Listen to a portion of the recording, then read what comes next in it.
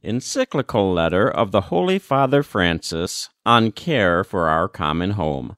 Translated by the Vatican. Read by Frank Blissett.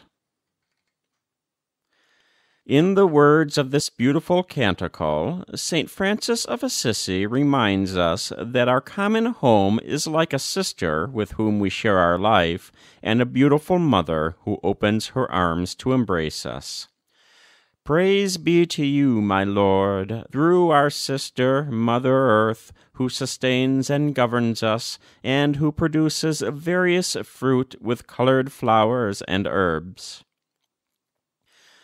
This sister now cries out to us because of the harm we have inflicted on her by our irresponsible use and abuse of the goods with which God has endowed her.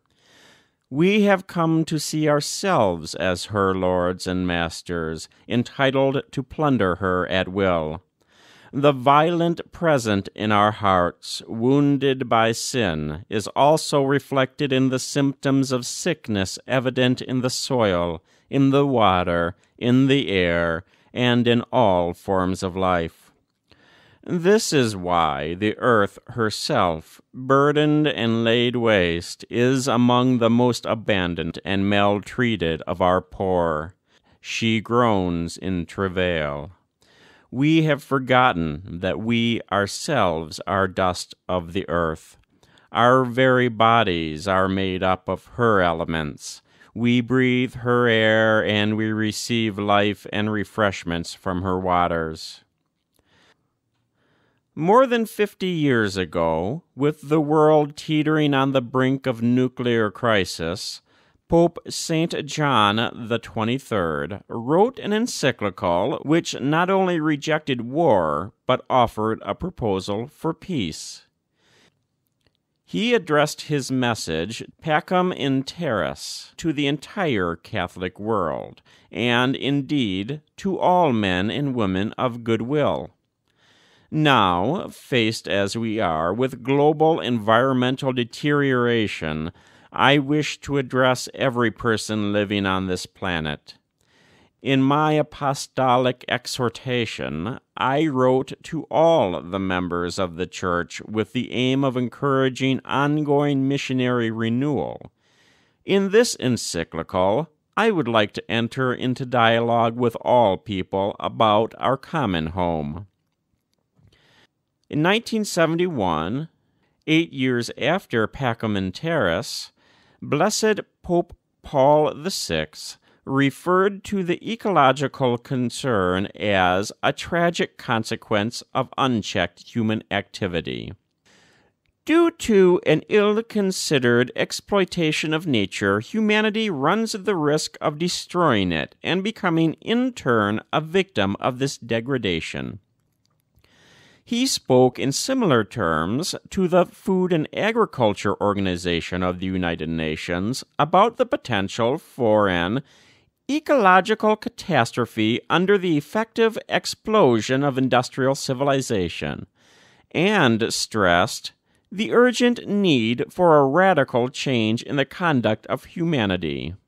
Inasmuch as the extraordinary scientific advances, the most amazing technical abilities, the most astonishing economic growth, unless they are accompanied by authentic social and moral progress, will definitively turn against man. St. John Paul II became increasingly concerned about this issue. In his first encyclical, he warned that human beings frequently seem to see no other meaning in their natural environment than what serves for immediate use and consumption. Subsequently, he would call for a global ecological conversion. At the same time, he noted that little effort had been made to safeguard the moral condition for an authentic human ecology. The destruction of the human environment is extremely serious, not only because God has entrusted the world to us men and women, but because human life is itself a gift which must be defended from various forms of debasement. Every effort to protect and improve our world entails profound changes in lifestyles, models of production and consumption, and the established structures of power which today govern societies. Authentic human development has a moral character. It presumes full respect for the human person, but it must also be concerned for the world around us and take into account the nature of each being and of its mutual connection in an ordered system. Accordingly, our human ability to transform reality must proceed in line with God's original gift of all that is. My predecessor, Benedict XVI, likewise proposed eliminating the social cause of the dysfunctions of the world economy and correcting models of growth which have proved incapable of ensuring respect for the environment. He observed that the world cannot be analyzed by isolating only one of its aspects, since the book of nature is one and indivisible and includes the environment, life, sexuality, the family, social relations, and so forth. It follows that the deterioration of nature is closely connected to the culture which shapes human coexistence. Pope Benedict asked us to recognize that the natural environment has been gravely damaged by our irresponsible behavior the social environment has also suffered damage. Both are ultimately due to the same evil the notion that there are no indisputable truths to guide our lives, and hence human freedom is limitless. We have forgotten that man is not only a freedom which he creates for himself, man does not create himself. He is spirit and will, but also nature. With paternal concern, Benedict urged us to realize that creation is harmed where we ourselves have the final word, where everything is simply our property and we use it for ourselves alone. The misuse of creation begins when we no longer recognize any higher instance than ourselves, when we see nothing else but ourselves.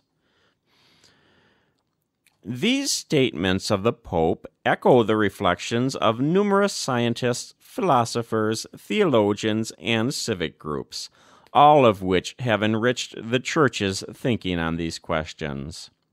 Outside the Catholic Church, other churches and Christian communities, and other religions as well, have expressed deep concern and offered valuable reflections on issues which all of us find disturbing.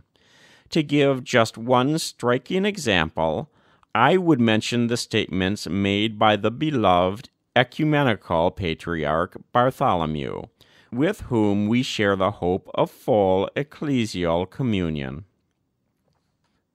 Patriarch Bartholomew has spoken in particular of the need for each of us to repent of the ways we have harmed the planet, for inasmuch as we all generate small ecological damage, we are called to acknowledge our contribution, smaller or greater, to the disfigurement and destruction of creation. He has repeatedly stated this firmly and persuasively, challenging us to acknowledge our sins against creation. For human beings to destroy the biological diversity of God's creation for human beings to degrade the integrity of the earth by causing change in its climate, by stripping the earth of its natural forest or destroying its wetlands, for human beings to contaminate the earth's waters, its land, its air, and its life. These are sins. For to commit a crime against the natural world is a sin against ourselves and a sin against God. At the same time, Bartholomew has drawn attention to the ethical and spiritual roots of environmental problems, which require that we look for solutions not only in technology, but in a change of humanity. Otherwise, we would be dealing merely with symptoms. He asks us to replace consumption with sacrifice, greed with generosity, wastefulness with a spirit of sharing, and asceticism, which entails learning to give and not simply to give up. It is a way of loving, of moving gradually away from what I want to what God's world needs. It is liberation from fear, greed, and compulsion. As Christians, we are also called to accept the world as a sacrament of communion, as a way of sharing with God and our neighbors on a global scale. It is our humble conviction that the divine and the human meet in the slightest detail in the seamless garment of God's creation, in the last speck of dust of our planet.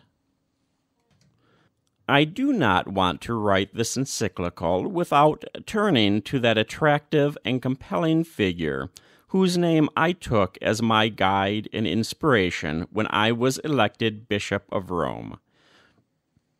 I believe that St. Francis is the example par excellence for care of the vulnerable and of an integral ecology lived out joyfully and authentically. He is the patron saint of all who study and work in the area of ecology, and he is also much loved by non Christians. He was particularly concerned for God's creation and for the poor and outcast. He loved and was deeply loved for his joy, his generous self giving, his open heartedness. He was a mystic and a pilgrim who lived in simplicity and in wonderful harmony with God, with others, with nature, and with himself. He shows us just how inseparable the bond is between concern for nature, justice for the poor, commitment to society, and interior peace. Francis helps us to see that the integral ecology calls for openness to categories which transcend the language of mathematics and biology and take us to the heart of what it is to be human. Just as happens when we fall in love with someone, whenever he would gaze at the sun, the moon, or the smallest of animals, he burst into song, drawing all other creatures into his praise. He communed with all creation, even preaching to the flowers, inviting them to praise the Lord just as if they were endowed with reason.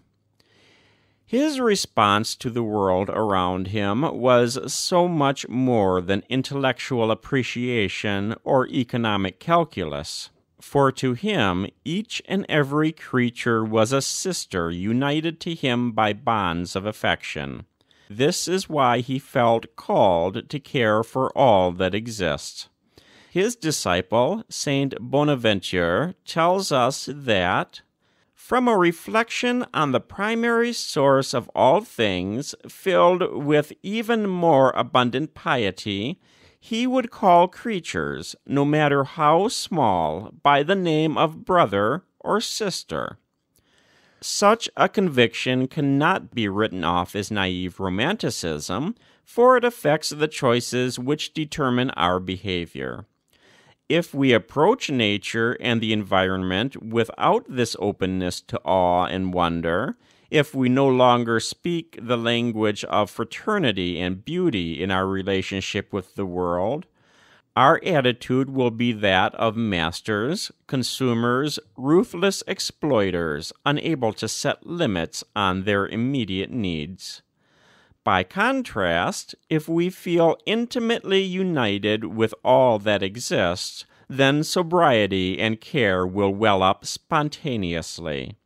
The poverty and austerity of St. Francis were no mere veneer of asceticism, but something much more radical a refusal to turn reality into an object simply to be used and controlled.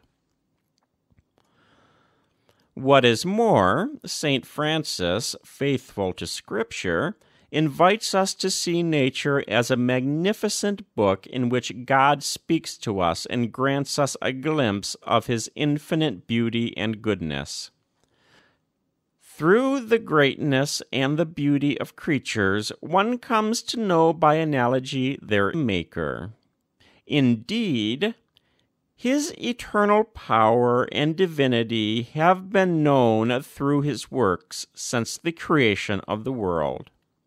For this reason, Francis asked that part of the friary garden always be left untouched, so that wildflowers and herbs could grow there, and those who saw them could raise their minds to God, the Creator of such beauty.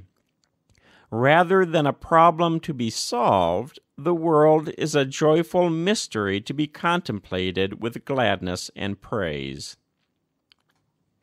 The urgent challenge to protect our common home includes a concern to bring the whole human family together to seek a sustainable and integral development, for we know that things can change. The Creator does not abandon us. He never forsakes His loving plan or repents of having created us humanity still has the ability to work together in building our common home. Here I want to recognize, encourage, and thank all those striving in countless ways to guarantee the protection of the home which we share. Particular appreciation is owed to those who tirelessly seek to resolve the tragic effects of environmental degradation on the lives of the world's poorest. Young people demand change. They wonder how anyone can claim to be building a better future without thinking of the environmental crisis and the sufferings of the excluded. I urgently appeal, then, for a new dialogue about how we are shaping the future of the planet. We need a conversation which includes everyone, since the environmental challenge we are undergoing and its human roots concern and affect us all. The worldwide ecological movement has already made considerable progress and led to the establishment of numerous organizations committed to raising awareness of these challenges. Regrettably, many efforts to seek concrete solutions to the environmental crisis have proved ineffective, not only because of powerful opposition, but also because of a more general lack of interest. Obstructionist attitudes, even on the part of believers, can range from denial of the problem to indifference, nonchalant resignation, or blind confidence in technical solutions. We require a new and universal solidarity. As the bishops of southern Africa have stated, everyone's talents and involvements are needed to redress the damage caused by human abuse of God's creation all of us can cooperate as instruments of God for the care of creation, each according to his or her own culture, experience, involvements, and talents. It is my hope that this encyclical letter, which is now added to the body of the Church's social teaching, can help us to acknowledge the appeal, immensity, and urgency of the challenge we face. I will begin by briefly reviewing several aspects of the present ecological crisis with the aim of drawing on the results of the best scientific research available today, letting them touch us deeply and provide a concrete foundation for the ethical and spiritual itinerary that follows. I will then consider some principles drawn from the Judeo Christian tradition which can render our commitment to the environment more coherent. I will then attempt to get to the roots of the present situation so as to consider not only its symptoms, but also its deepest causes. This will help to provide an approach to ecology which respects our unique place as human beings in this world and our relationship to our surroundings. In light of this reflection, I will advance some broader proposals for dialogue and action which would involve each of us as individuals and also affect international policy. Finally, convinced as I am that change is impossible without motivation and a process for education, I will offer some inspired guidelines for human development to be found in the treasure of Christian spiritual experience. Although each chapter will have its own subject and specific approach, it will also take up and re examine important questions previously dealt with. This is particularly the case with a number of themes which will appear as the encyclical unfolds. As examples, I will point to the intimate relationship between the poor and the fragility of the planet, the conviction that everything in the world is connected, the critique of new paradigms and forms of power derived from technology, the call to seek other ways of understanding the economy and progress, the value proper to each creature, the human meaning of ecology, the need for forthright and honest debate, the serious responsibility of international and local policy, the throwaway culture, and the proposal of a new lifestyle. These questions will not be dealt with once and for all, but reframed and enriched again and again. Chapter 1 What is happening to our common home? Chapter Introduction and Section 1 Pollution and Climate Change. Theological and philosophical reflections on the situation of humanity and the world can sound tiresome and abstract unless they are grounded in a fresh analysis of our present situation, which is in many ways unprecedented in the history of humanity. So, before considering how faith brings new incentives and requirements with regard to the world of which we are a part, I will briefly turn to what is happening to our common home. The continued acceleration of changes affecting humanity and the planet is coupled today with a more intensified pace of life and work, which might be called rapidification. Although change is part of the working of complex systems, the speed with which human activity has developed contrasts with the naturally slow pace of biological evolution. Moreover, the goals of this rapid and constant change are not necessarily geared to the common good or to integral and sustainable human development. Change is something desirable, Yet it becomes a source of anxiety when it causes harm to the world and to the quality of life of much of humanity. Following a period of irrational confidence in progress and human abilities, some sectors of society are now adopting a more critical approach we see increasing sensitivity to the environment and the need to protect nature, along with a growing concern, both genuine and distressing, for what is happening to our planet. Let us review, however cursorily, those questions which are troubling us today and which we can no longer sweep under the carpet.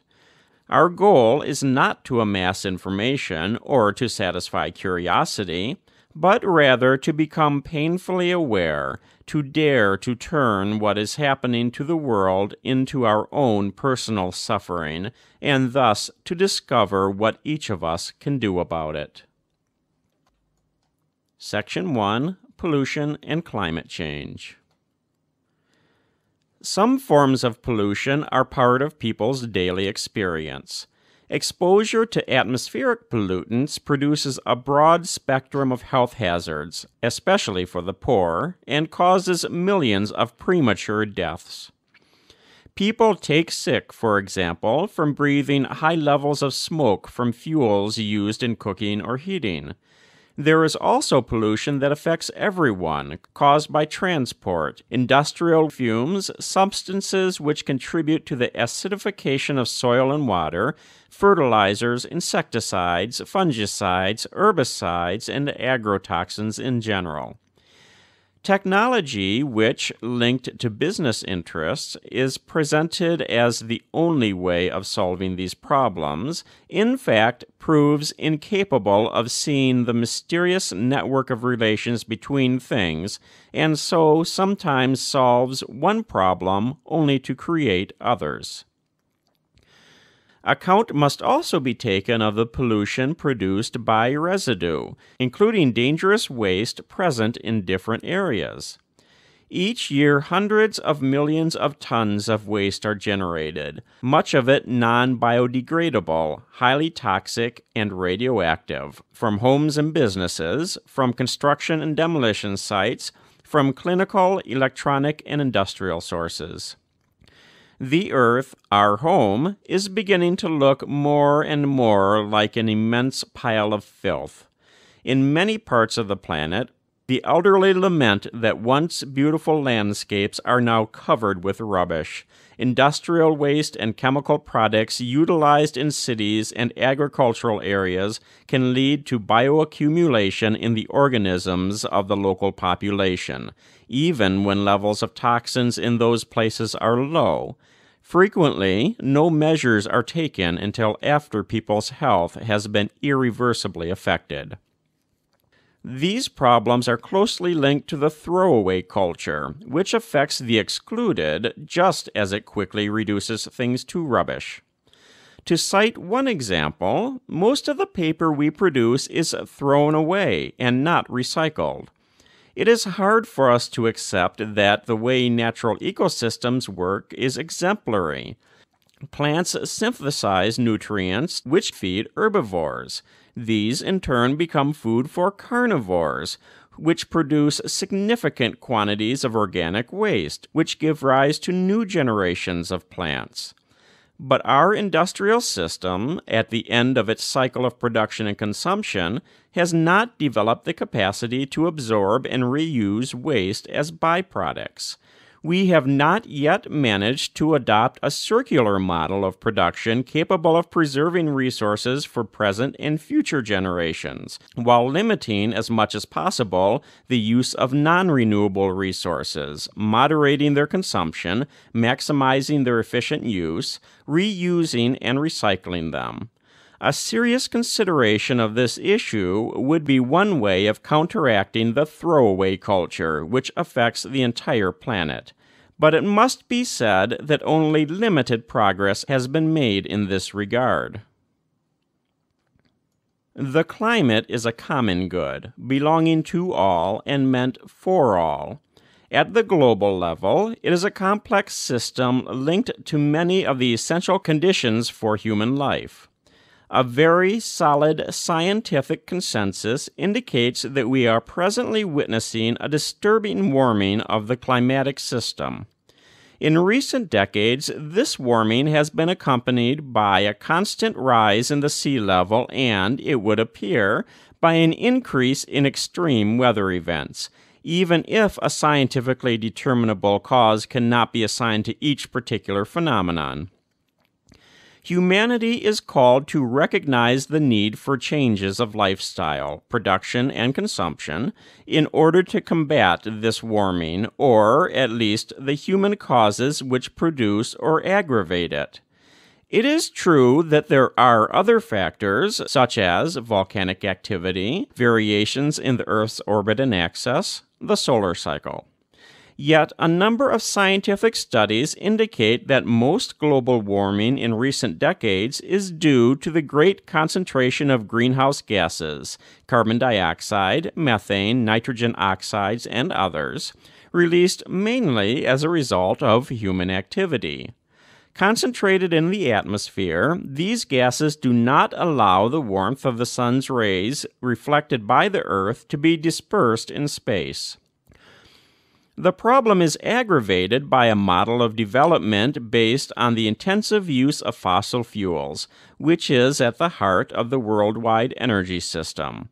Another determining factor has been an increase in changed uses of the soil principally deforestation for agricultural purposes. Warming has effects on the carbon cycle. It creates a vicious circle which aggravates the situation even more, affecting the availability of essential resources like drinking water, energy, and agricultural production in warmer regions, and leading to the extinction of part of the planet's biodiversity. The melting in the polar ice caps and in high altitude plains can lead to the dangerous release of methane gas, while the decomposition of frozen organic material can further increase the emission of carbon dioxide.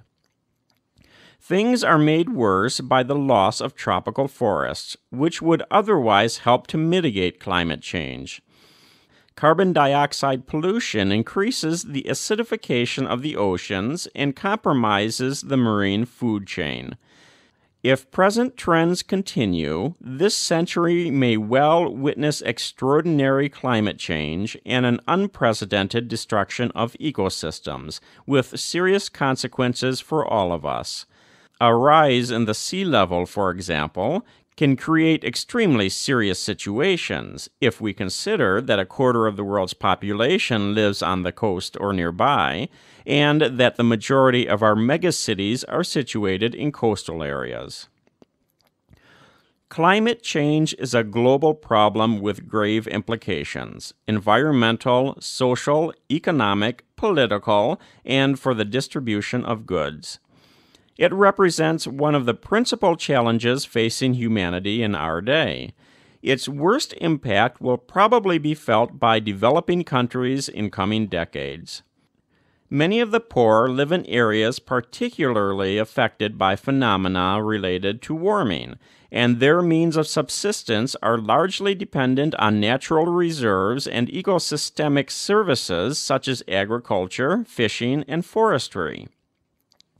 They have no other financial activities or resources which can enable them to adapt to climate change or to face natural disasters, and their access to social services and protection is very limited. For example, changes in climate to which animals and plants cannot adapt lead them to migrate. This in turn affects the livelihood of the poor, who are then forced to leave their homes, with great uncertainty for their future and that of their children. There has been a tragic rise in the number of migrants seeking to flee from the growing poverty caused by environmental degradation. They are not recognized by international conventions as refugees. They bear the loss of the lives they have left behind without enjoying any legal protection whatsoever. Sadly, there is widespread indifference to such suffering, which is even now taking place throughout our world.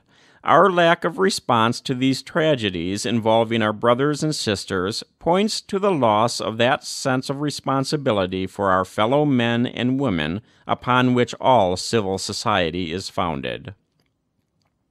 Many of those who possess more resources and economic or political power seem mostly to be concerned with masking the problems or concealing their symptoms, simply making efforts to reduce some of the negative impacts of climate change. However, many of these symptoms indicate that such effects will continue to worsen if we continue with current models of production and consumption.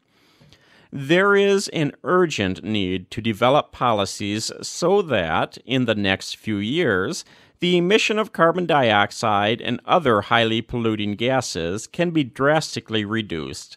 For example, substituting for fossil fuels and developing sources of renewable energy. Worldwide, there is minimal access to clean and renewable energy. there is still a need to develop adequate storage technologies. Some countries have made considerable progress, although it is far from constituting a significant proportion. Investments have also been made in means of production and transportation which consume less energy and require fewer raw materials, as well as in methods of construction and renovating buildings which improve their energy efficiency. But these good practices are still far from widespread. Chapter 1 What is Happening to Our Common Home? Section 2 The Issue of Water. Other indicators of the present situation have to do with the depletion of natural resources. We all know that it is not possible to sustain the present level of consumption in developed countries and wealthier sectors of society, where the habit of wasting and discarding has reached unprecedented levels. The exploitation of the planet has already exceeded acceptable limits, and we still have not solved the problem of poverty fresh drinking water is an issue of primary importance, since it is indispensable for human life and for supporting terrestrial and aquatic ecosystems. Sources of fresh water are necessary for healthcare, agriculture, and industry. Water supplies used to be relatively constant, but now, in many places, demand exceeds the sustainable supply, with dramatic consequences in the short and long term. Large cities dependent on significant supplies of water have experienced periods of shortage, and at critical moments, these have not always been administered with sufficient oversight and impartiality. Water poverty especially affects Africa, where large sectors of the population have no access to safe drinking water or experience droughts which impede agricultural production. Some countries have areas rich in water, while others endure drastic scarcity. One particularly serious problem is the quality of water available to the poor. Every day, unsafe water results in many deaths and the spread of water related diseases, including those caused by microorganisms and chemical substances. Dysentery and cholera, linked to inadequate hygiene and water supplies, are a significant cause of suffering and of infant mortality. Underground water sources in many places are threatened by the pollution produced in certain mining, farming, and industrial activities, especially in countries lacking adequate regulation or controls. It is not only a question of industrial waste. Detergents and chemical products, commonly used in many places of the world, continue to pour into our rivers, lakes, and seas. Even as the quality of available water is constantly diminishing, in some places there is a growing tendency, despite its scarcity, to privatize this resource, turning it into a commodity subject to the laws of the market. Yet, access to safe, drinkable water is a basic and universal human right, since it is essential to human survival and, as such, is a condition for the exercise of other human rights. Our world has a grave social debt towards the poor who lack access to drinking water because they are denied the right to a life consistent with their inalienable dignity. This debt can be paid partly by an increase in funding to provide clean water and sanitary services among the poor.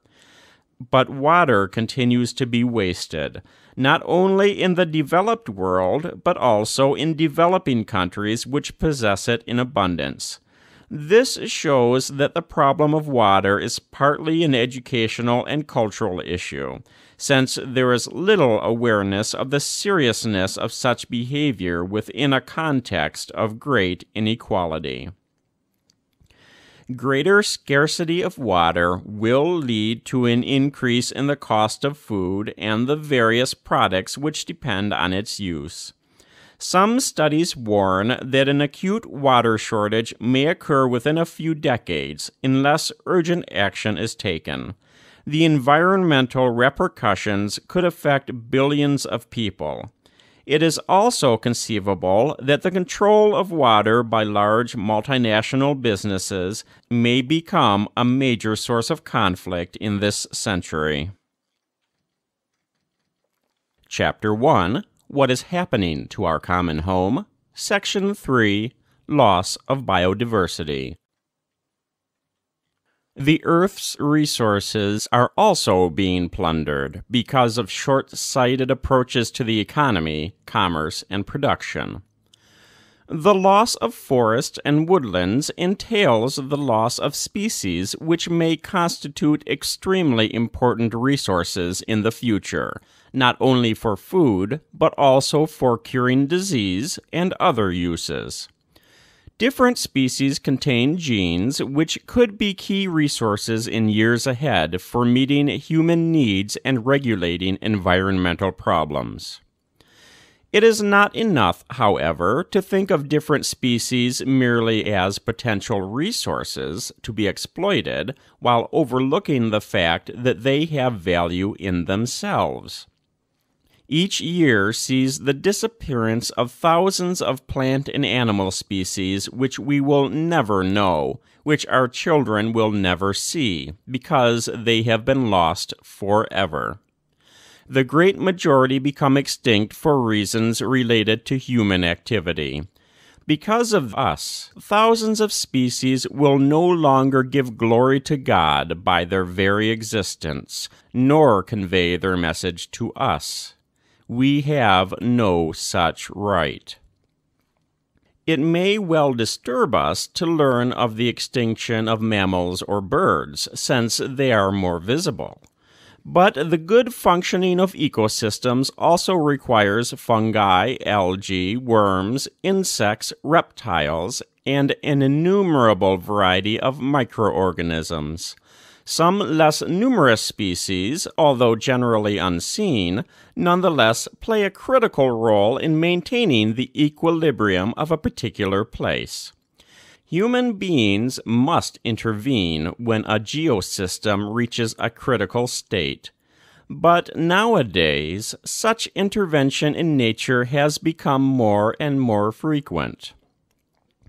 As a consequence, serious problems arise, leading to further interventions. Human activity becomes ubiquitous, with all the risks which this entails. Often a vicious circle results, as human intervention to resolve a problem further aggravates the situation. For example, Many birds and insects which disappear due to synthetic agrotoxins are helpful to agriculture. Their disappearance will have to be compensated for by yet other techniques which may well prove harmful. We must be grateful for the praiseworthy efforts being made by scientists and engineers dedicated to finding solutions to man made problems. But a sober look at our world shows that the degree of human intervention, often in the service of business interests and consumerism, is actually making our Earth less rich and beautiful, ever more limited and gray, even as technological advances and consumer goods continue to abound limitlessly we seem to think that we can substitute an irreplaceable and irretrievable beauty with something which we have created ourselves. In assessing the environmental impact of any project, concern is usually shown for its effects on soil, water, and air.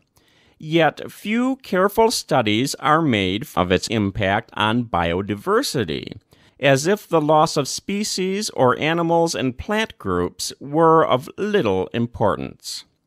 Highways, new plantations, the fencing off of certain areas, the damming of water resources, and similar developments crowd out natural habitats and, at times, break them up in such a way that animal populations can no longer migrate or roam freely.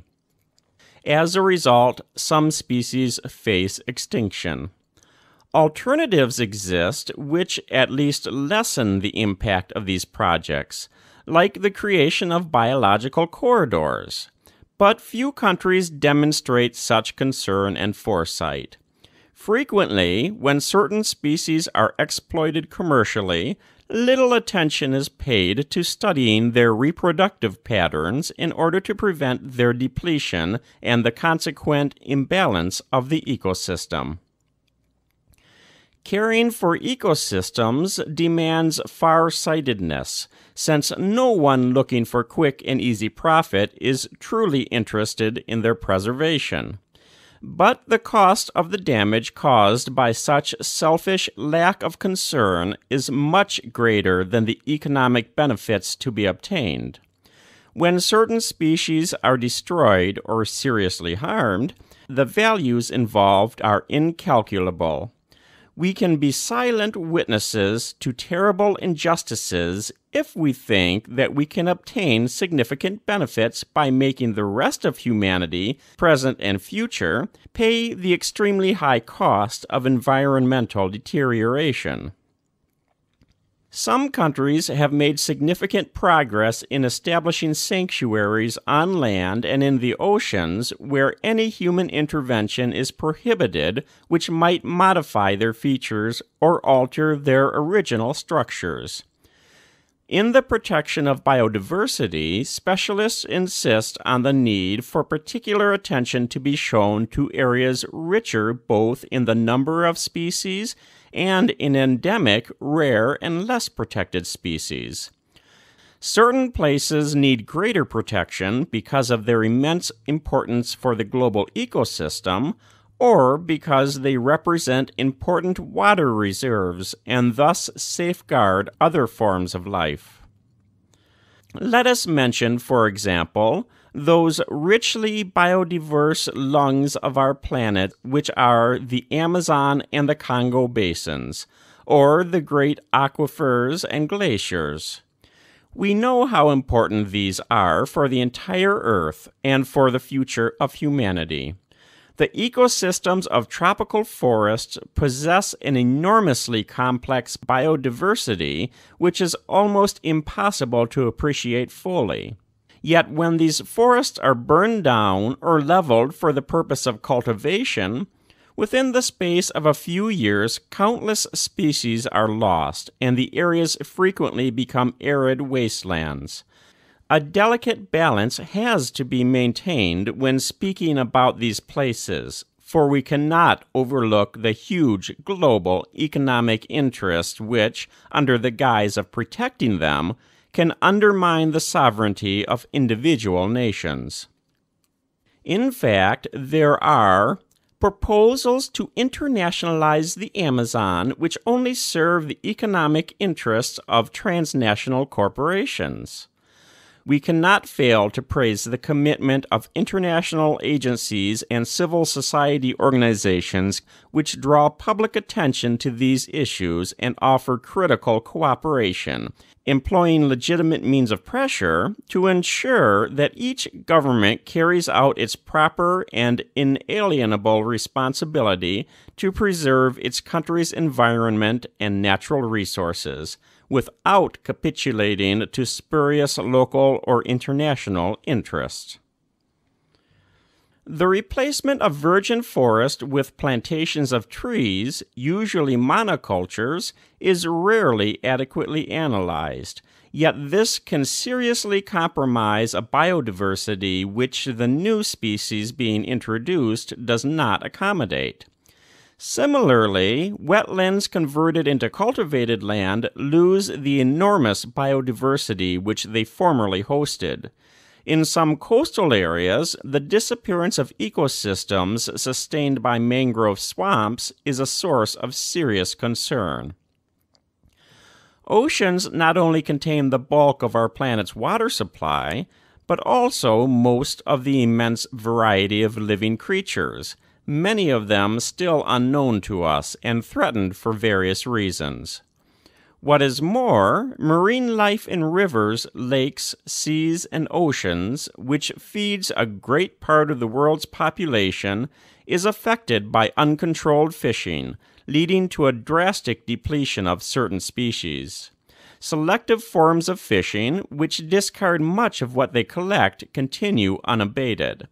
Particularly threatened are marine organisms which we tend to overlook, like some forms of plankton. They represent a significant element in the ocean food chain, and species used for food ultimately depend on them.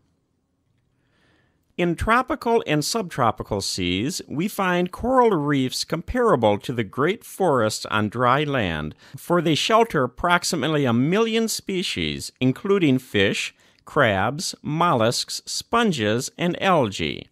Many of the world's coral reefs are already barren or in a state of constant decline. Who turned the wonder world of the seas into underwater cemeteries bereft of color and life? This phenomenon is due largely to pollution, which reaches the sea as the result of deforestation, agricultural monocultures, industrial waste, and destructive fishing methods especially those using cyanide and dynamite. It is aggravated by the rise in temperature of the oceans. All of this helps us to see that every intervention in nature can have consequences which are not immediately evident, and that certain ways of exploiting resources prove costly in terms of degradation, which ultimately reaches the ocean bed itself.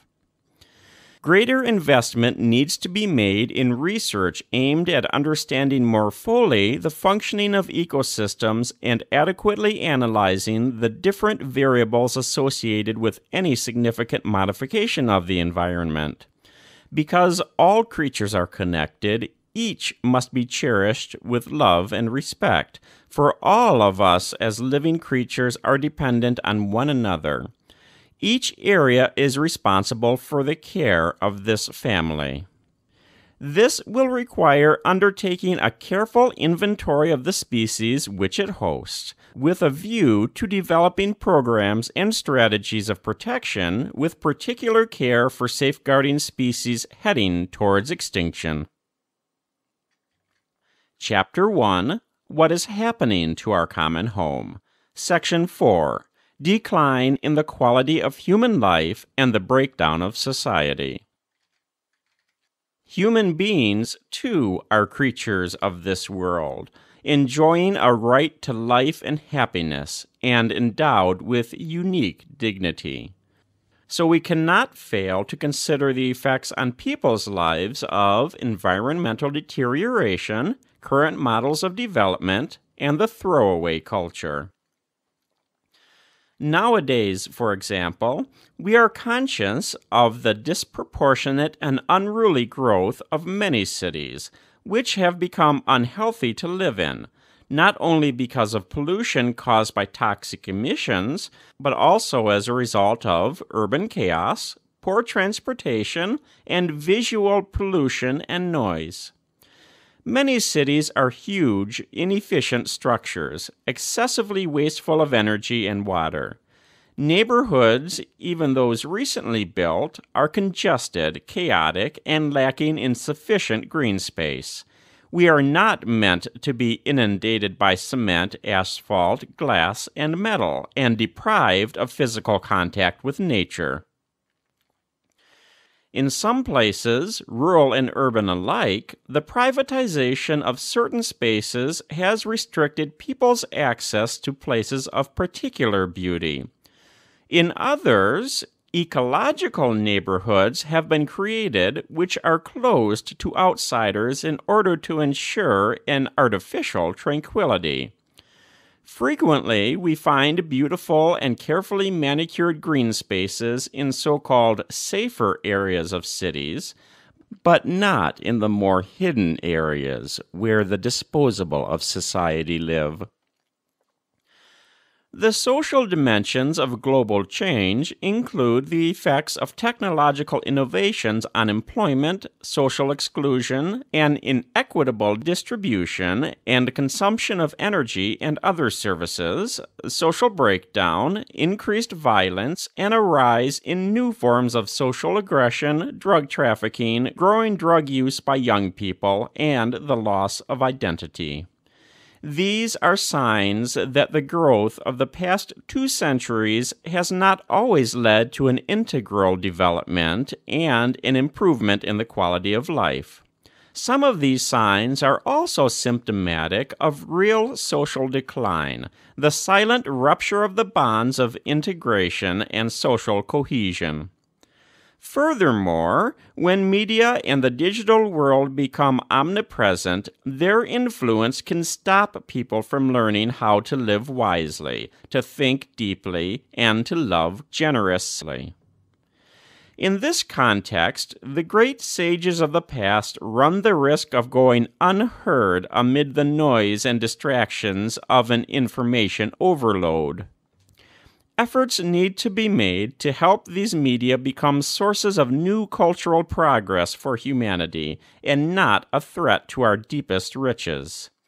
True wisdom, as the fruit of self examination, dialogue, and generous encounter between persons, is not acquired by a mere accumulation of data which eventually leads to overload and confusion, a sort of mental pollution real relationships with others, with all the challenges they entail, now tend to be replaced by a type of internet communication, which enables us to choose or eliminate relationships at whim, thus giving rise to a new type of contrived emotion, which has more to do with devices and displays than with other people and with nature. Today's media do enable us to communicate and to share our knowledge and affections. Yet, at times, they also shield us from direct contact with the pain, the fears, and the joys of others and the complexity of their personal experiences. For this reason, we should be concerned that, alongside the existing possibilities offered by these media, a deep and melancholic dissatisfaction with interpersonal relations or a harmful sense of isolation can also arise. Chapter 1 What is happening to our common home? Section 5 Global Inequality. The human environment and the natural environment deteriorate together we cannot adequately combat environmental degradation unless we attend to causes related to human and social degradation. In fact, the deterioration of the environment and of society affects the most vulnerable people on the planet. Both everyday experience and scientific research show that the gravest effects of all attacks on the environment are suffered by the poorest. For example, the depletion of fishing reserves especially hurts small fishing communities without the means to replace those resources. Water pollution particularly affects the poor who cannot buy bottled water, and rises in the sea level mainly affect impoverished coastal populations who have nowhere else to go. The impact of present imbalances is also seen in the premature death of many of the poor, in conflicts sparked by the shortage of resources, and in any number of other problems which are insufficiently represented on global agendas. It needs to be said that, generally speaking, there is little in the way of clear awareness of problems which especially affect the excluded. Yet they are the majority of the planet's population, billions of people. These days, they are mentioned in international political and economic discussions, but one often has the impression that their problems are brought up as an afterthought, a question which gets added almost out of duty or in a tangential way, if not treated merely as collateral damage. Indeed, when all is said and done, they frequently remain at the bottom of the pile. This is due partly to the fact that many professionals, opinion makers, communications media, and centers of power, being located in affluent urban areas, are far removed from the poor, with little direct contact with their problems. They live and reason from the comfortable position of a high level of development and a quality of life well beyond the reach of the majority of the world's population.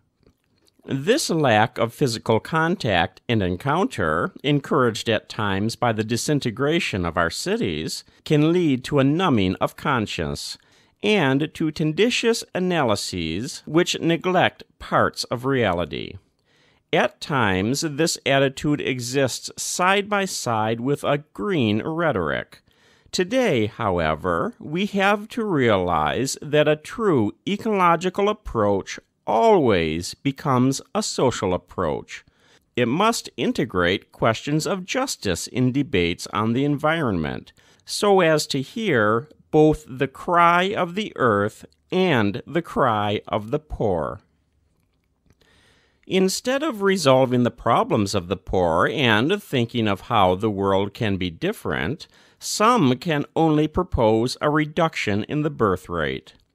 At times, developing countries face forms of international pressure which make economic assistance contingent on certain policies of reproductive health. Yet, while it is true that an unequal distribution of the population and of available resources creates obstacles to development and a sustainable use of the environment, it must nonetheless be recognized that demographic growth is fully compatible with an integral and shared development. To blame population growth instead of extreme and selective consumerism on the part of some is one way of refusing to face the issues. It is an attempt to legitimize the present model of distribution, where a minority believes that it has the right to consume in a way which can never be universalized, since the planet could not even contain the waste products of such consumption. Besides, we know that approximately a third of all food produced is discarded, and whenever food is thrown out, it is as if it were stolen from the table of the poor. Still, attention needs to be paid to imbalances in population density on both national and global levels, since a rise in consumption would lead to complex regional situations as a result of the interplay between problems linked to environmental pollution, transport, waste treatment, loss of resources, and quality of life. Inequity affects not only individuals, but entire countries. It compels us to consider an ethics of international relations. A true ecological debt exists, particularly between the global north and south, connected to commercial imbalances with effects on the environment and the disproportionate use of natural resources by certain countries over long periods of time. The export of raw materials to satisfy markets in the industrialized North has caused harm locally, as, for example, in mercury pollution in gold mining or sulfur dioxide pollution in copper mining. There is a pressing need to calculate the use of environmental space throughout the world for depositing gas residues which have been accumulating for two centuries and have created a situation which currently affects all the countries of the world. The warming caused by huge consumption on the part of some rich countries has repercussions on the poorest areas of the world especially Africa, where a rise in temperature, together with drought, has proved devastating for farming. There is also the damage caused by the export of solid waste and toxic liquids to developing countries, and by the pollution produced by companies which operate in less developed countries in ways they could never do at home in the countries in which they raise their capital. We note that often the businesses which operate this way are multinationals, they do here what they would never do in developed countries, or the so called First World. Generally, after ceasing their activity and withdrawing, they leave behind great human and environmental liabilities such as unemployment, abandoned towns, the depletion of natural reserves, deforestation, the impoverishment of agriculture and local stock breeding, open pits, riven hills, polluted rivers, and a handful of social works which are no longer sustainable. The foreign debt of poor countries has become a way of controlling them. Yet this is not the case where ecological debt is concerned. In different ways, developing countries, where the most important reserves of the biosphere are found, continue to fuel the development of richer countries at the cost of their own present and future. The land of the southern poor is rich and mostly unpolluted yet access to ownership of goods and resources for meeting vital needs is inhibited by a system of commercial relations and ownership which is structurally perverse. The developed countries ought to help pay this debt by significantly limiting their consumption of non renewable energy and by assisting poorer countries to support policies and programs of sustainable development. The poorest areas and countries are less capable of adopting new models for reducing environmental impact because they lack the wherewithal to develop the necessary processes and to cover their costs. We must continue to be aware that, regarding climate change, there are differentiated responsibilities. As the United States bishops have said, greater attention must be given to the needs of the poor, the weak, and the vulnerable in a debate often dominated by more powerful interests. We need to strengthen the conviction that we are one single human family there are no frontiers or barriers, political or social, behind which we can hide. Still less is there room for the globalization of indifference. Chapter 1 What is happening to our common home? Section 6 Weak Responses. These situations have caused Sister Earth, along with all the abandoned of our world, to cry out, pleading that we take another course. Never have we so hurt and mistreated our common home as we have in the last two hundred years. Yet we are called to be instruments of God our Father, so that our planet might be what He desired when He created it, and correspond with His plan for peace, beauty, and fullness. The problem is that we still lack the culture needed to confront this crisis we lack leadership capable of striking out on new paths and meeting the needs of the present with concern for all and without prejudice towards coming generations. The establishment of a legal framework which can set clear boundaries and ensure the protection of ecosystems has become indispensable Otherwise, the new power structures based on the techno economic paradigm may overwhelm not only our politics, but also freedom and justice. It is remarkable how weak international political responses have been. The failure of global summits on the environment make it plain that our politics are subject to technology and finance There are too many special interests, and economic interests easily end up trumping the common good and manipulating information so that their own plans will not be affected. The Aparecida document urges that the interests of economic groups which irrationally demolish sources of life should not prevail in dealing with natural resources. The alliance between the economy and technology ends up sidelining anything unrelated to its immediate interests. Consequently, the most one can expect is superficial rhetoric, sporadic acts of philanthropy, and perfunctory expressions of concern for the environment whereas any genuine attempt by groups within society to introduce change is viewed as a nuisance based on romantic illusions or an obstacle to be circumvented. Some countries are gradually making significant progress, developing more effective controls and working to combat corruption. People may well have a growing ecological sensitivity, but it has not succeeded in changing their harmful habits of consumption, which, rather than decreasing, appear to be growing all the more. A simple example is the increasing use and power of air conditioning. The markets, which immediately benefit from sales, stimulate ever greater demand. An outsider looking at our world would be amazed at such behavior, which at times appears self destructive.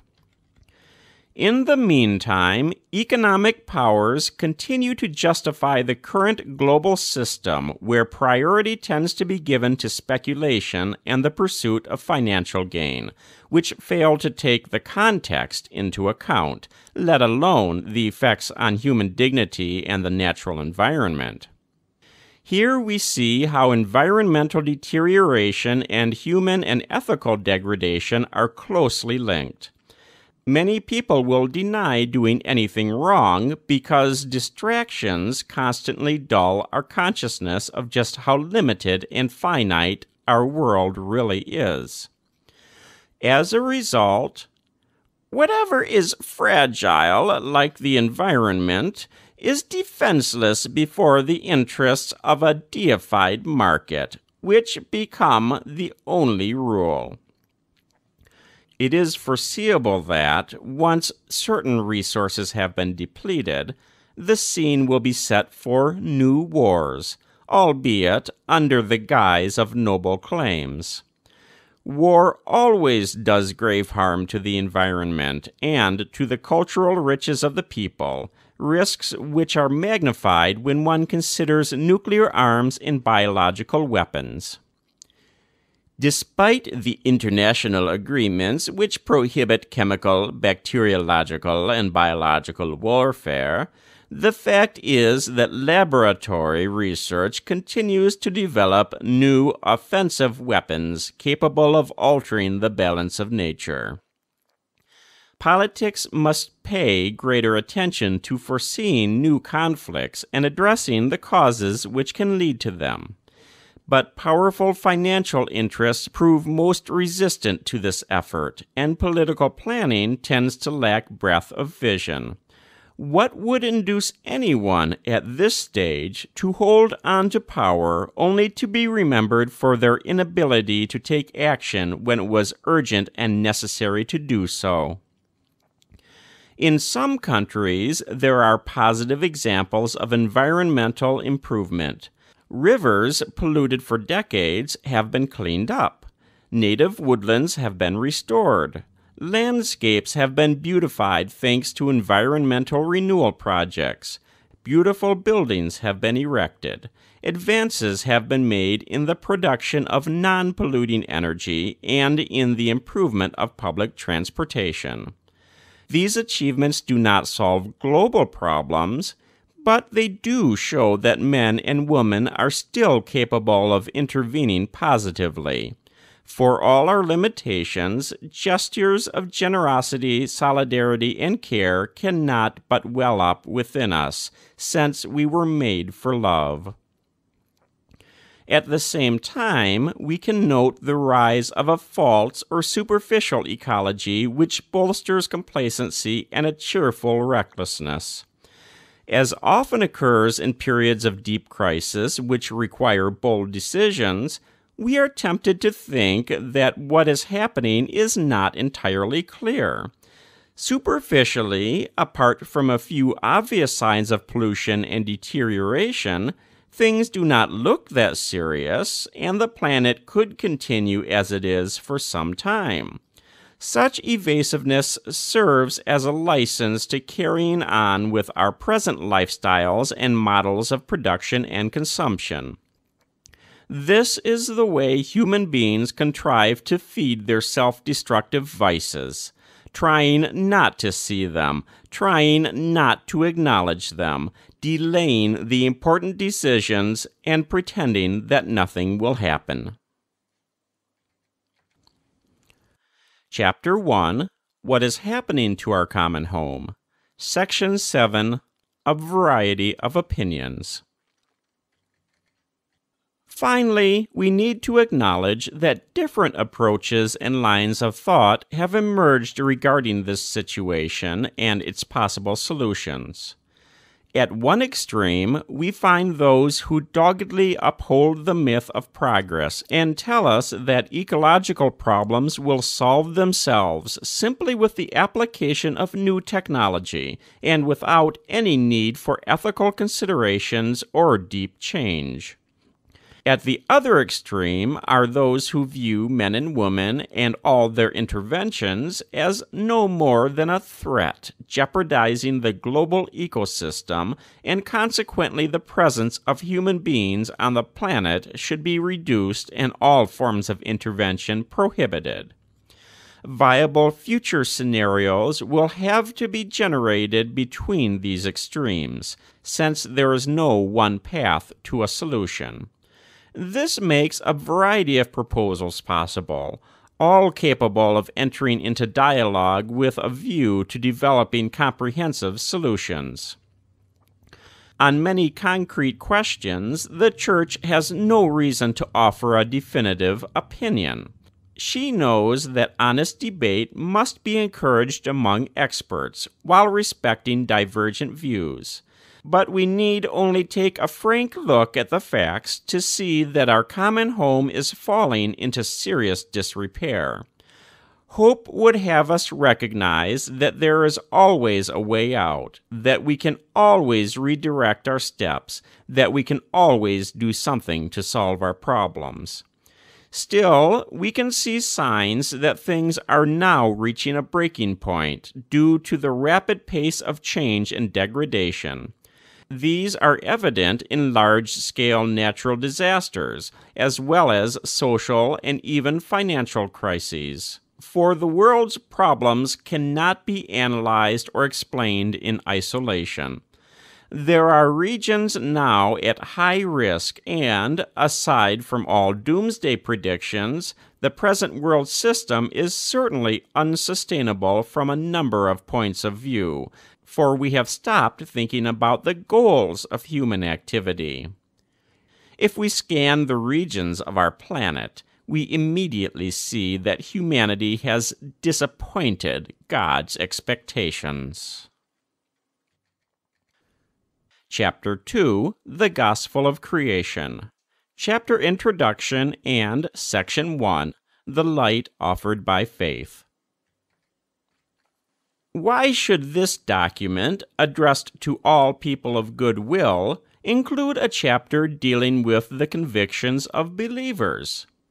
I am well aware that in the areas of politics and philosophy, there are those who firmly reject the idea of a creator, or consider it irrelevant, and consequently dismiss as irrational the rich contribution which religions can make towards an integral ecology and the full development of humanity. Others view religions simply as a subculture to be tolerated. Nonetheless, science and religion, with their distinctive approaches to understanding reality, can enter into an intense dialogue fruitful for both. Section 1 The Light Offered by Faith. Given the complexity of the ecological crisis and its multiple causes, we need to realize that the solutions will not emerge from just one way of interpreting and transforming reality. Respect must also be shown for the various cultural riches of different peoples, their art and poetry, their interior life and spirituality. If we are truly concerned to develop an ecology capable of remedying the damage we have done, no branch of the sciences and no form of wisdom can be left out, and that includes religion and the language particular to it. The Catholic Church is open to dialogue with philosophical thought. This has enabled her to produce various syntheses between faith and reason. The development of the Church's social teaching represents such a synthesis with regard to social issues. This teaching is called to be enriched by taking up new challenges.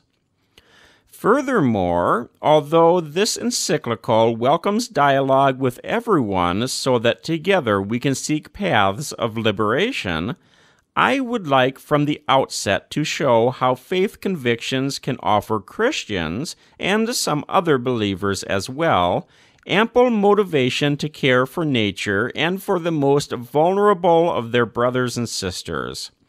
If the simple fact of being human moves people to care for the environment of which they are a part, Christians, in their turn, realize that their responsibility within creation and their duty towards nature and the Creator are an essential part of their faith. It is good for humanity and the world at large when we believers better recognize the ecological commitments which stem from our convictions. Chapter 2 The Gospel of Creation. Section 2 The Wisdom of the Biblical Accounts. Without repeating the entire theology of creation, we can ask what the great biblical narratives say about the relationship of human beings with the world. In the first creation account in the book of Genesis, God's plan includes creating humanity. After the creation of man and woman, God saw everything that he had made, and behold, it was very good. The Bible teaches that every man and woman is created out of love and made in God's image and likeness. This shows us the immense dignity of each person, who is not just something, but someone, he is capable of self knowledge, of self possession, and of freely giving himself and entering into communion with other persons. St. John Paul II stated that the special love of the Creator for each human being confers upon him or her an infinite dignity.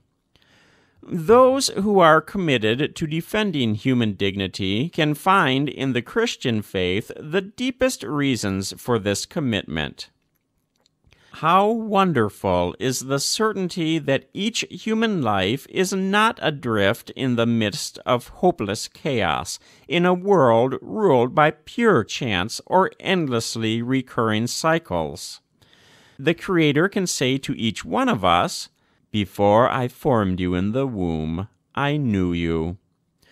We were conceived in the heart of God, and for this reason, each of us is the result of a thought of God. Each of us is willed. Each of us is loved. Each of us is necessary. The creation accounts in the book of Genesis contain, in their own symbolic and narrative language, profound teachings about human existence and its historical reality. They suggest that human life is grounded on three fundamental and closely intertwined relationships with God, with our neighbors, and with the earth itself. According to the Bible, these three vital relationships have been broken, both outwardly and within us. This rupture is sin. The harmony between the Creator, humanity, and creation as a whole was disrupted by our presuming to take the place of God and refusing to acknowledge our creaturely limitations. This, in turn, distorted our mandate to have dominion over the earth, to till it and keep it. As a result, the originally harmonious relationship between human beings and nature became conflictual. It is significant that the harmony which St. Francis of Assisi experienced with all creatures was seen as a healing of that rupture. St. Bonaventure held that, through universal reconciliation with every creature, St. Francis in some way returned to the state of original innocence. This is a far cry from our situation today, where sin is manifest in all its destructive power in wars, the various forms of violence and abuse, the abandonment of the most vulnerable, and attacks on nature. We are not God. The earth was here before us, and it has been given to us. This allows us to respond to the charge that Judeo Christian thinking, on the basis of the Genesis account, which grants man dominion over the earth, has encouraged the unbridled exploitation of nature by painting him as domineering and destructive by nature. This is not a correct interpretation of the Bible as understood by the Church. Although it is true that we Christians have at times incorrectly interpreted the Scriptures, Nowadays, we must forcefully reject the notion that our being created in God's image and given dominion over the earth justifies absolute domination over other creatures. The biblical texts are to be read in their context with an appropriate hermeneutic, recognizing that they tell us to till and keep the garden of the world Tilling refers to cultivating, plowing, or working, while keeping means caring, protecting, overseeing, and preserving. This implies a relationship of mutual responsibility between human beings and nature. Each community can take from the bounty of the earth whatever it needs for subsistence, but it also has the duty to protect the earth and to ensure its fruitfulness for coming generations. The earth is the Lord's. To him belongs the earth with all that is within it. Thus, God rejects every claim of absolute ownership. The land shall not be sold in perpetuity, for the land is mine, for you are strangers and sojourners with me. This responsibility for God's earth means that human beings, endowed with intelligence, must respect the laws of nature and the delicate equilibria existing between the creatures of this world, for he commanded, and they were created, and He established them forever and ever. He fixed their bounds, and He set a law which cannot pass away. The laws found in the Bible dwell on relationships, not only among individuals, but also with other living beings. You shall not see your brother's donkey or his ox fallen down by the way and withhold your help. If you chance to come upon a bird's nest in any tree or on the ground, with young ones or eggs, and the mother sitting upon the young or upon the eggs, you shall not take the mother with the young. Along these same lines, rest on the seventh day is meant not only for human beings, but also so that your ox and your donkey may have rest. Clearly, the Bible has no place for a tyrannical anthropocentrism unconcerned for other creatures. Together with our obligation to use the earth's goods responsibly, we are called to recognize that other living beings have a value of their own in God's eyes. By their mere existence, they bless Him and give Him glory. And indeed, the Lord rejoices in all His works. By virtue of our unique dignity and our gift of intelligence, we are called to respect creation and its inherent laws, for the Lord by wisdom founded the earth. In our time, the Church does not simply state that other creatures are completely subordinate to the good of human beings, as if they have no worth in themselves and can be treated as we wish.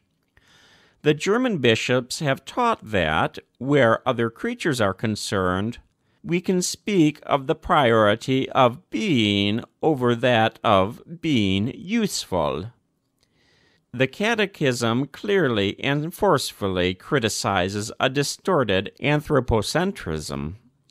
Each creature possesses its own particular goodness and perfection. Each of the various creatures, willed in its own being, reflects in its own way a ray of God's infinite wisdom and goodness. Man must therefore respect the particular goodness of every creature to avoid any disordered use of things. In the story of Cain and Abel, we see how envy led Cain to commit the ultimate injustice against his brother, which in turn ruptured the relationship between Cain and God and between Cain and the earth from which he was banished. This is seen clearly in the dramatic exchange between God and Cain. God asks, Where is Abel, your brother? Cain answers that he does not know, and God persists, What have you done? The voice of your brother's blood is crying to me from the ground, and now you are cursed from the ground. Disregard for the duty to cultivate and maintain a proper relationship with my neighbor, for whose care and custody I am responsible, ruins my relationship with my own self, with others, with God, and with the earth. When all these relationships are neglected, when justice no longer dwells in the land, the Bible tells us that life itself is endangered. We see this in the story of Noah, where God threatens to do away with humanity because of its constant failure to fulfill the requirements of justice and peace. I have determined to make an end of all flesh for the earth is filled with violence through them. These ancient stories, full of symbolism, bear witness to a conviction which we today share that everything is interconnected, and that genuine care for our own lives and our relationships with nature is inseparable from fraternity, justice, and faithfulness to others. Although the wickedness of man was great in the earth, and the Lord was sorry that he had made man on the earth, nonetheless, through Noah, who remained innocent and just, God decided to open a path for salvation. In this way, he gave humanity the chance of a new beginning. All it takes is one good person to restore hope. The biblical tradition clearly shows that this renewal entails recovering and respecting the rhythms inscribed in nature by the hand of the Creator. We see this, for example, in the law of the Sabbath. On the seventh day, God rested from all his work. He commanded Israel to set aside each seventh day as a day of rest, a Sabbath. Similarly, every seven years, a sabbatical year was set aside for Israel, a complete rest for the land, when sowing was forbidden and one reaped only what was necessary to live on and to feed one's household. Finally, after seven weeks of years, which is to say, forty nine years, the Jubilee was celebrated as a year of general forgiveness and liberty throughout the land for all its inhabitants. This law came about as an attempt to ensure balance and fairness in their relationships with others and with the land on which they lived and worked. At the same time, it was an acknowledgement that the gift of the earth with its fruits belongs to everyone. Those who tilled and kept the land were obliged to share its fruits, especially with the poor, with widows, orphans, and foreigners in their midst. When you reap the harvest of your land, you shall not reap your field to its very border neither shall you gather the gleanings after the harvest. And you shall not strip your vineyard bare, neither shall you gather the fallen grapes of your vineyard.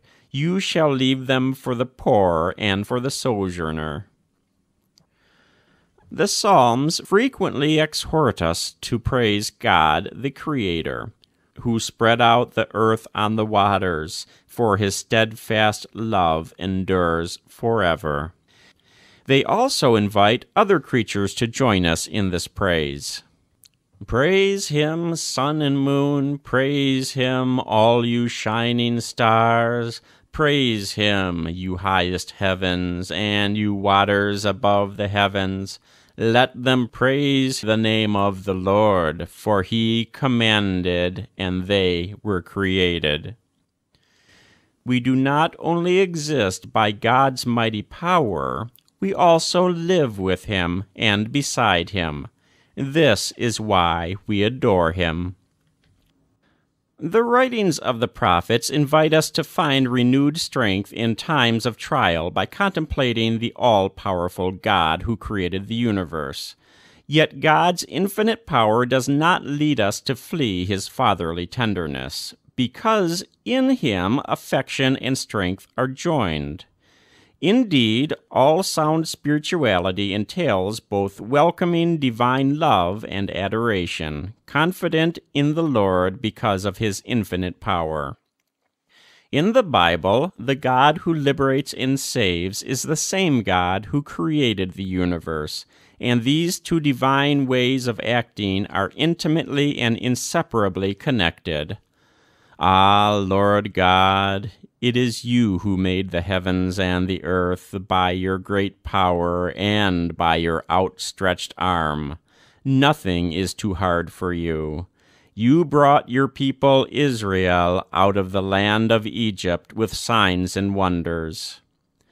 The Lord is the everlasting God, the creator of the ends of the earth. He does not faint or grow weary. His understanding is unsearchable. He gives power to the faint and strengthens the powerless. The experience of the Babylonian captivity provoked a spiritual crisis which led to deeper faith in God. Now his creative omnipotence was given pride of place in order to exhort the people to regain their hope in the midst of their wretched predicament.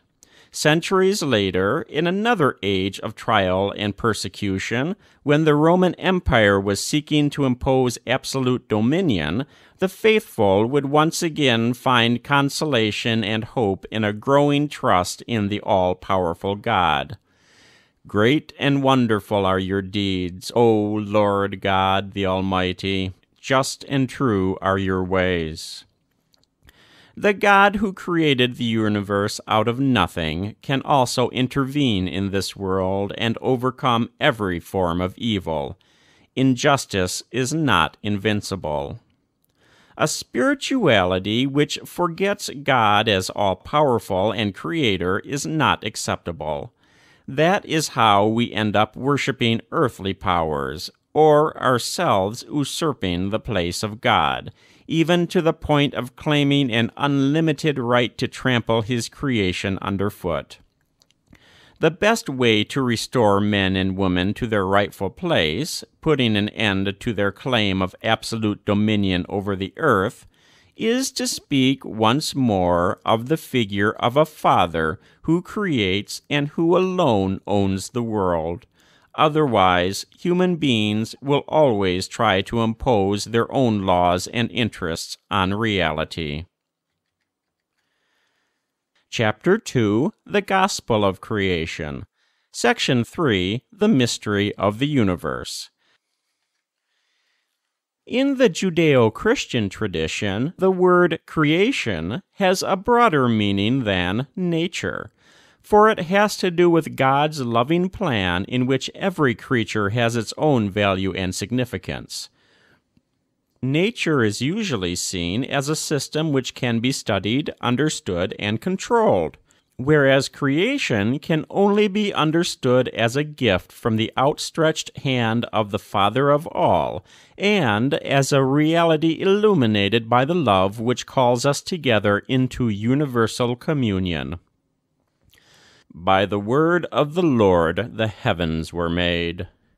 This tells us that the world came about as the result of a decision not from chaos or chance, and this exalts it all the more. The creating word expresses a free choice.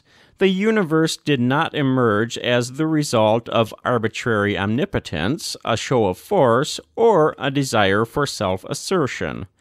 Creation is of the order of love.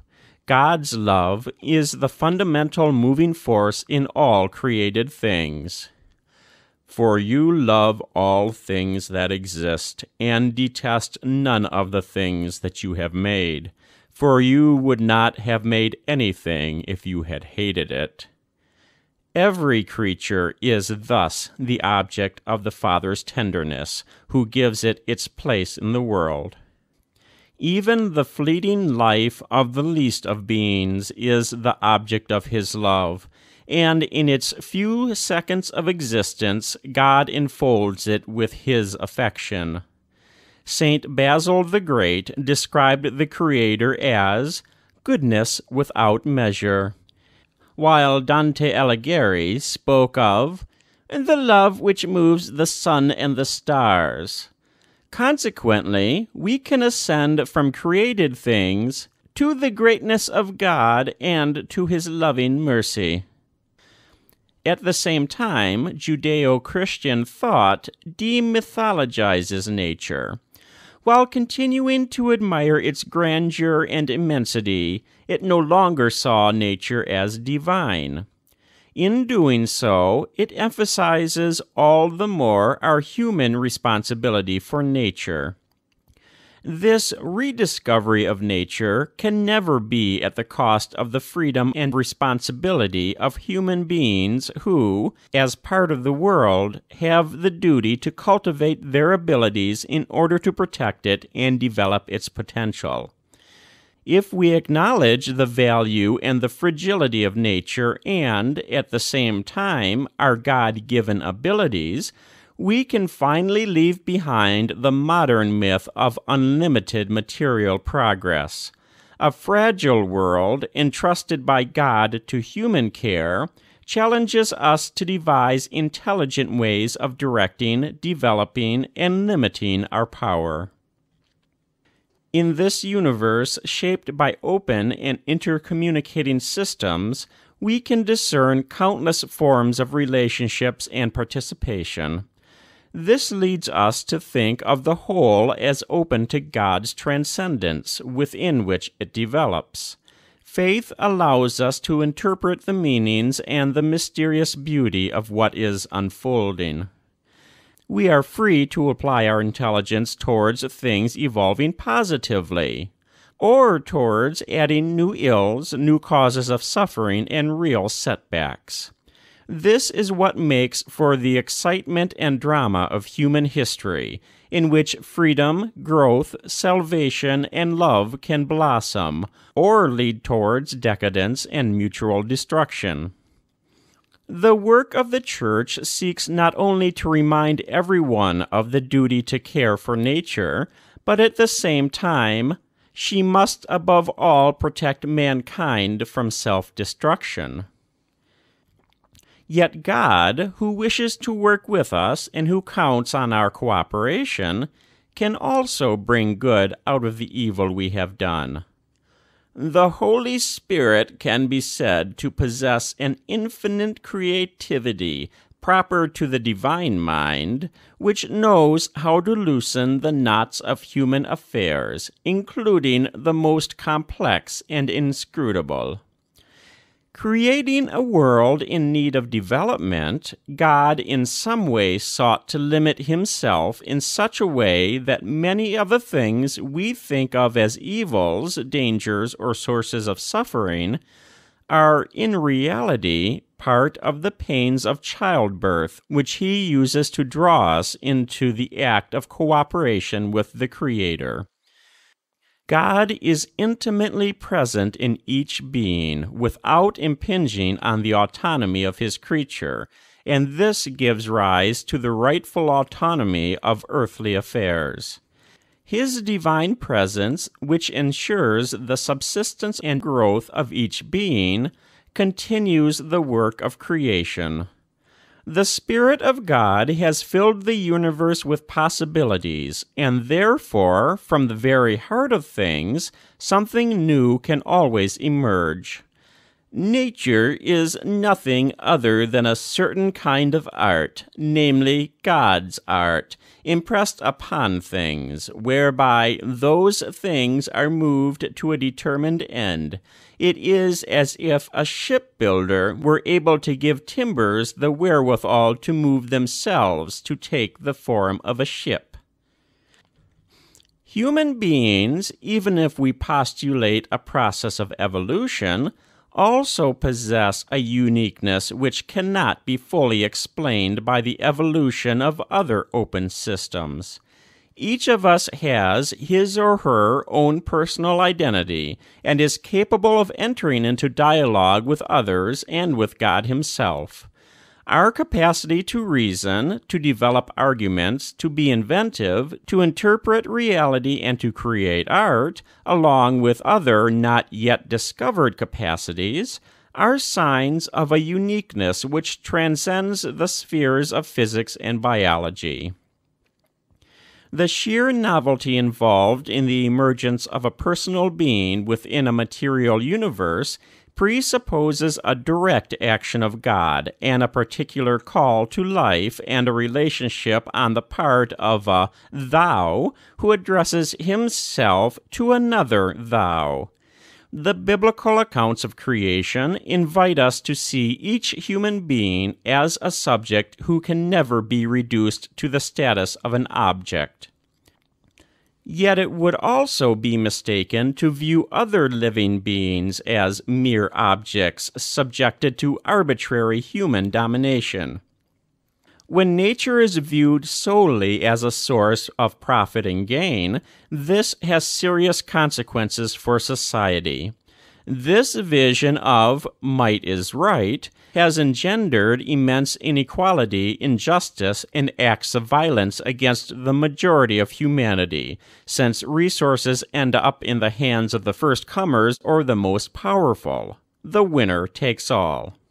Completely at odds with this model are the ideals of harmony, justice, fraternity, and peace as proposed by Jesus. As he said of the powers of his own age, you know that the rulers of the Gentiles lord it over them, and their great men exercise authority over them. It shall not be so among you, but whoever would be great among you must be your servant.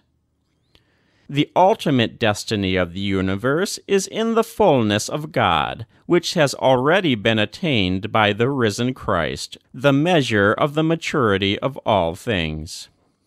Here we can add yet another argument for rejecting every tyrannical and irresponsible domination of human beings over other creatures. The ultimate purpose of other creatures is not to be found in us. Rather, all creatures are moving forward with us and through us towards a common point of arrival, which is God, in that transcendent fullness where the risen Christ embraces and illuminates all things. Human beings, endowed with intelligence and love, and drawn by the fullness of Christ, are called to lead all creatures back to their Creator. Chapter 2 The Gospel of Creation. Section 4 The Message of Each Creature in the Harmony of Creation. Our insistence that each human being is an image of God should not make us overlook the fact that each creature has its own purpose. None is superfluous. The entire material universe speaks of God's love, His boundless affection for us. Soil, water, mountains, everything is, as it were, a caress of God. The history of our friendship with God is always linked to particular places which take on an intensely personal meaning. We all remember places, and revisiting those memories does us much good. Anyone who has grown up in the hills, or used to sit by the spring to drink, or played outdoors in the neighborhood square, going back to these places is a chance to recover something of their true selves. God has written a precious book whose letters are the multitude of created things present in the universe. The Canadian bishops rightly pointed out that no creature is excluded from this manifestation of God. From panoramic vistas to the tiniest living form, nature is a constant source of wonder and awe. It is also a continuing revelation of the divine. The bishops of Japan, for their part, made a thought provoking observation. To sense each creature singing the hymn of its existence is to live joyfully in God's love and hope. This contemplation of creation allows us to discover in each thing a teaching which God wishes to hand on to us, since, for the believer to contemplate creation is to hear a message, to listen to a paradoxical and silent voice. We can say that, alongside revelation properly so called, contained in sacred scripture, there is a divine manifestation in the blaze of the sun and the fall of night. Paying attention to this manifestation, we learn to see ourselves in relation to all other creatures. I express myself in expressing the world. In my effort to decipher the sacredness of the world, I explore my own. The universe as a whole, in all its manifold relationships, shows forth the inexhaustible riches of God.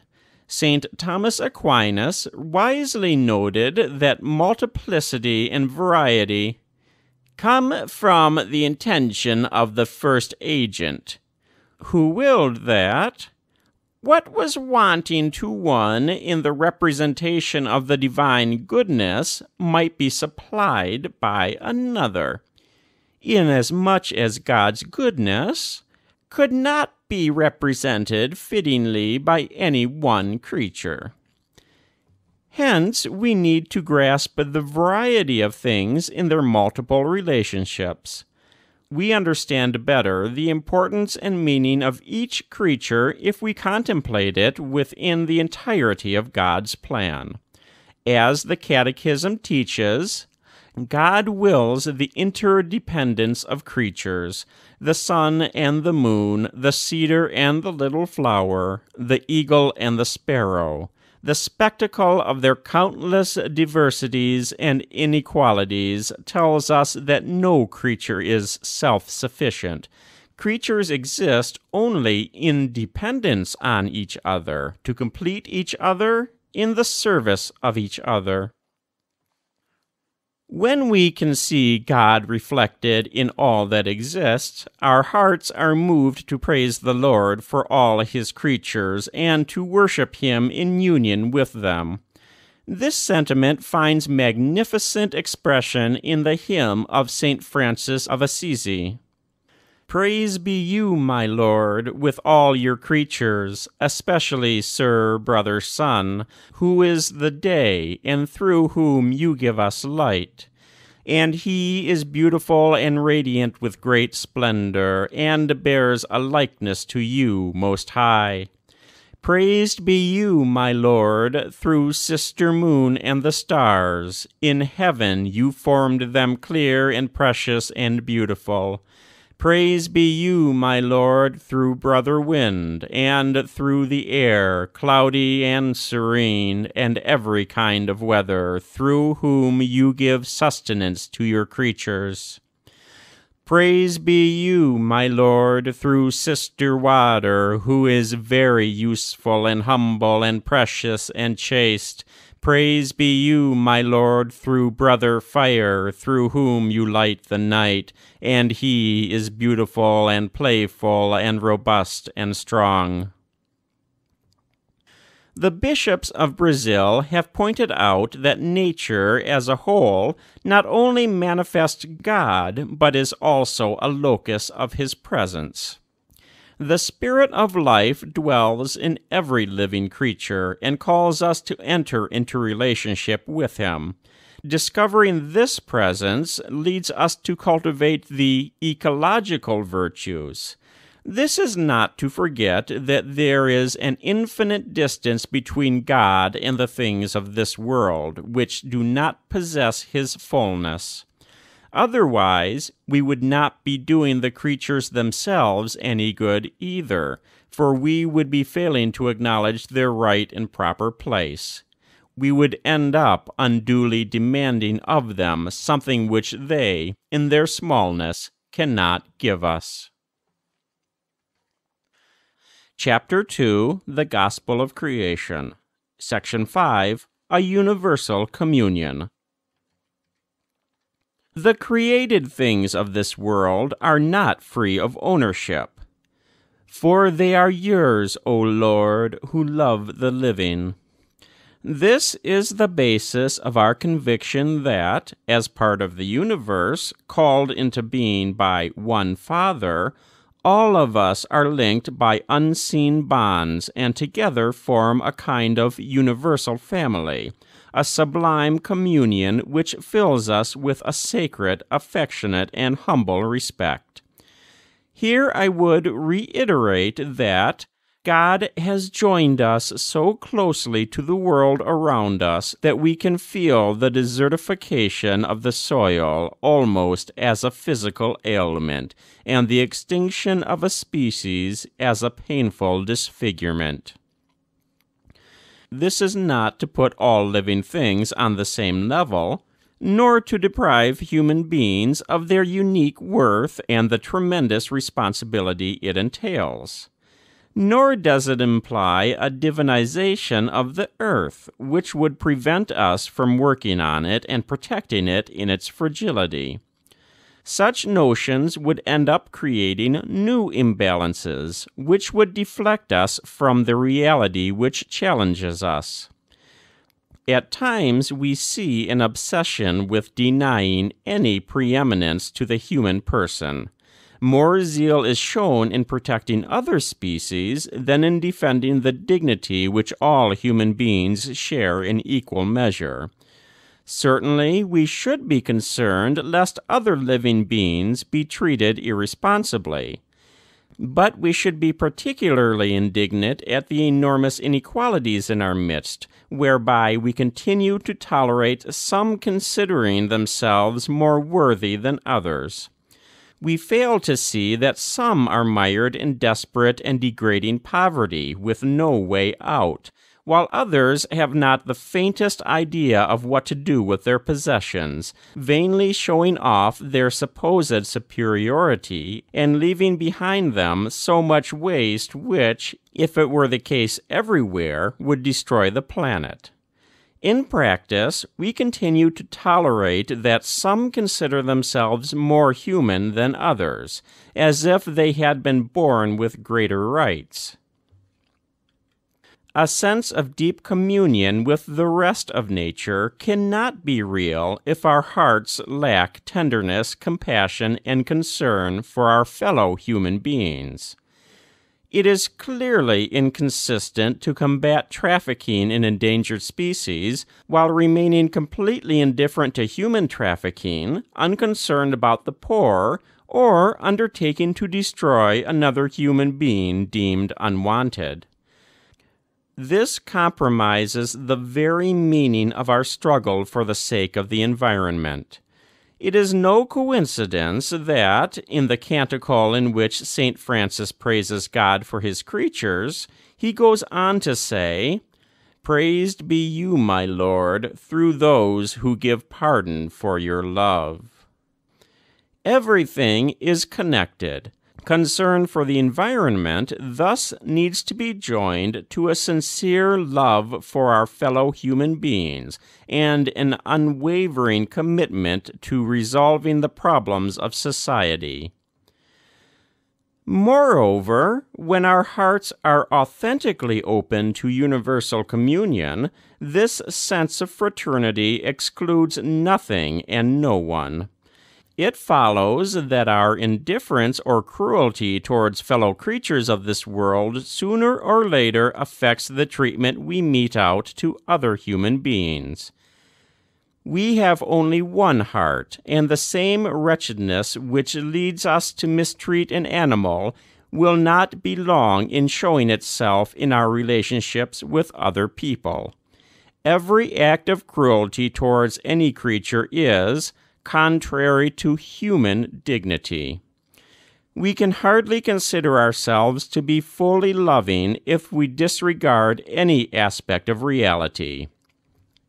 Peace, justice, and the preservation of creation are three absolutely interconnected themes which cannot be separated and treated individually without once again falling into reductionism.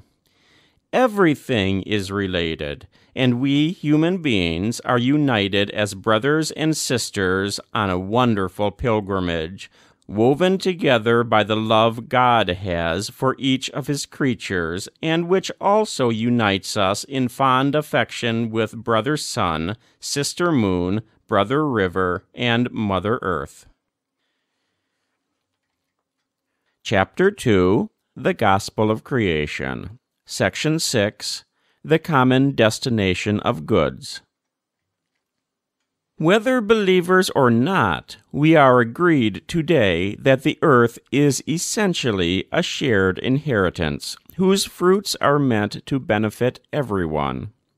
For believers, this becomes a question of fidelity to the Creator, since God created the world for everyone. Hence, every ecological approach needs to incorporate a social perspective, which takes into account the fundamental rights of the poor and the underprivileged. The principle of subordination of private property to the universal destination of goods, and thus the right of everyone to their use, is a golden rule of social conduct and, the first principle of the whole ethical and social order. The Christian tradition has never recognized the right to private property as absolute or inviolable, and has stressed the social purpose of all forms of private property. St. John Paul II, forcefully reaffirming this teaching, stated that God gave the earth to the whole human race for the sustenance of all its members, without excluding or favoring anyone. These are strong words. He noted that a type of development which did not respect and promote human rights personal and social, economic and political, including the rights of nations and of peoples, would not be really worthy of man. He clearly explained that the Church does indeed defend the legitimate right of private property, but she also teaches no less clearly that there is always a social mortgage on all private property, in order that goods may serve the general purpose that God gave them. Consequently, he maintained, it is not in accord with God's plan that this gift be used in such a way that its benefits favor only a few. This calls into serious question the unjust habits of a part of humanity. The rich and the poor have equal dignity, for the Lord is the maker of them all. He himself made both small and great, and he makes his sun rise on the evil and on the good. This has practical consequences, such as those pointed out by the bishops of Paraguay. Every campesino has a natural right to possess a reasonable allotment of land where he can establish his home, work for subsistence for his family, and a secure life.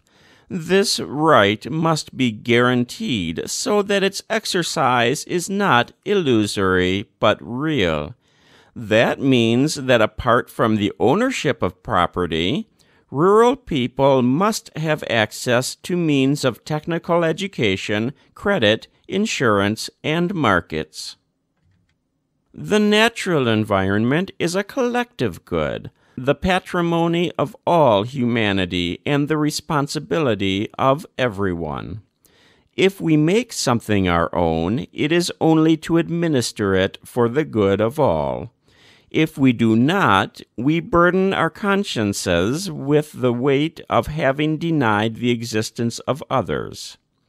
That is why the New Zealand bishops asked what the commandment, Thou shalt not kill, means when 20% of the world's population consumes resources at a rate that robs the poor nations and future generations of what they need to survive.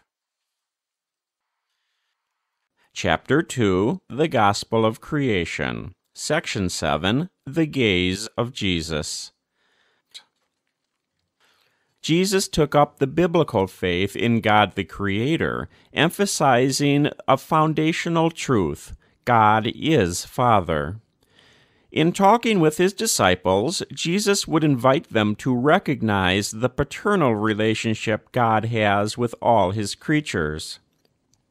With moving tenderness, he would remind them that each one of them is important in God's eyes. Are not five sparrows sold for two pennies? And not one of them is forgotten before God. Look at the birds in the air. They neither sow nor reap nor gather into barns, and yet your heavenly Father feeds them the Lord was able to invite others to be attentive to the beauty that there is in the world because he himself was in constant touch with nature, lending it an attention full of fondness and wonder. As he made his way throughout the land, he often stopped to contemplate the beauty sown by his Father, and invited his disciples to perceive a divine message in things. Lift up your eyes and see how the fields are already white for harvest. The kingdom of God is like a grain of mustard seed which a man took and sowed in his field. It is the smallest of all seeds, but once it has grown, it is the greatest of plants. Jesus lived in full harmony with creation, and others were amazed. What sort of man is this, that even the winds and the sea obey him? His appearance was not that of an ascetic set apart from the world, nor of an enemy to the pleasant things of life. Of himself he said, The Son of Man came eating and drinking, and they say, Look, a glutton and a drunkard. He was far removed from philosophies which despise the body, matter, and the things of the world. Such unhealthy dualisms nonetheless left a mark on certain Christian thinkers in the course of history and disfigured the gospel.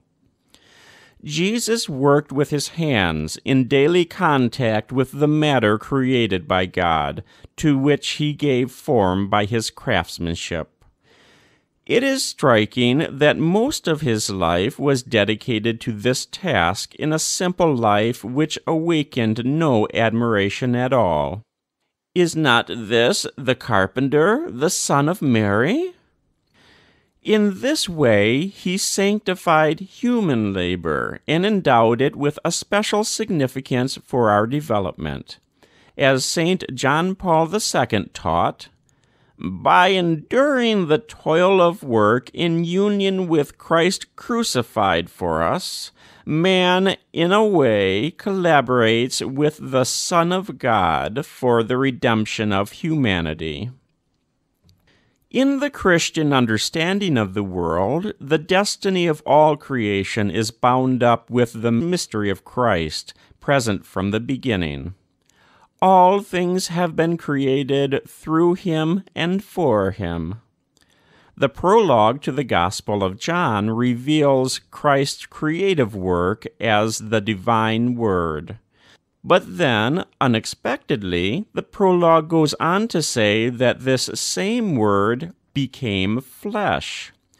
One person of the Trinity entered into the created cosmos, throwing in his lot with it, even to the cross. From the beginning of the world, but particularly through the Incarnation, the mystery of Christ is at work in a hidden manner in the natural world as a whole, without thereby impinging on its autonomy. The New Testament does not only tell us of the earthly Jesus and his tangible and loving relationship with the world, it also shows him risen and glorious, present throughout creation by his universal lordship. For in him all the fullness of God was pleased to dwell, and through him to reconcile to himself all things, whether on earth or in heaven, making peace by the blood of his cross. This leads us to direct our gaze to the end of time, when the Son will deliver all things to the Father, so that, God may be everything to every one. Thus, the creatures of the world no longer appear to us under merely natural guise, because the risen one is mysteriously holding them to himself and directing them towards fullness as their end. The very flowers of the field and the birds which his human eyes contemplated and admired are now imbued with His radiant presence. Chapter 3 The Human Roots of the Ecological Crisis. Chapter Introduction and Section 1 Technology, Creativity, and Power. It would hardly be helpful to describe symptoms without acknowledging the human origins of the ecological crisis. A certain way of understanding human life and activity has gone awry, to the serious detriment of the world around us. Should we not pause and consider this? At this stage, I propose that we focus on the dominant technocratic paradigm and the place of human beings and of human action in the world. Section 1 Technology, Creativity, and Power. Humanity has entered a new era in which our technical prowess has brought us to a crossroads. We are the beneficiaries of two centuries of enormous waves of change steam engines, railways, the telegraph, electricity, automobiles, aeroplanes, chemical industries, modern medicine, information technology, and, more recently, the digital revolution, robotics, biotechnologies, and nanotechnologies. It is right to rejoice in these advances and to be excited by the immense possibilities which they continue to open up before us. For science and technology are wonderful products of a God given human creativity. The modification of nature for useful purposes has distinguished the human family from the beginning. Technology itself expresses the inner tension that impels man gradually to overcome material limitations. Technology has remedied countless evils which used to harm and limit human beings. How can we not feel gratitude and appreciation for this progress, especially in the fields of medicine, engineering, and communications? How could we not acknowledge the work of many scientists and engineers who have provided alternatives to make development sustainable? Technoscience, when well directed, can produce important means of improving the quality of human life from useful domestic appliances to great transportation systems, bridges, buildings, and public spaces. It can also produce art and enable men and women immersed in the world to leap into the world of beauty. Who can deny the beauty of an aircraft or a skyscraper? Valuable works of art and music now make use of new technologies. So, in the beauty intended by one who uses new technical instruments, and in the contemplation of such beauty, a quantum leap occurs, resulting in a fulfillment which is uniquely human.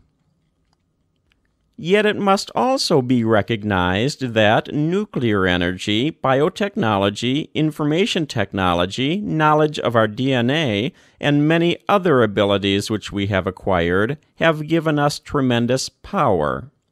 More precisely, they have given those with the knowledge, and especially the economic resources to use them, an impressive dominance over the whole of humanity and the entire world. Never has humanity had such power over itself, yet nothing ensures that it will be used wisely, particularly when we consider how it is currently being used. We need but think of the nuclear bombs dropped in the middle of the 20th century, or the array of technology which Nazism, communism, and other totalitarian regimes have employed to kill millions of people, to say nothing of the increasingly deadly arsenal of weapons available for modern warfare. In whose hands does all this power lie, or will it eventually end up? It is extremely risky for a small part of humanity to have it. There is a tendency to believe that every increase in power means an increase in progress itself, an advance in security, usefulness, welfare, and vigor, an assimilation of new values into the stream of culture as if reality, goodness, and truth automatically flow from technological and economic power as such.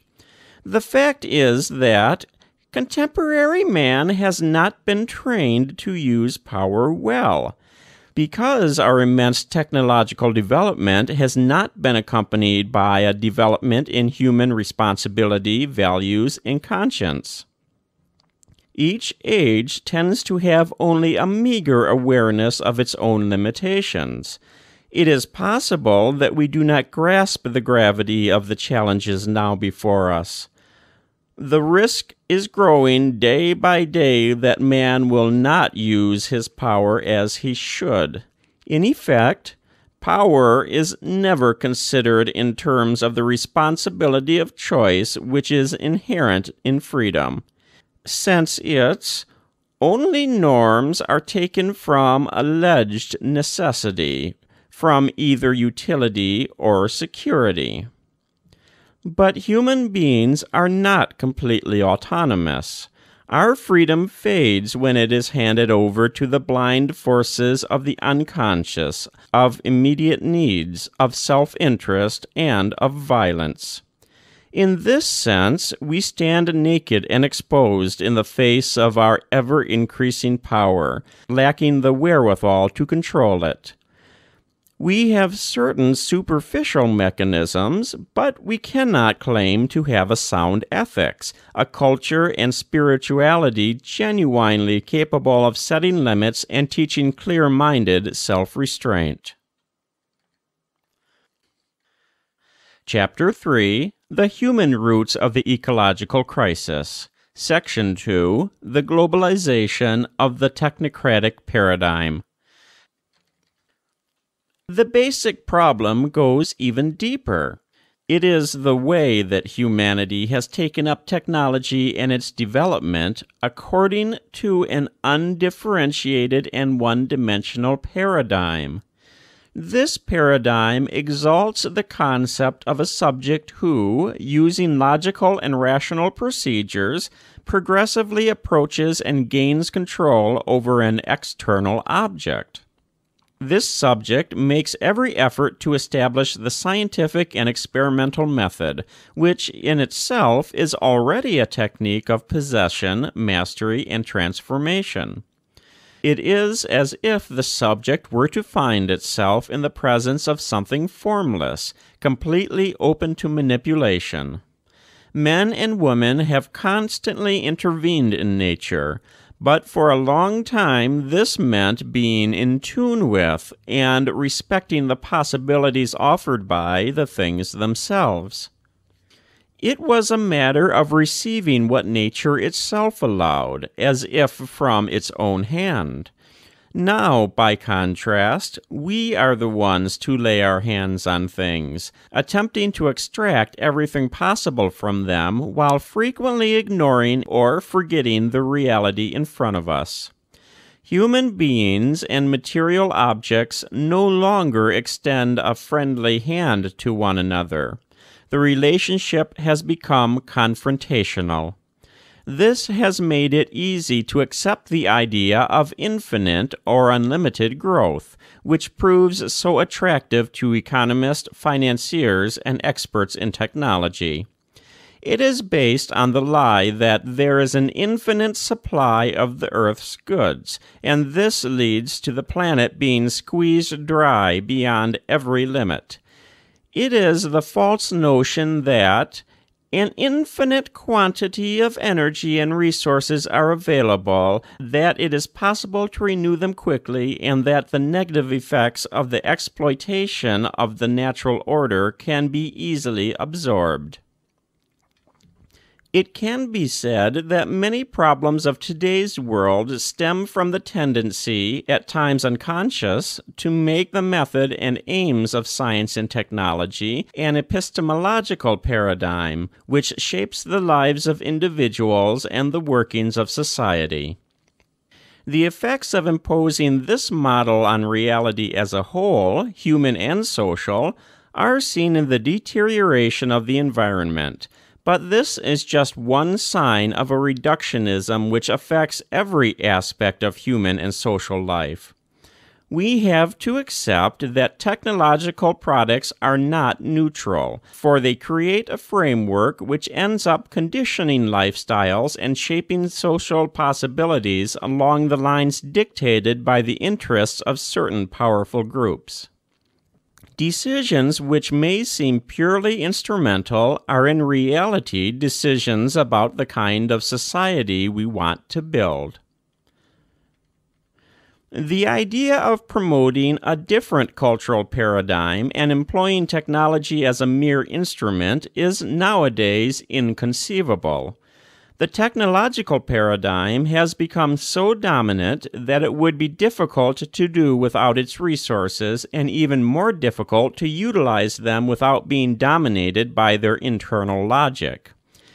It has become countercultural to choose a lifestyle whose goals are even partly independent of technology, of its cost, and its power to globalize and make us all the same.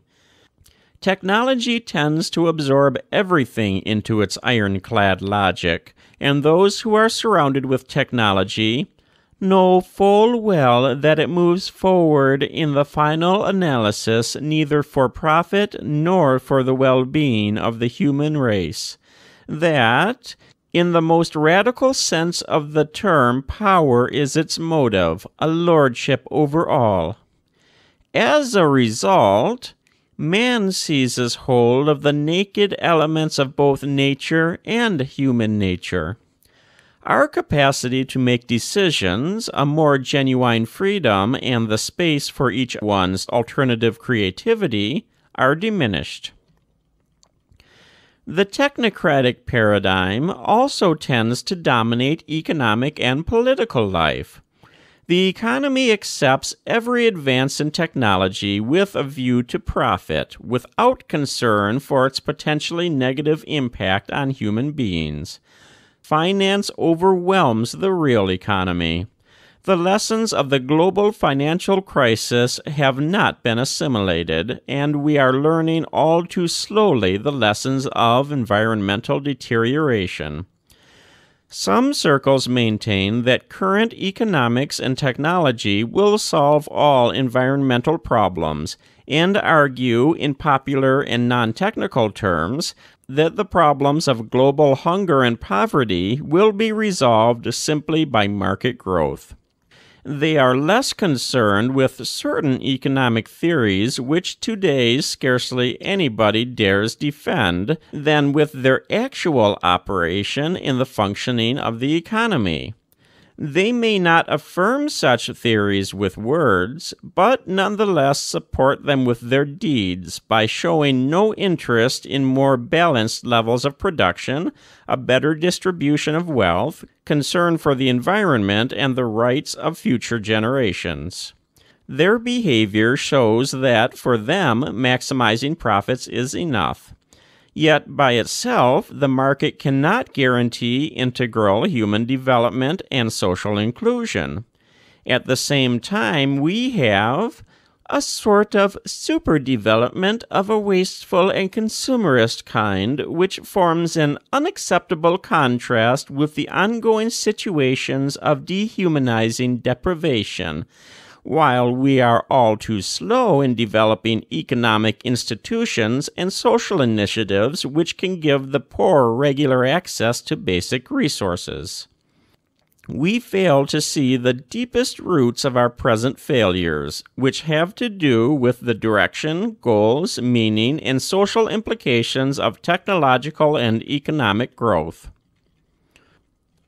The specialization which belongs to technology makes it difficult to see the larger picture.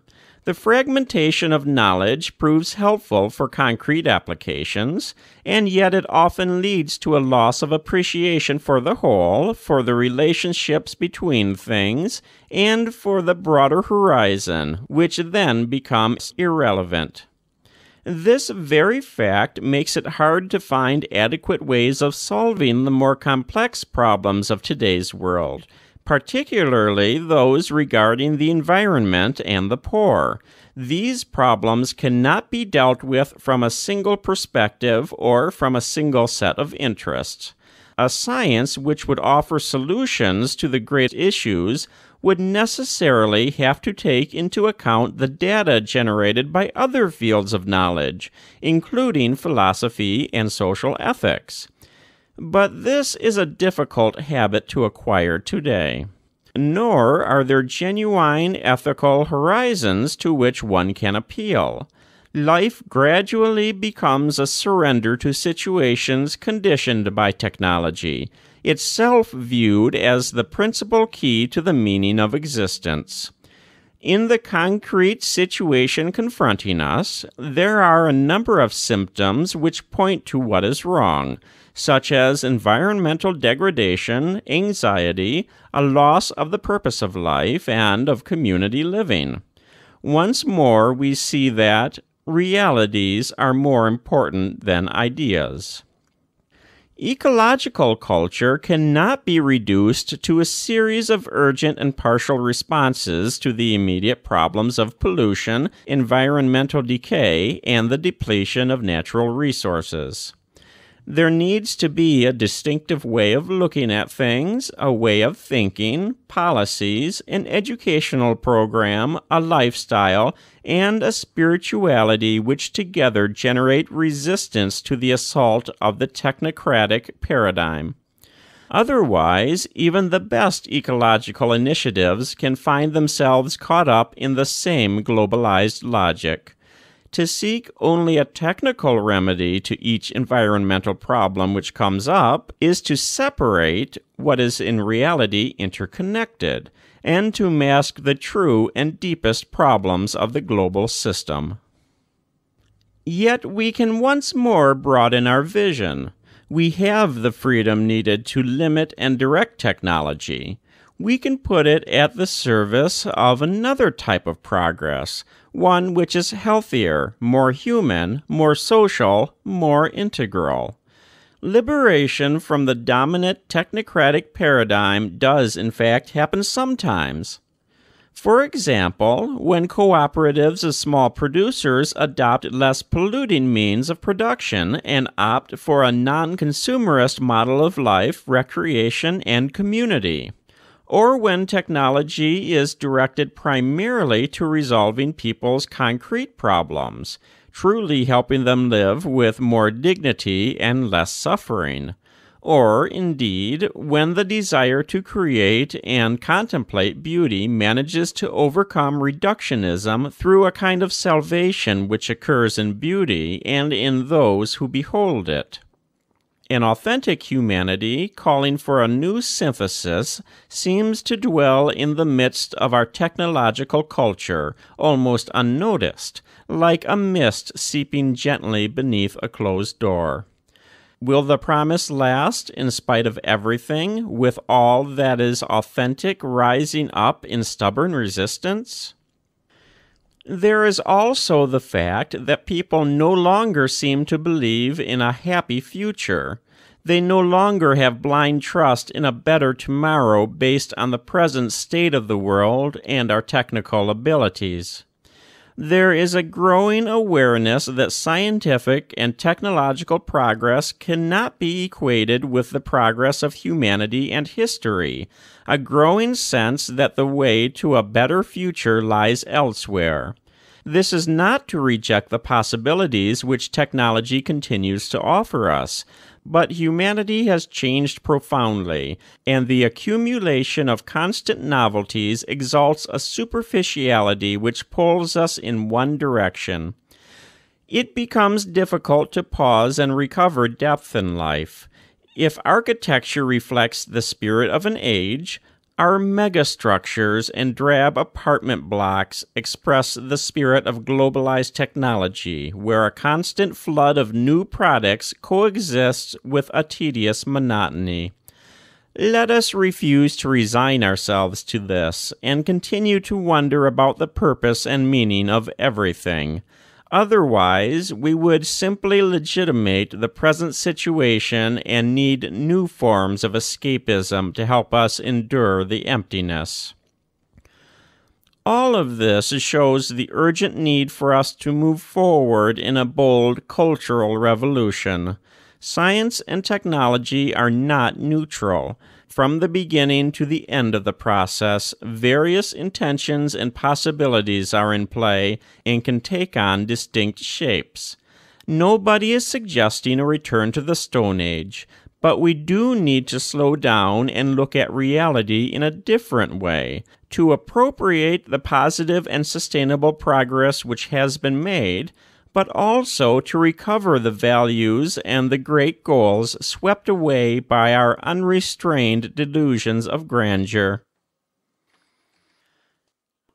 Chapter 3 The Human Roots of the Ecological Crisis. Section 3 The Crisis and Effects of Modern Anthropocentrism. Modern anthropocentrism has paradoxically ended up prizing technical thought over reality, since the technological mind sees nature as an insensate order, as a cold body of facts, as a mere given, as an object of utility, as raw material to be hammered into useful shape. It views the cosmos similarly as a mere space into which objects can be thrown with complete indifference. The intrinsic dignity of the world is thus compromised. When human beings fail to find their true place in this world, they misunderstand themselves and end up acting against themselves. Not only has God given the earth to man, who must use it with respect for the original good purpose for which it was given, but man too is God's gift to man. He must therefore respect the natural and moral structure with which he has been endowed. Modernity has been marked by an excessive anthropocentrism, which today, under another guise, continues to stand in the way of shared understanding and of any effort to strengthen social bonds. The time has come to pay renewed attention to reality and the limits it imposes. This, in turn, is the condition for a more sound and fruitful development of individuals and society. An inadequate presentation of Christian anthropology gives rise to a wrong understanding of the relationship between human beings and the world. Often, what was handed on was a Promethean vision of mastery over the world, which gave the impression that the protection of nature was something that only the faint hearted cared about. Instead, our dominion over the universe should be understood more properly in the sense of responsible stewardship. Neglecting to monitor the harm done to nature and the environmental impact of our decisions is only the most striking sign of a disregard for the message contained in the structures of nature itself. When we fail to acknowledge as part of reality the worth of a poor person, a human embryo, a person with disabilities, to offer just a few examples, it becomes difficult to hear the cry of nature itself Everything is connected. Once the human being declares independence from reality and behaves with absolute dominion, the very foundations of our life begin to crumble. For, instead of carrying out his role as a cooperator with God in the work of creation, man sets himself up in place of God, and thus ends up provoking a rebellion on the part of nature.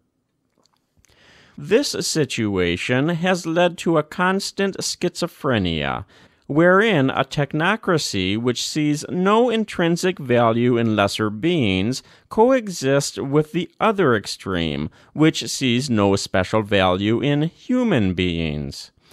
But one cannot prescind from humanity. There can be no renewal of our relationship with nature without a renewal of humanity itself, there can be no ecology without an adequate anthropology. When the human person is considered as simply one being among others, the product of chance or physical determinism, then our overall sense of responsibility wanes. A misguided anthropocentrism need not necessarily yield to biocentrism for that would entail adding yet another imbalance, failing to solve the present problems and adding new ones. Human beings cannot be expected to feel responsibility for the world unless, at the same time, their unique capabilities of knowledge, will, freedom, and responsibility are recognized and valued. Nor must the critique of a misguided anthropocentrism underestimate the importance of interpersonal relations. If the present ecological crisis is one small sign of the ethical, cultural, and spiritual crisis of modernity, We cannot presume to heal our relationship with nature and the environment without healing all fundamental human relationships. Christian thought sees human beings as possessing a particular dignity above other creatures. It thus inculcates esteem for each person and respect for others. Our openness to others, each of whom is a thou capable of knowing, loving, and entering into dialogue, remains the source of our nobility as human persons. A correct relationship with the created world demands that we not weaken this social dimension of openness to others, much less the transcendent dimension of our openness to the thou of God. Our relationship with the environment can never be isolated from our relationship with others and with God. Otherwise, it would be nothing more than romantic individualism dressed up in ecological garb, locking us into a stifling immanence. Since everything is interrelated, concern for the protection of nature is also incompatible with the justification of abortion. How can we genuinely teach the importance of concern for other valuable beings, however troublesome or inconvenient they may be, if we fail to protect a human embryo, even when its presence is uncomfortable and creates difficulties? If personal and social sensitivity towards the acceptance of the new life is lost, then other forms of acceptance that are valuable for society also wither away we need to develop a new synthesis capable of overcoming the false arguments of recent centuries. Christianity, in fidelity to its own identity and the rich deposit of truth which it has received from Jesus Christ, continues to reflect on these issues in fruitful dialogue with changing historical situations. In doing so, it reveals its eternal newness. A misguided anthropocentrism leads to a misguided lifestyle. In the apostolic exhortation Evangelii Gaudium, I noted that the practical relativism typical of our age is even more dangerous than doctrinal relativism. When human beings place themselves at the center, they give absolute priority to immediate convenience, and all else becomes relative. Hence, we should not be surprised to find, in conjunction with the omnipresent technocratic paradigm and the cult of unlimited human power, the rise of a relativism which sees everything as irrelevant unless it serves one's own immediate interest. There is a logic in all this whereby different attitudes can feed on one another, leading to environmental degradation and social decay. The culture of relativism is the same disorder which drives one person to take advantage of another, to treat others as mere objects, imposing forced labor on them or enslaving them to pay their debts. The same kind of thinking leads to the sexual exploitation of children and abandonment of the elderly who no longer serve our interest. It is also the mindset of those who say, let us allow the invisible forces of the market to regulate the economy and consider their impacts on society and nature as collateral damage. In the absence of objective truths or sound principles other than the satisfaction of our own desires and immediate needs, what limits can be placed on human trafficking, organized crime, the drug trade, commerce in blood diamonds, and the fur of endangered species? Is it not the same relativistic logic which justifies buying the organs of the poor for resale or use in experimentation, or eliminating children because they are not what their parents want? This same use and throw away logic generates so much waste because of the disordered desire to consume more than what is really necessary. We should not think that political efforts or the force of law will be sufficient to prevent actions which affect the environment, because when the culture itself is corrupt and objective truth and universally valid principles are no longer upheld, then laws can only be seen as arbitrary impositions or obstacles to be avoided. Any approach to an integral ecology, which by definition does not exclude human beings, needs to take account of the value of labor, as St. John Paul II wisely noted in his encyclical Laborem Exercens.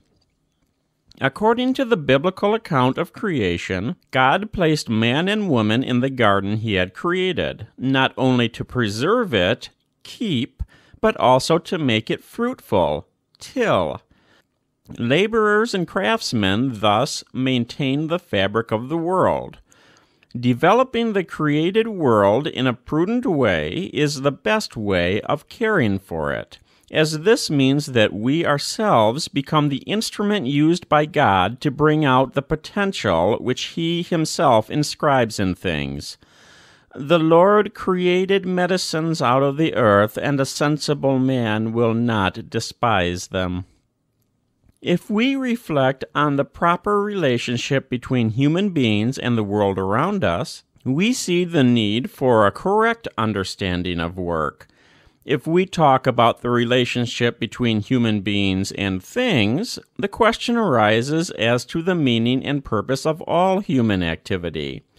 This has to do not only with manual or agricultural labor, but with any activity involving a modification of existing reality, from producing a social report to the design of a technical development.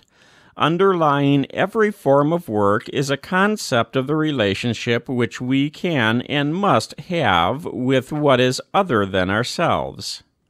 Together with the awe filled contemplations of creation which we find in St. Francis of Assisi, the Christian spiritual tradition has also developed a rich and balanced understanding of the meaning of work, as, for example, in the life of Blessed Charles de Foucauld and his followers. We can also look to the great tradition of monasticism, Originally, it was a kind of flight from the world, an escape from the decadence of the cities. The monks sought the desert, convinced that it was the best place for encountering the presence of God. Later, Saint Benedict of Nurcia proposed that his monks live in community, combining prayer and spiritual reading with manual labor. Seeing manual labor as spiritually meaningful proved revolutionary. Personal growth and satisfaction came to be sought in the interplay of recollection and work. This way of experiencing work makes us more protective and respectful of the environment. It imbues our relationship to the world with a healthy sobriety. We are convinced that Man is the source, the focus, and the aim of all economic and social life. Nonetheless, once our human capacity for contemplation and reverence is impaired, it becomes easy for the meaning of work to be misunderstood. We need to remember that men and women have the capacity to improve their lot, to further their moral growth, and to develop their spiritual endowments. Work should be the setting for this rich personal growth, where many aspects of life enter into play creativity, planning for the future, developing our talents, living out our values, relating to others, giving glory to God.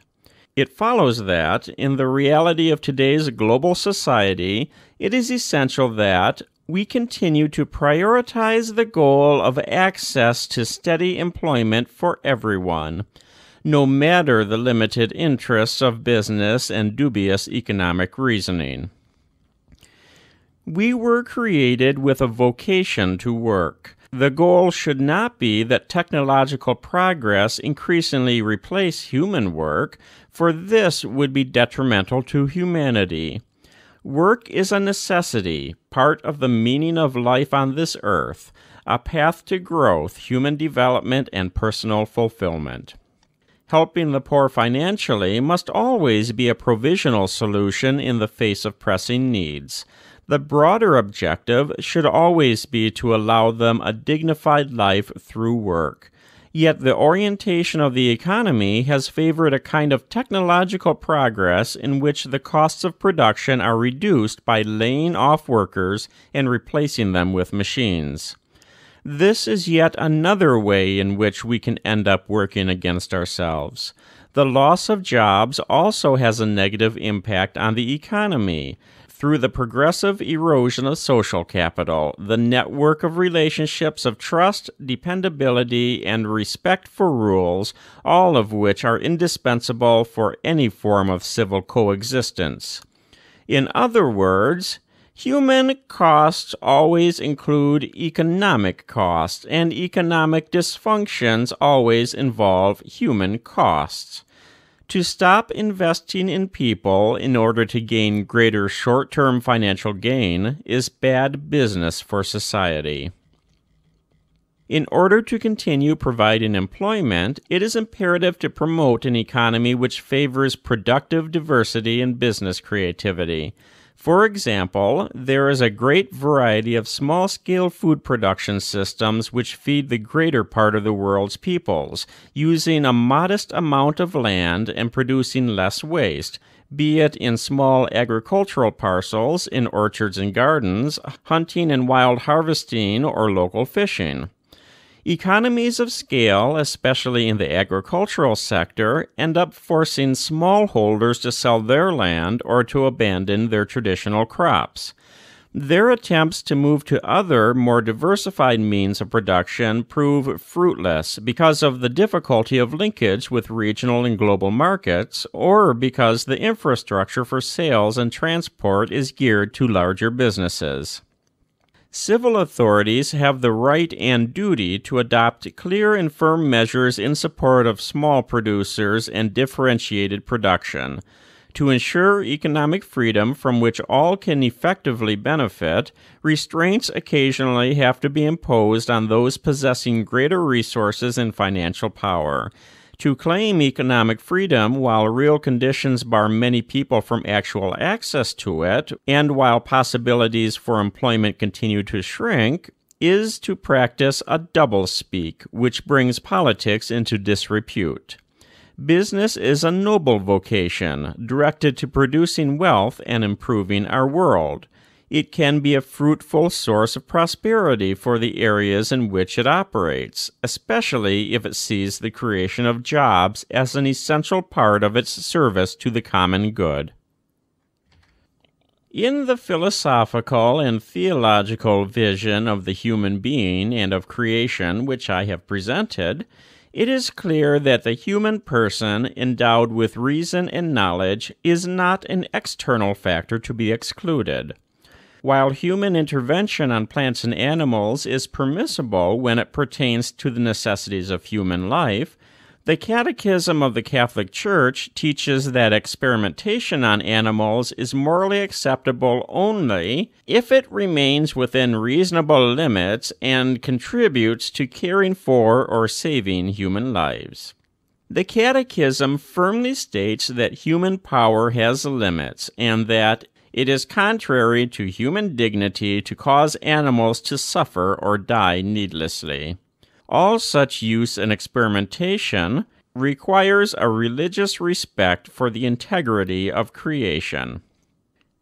Here I would recall the balanced position of St. John Paul II, who stressed the benefits of scientific and technological progress as evidence of the nobility of the human vocation to participate responsibly in God's creative action, while also noting that we cannot interfere in one area of the ecosystem without paying due attention to the consequences of such interference in other areas. He made it clear that the Church values the benefits which result from the study and application of molecular biology, supplemented by other disciplines such as genetics and its technological application in agriculture and industry. But he also pointed out that this should not lead to indiscriminate genetic manipulation, which ignores the negative effects of such interventions. Human creativity cannot be suppressed.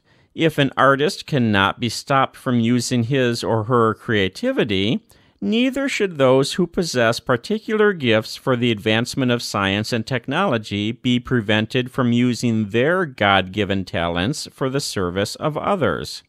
We need constantly to rethink the goals, effects, overall context, and ethical limits of this human activity which is a form of power involving considerable risks. This, then, is the correct framework for any reflection concerning human intervention on plants and animals, which at present includes genetic manipulation by biotechnology for the sake of exploiting the potential present in material reality. The respect owed by faith to reason calls for close attention to what the biological sciences, through research and influenced by economic interests, can teach us about biological structures, their possibilities, and their mutations. Any legitimate intervention will act on nature only in order to favor its development in its own line, that of creation, as intended by God it is difficult to make a general judgment about genetic modification, whether vegetable or animal, medical or agricultural, since these vary greatly among themselves and call for specific considerations. The risks involved are not always due to the techniques used, but rather to their proper and excessive application Genetic mutations, in fact, have often been and continue to be caused by nature itself. Nor are mutations caused by human intervention a modern phenomenon. The domestication of animals, the crossbreeding of species, and other older and universally accepted practices can be mentioned as examples we need but recall that scientific developments in GM cereals began with the observation of natural bacteria which spontaneously modified plant genomes. In nature, however, this process is slow and cannot be compared to the fast pace induced by contemporary technological advances, even when the latter build upon several centuries of scientific progress. Although no conclusive proof exists that GM cereals may be harmful to human beings, and in some regions their use has brought about economic growth which has helped to resolve problems, there remain a number of significant difficulties which should not be underestimated. In many places, following the introduction of these crops, productive land is concentrated in the hands of a few owners due to the progressive disappearance of small producers who, as a consequence of the loss of the exploited lands, are obliged to withdraw from direct production. The most vulnerable of these become temporary laborers, and many rural workers end up moving to poverty stricken urban areas. The expansion of these crops has the effect of destroying the complex network of ecosystems, diminishing the diversity of production, and affecting regional economies, now and in the future. In various countries, we see an expansion of oligopolies for the production of cereals and other products needed for their cultivation. This dependency would be aggravated were the production of infertile seeds to be considered. The effect would be to force farmers to purchase them from larger producers. Certainly, these issues require constant attention and a concern for their ethical implications.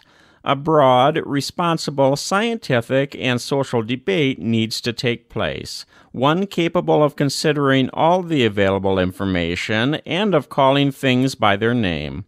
It sometimes happens that complete information is not put on the table. A selection is made on the basis of particular interests, be they politico economic or ideological. This makes it difficult to reach a balanced and prudent judgment on different questions, one which takes into account all the pertinent variables. Discussions are needed in which all those directly or indirectly affected farmers, consumers, civil authorities, scientists, seed producers, people living near fumigated fields, and others can make known their problems and concerns, and have access to adequate and reliable information in order to make decisions for the common good, present and future. This is a complex environmental issue. It calls for a comprehensive approach which would require, at the very least, greater efforts to finance various lines of independent, interdisciplinary research capable of shedding new light on the problem. On the other hand, it is troubling that when some ecological movements defend the integrity of the environment, rightly demanding that certain limits be imposed on scientific research, they sometimes fail to apply those same principles to human life. There is a tendency to justify transgressing all boundaries when experimentation is carried out on living human embryos we forget that the inalienable worth of a human being transcends his or her degree of development. In the same way, when technology disregards the great ethical principles, it ends up considering any practice whatsoever as licit. As we have seen in this chapter, a technology severed from ethics will not easily be able to limit its own power. Chapter 4 Integral Ecology Introduction and Section 1 Environmental, Economic, and Social Ecology. Since everything is closely interrelated, and today's problems call for a vision capable of taking into account every aspect of the global crisis, I suggest that we now consider some elements of an integral ecology one which clearly respects its human and social dimensions. Ecology studies the relationship between living organisms and the environment in which they develop. This necessarily entails reflection and debate about the conditions required for the life and survival of society, and the honesty needed to question certain models of development, production, and consumption. It cannot be emphasized enough how everything is interconnected. Time and space are not independent of one another, and not even atoms or subatomic particles can be considered in isolation. Just as the different aspects of a planet, physical, chemical, and biological, are interrelated, so too living species are part of a network which we will never fully explore and understand. A good part of our genetic code is shared by many living beings. It follows that the fragmentation of knowledge and the isolation of bits of information can actually become a form of ignorance unless they are integrated into a broader vision of reality. When we speak of the environment, what we really mean is a relationship existing between nature and the society which lives in it. Nature cannot be regarded as something separate from ourselves or as a mere setting in which we live. We are part of nature, included in it, and thus in constant interaction with it. Recognizing the reasons why a given area is polluted requires a study of the workings of society, its economy, its behavior patterns, and the ways it grasps reality. Given the scale of change, it is no longer possible to find a specific, discrete answer for each part of the problem it is essential to seek comprehensive solutions which consider the interactions within natural systems themselves and with social systems. We are faced not with two separate crises, one environmental and the other social, but rather with one complex crisis which is both social and environmental. Strategies for a solution demand an integrated approach to combating poverty, restoring dignity to the excluded, and at the same time protecting nature. Due to the number and variety of factors to be taken into account when determining the environmental impact of a concrete undertaking, it is essential to give researchers their due role, to facilitate their interaction, and to ensure broad academic freedom. Ongoing research should also give us a better understanding of how different creatures relate to one another in making up the larger units which today we term ecosystems. We take these systems into account not only to determine how best to use them, but also because they have an intrinsic value independent of their usefulness. Each organism, as a creature of God, is good and admirable in itself. The same is true of the harmonious ensemble of organisms existing in a defined space and functioning as a system. Although we are often not aware of it, we depend on these larger systems for our own existence. We need only recall how ecosystems interact in dispersing carbon dioxide, purifying water, controlling illnesses and epidemics, forming soil, breaking down waste, and in many other ways which we overlook or simply do not know about. Once they become conscious of this, many people realize that we live and act on the basis of a reality which has previously been given to us which precedes our existence and our abilities. So, when we speak of sustainable use, consideration must always be given to each ecosystem's regenerative ability in its different areas and aspects.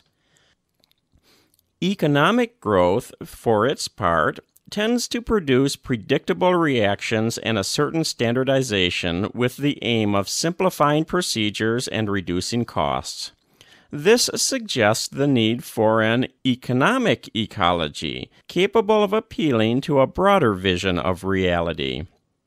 The protection of the environment is, in fact, an integral part of the development process and cannot be considered in isolation from it.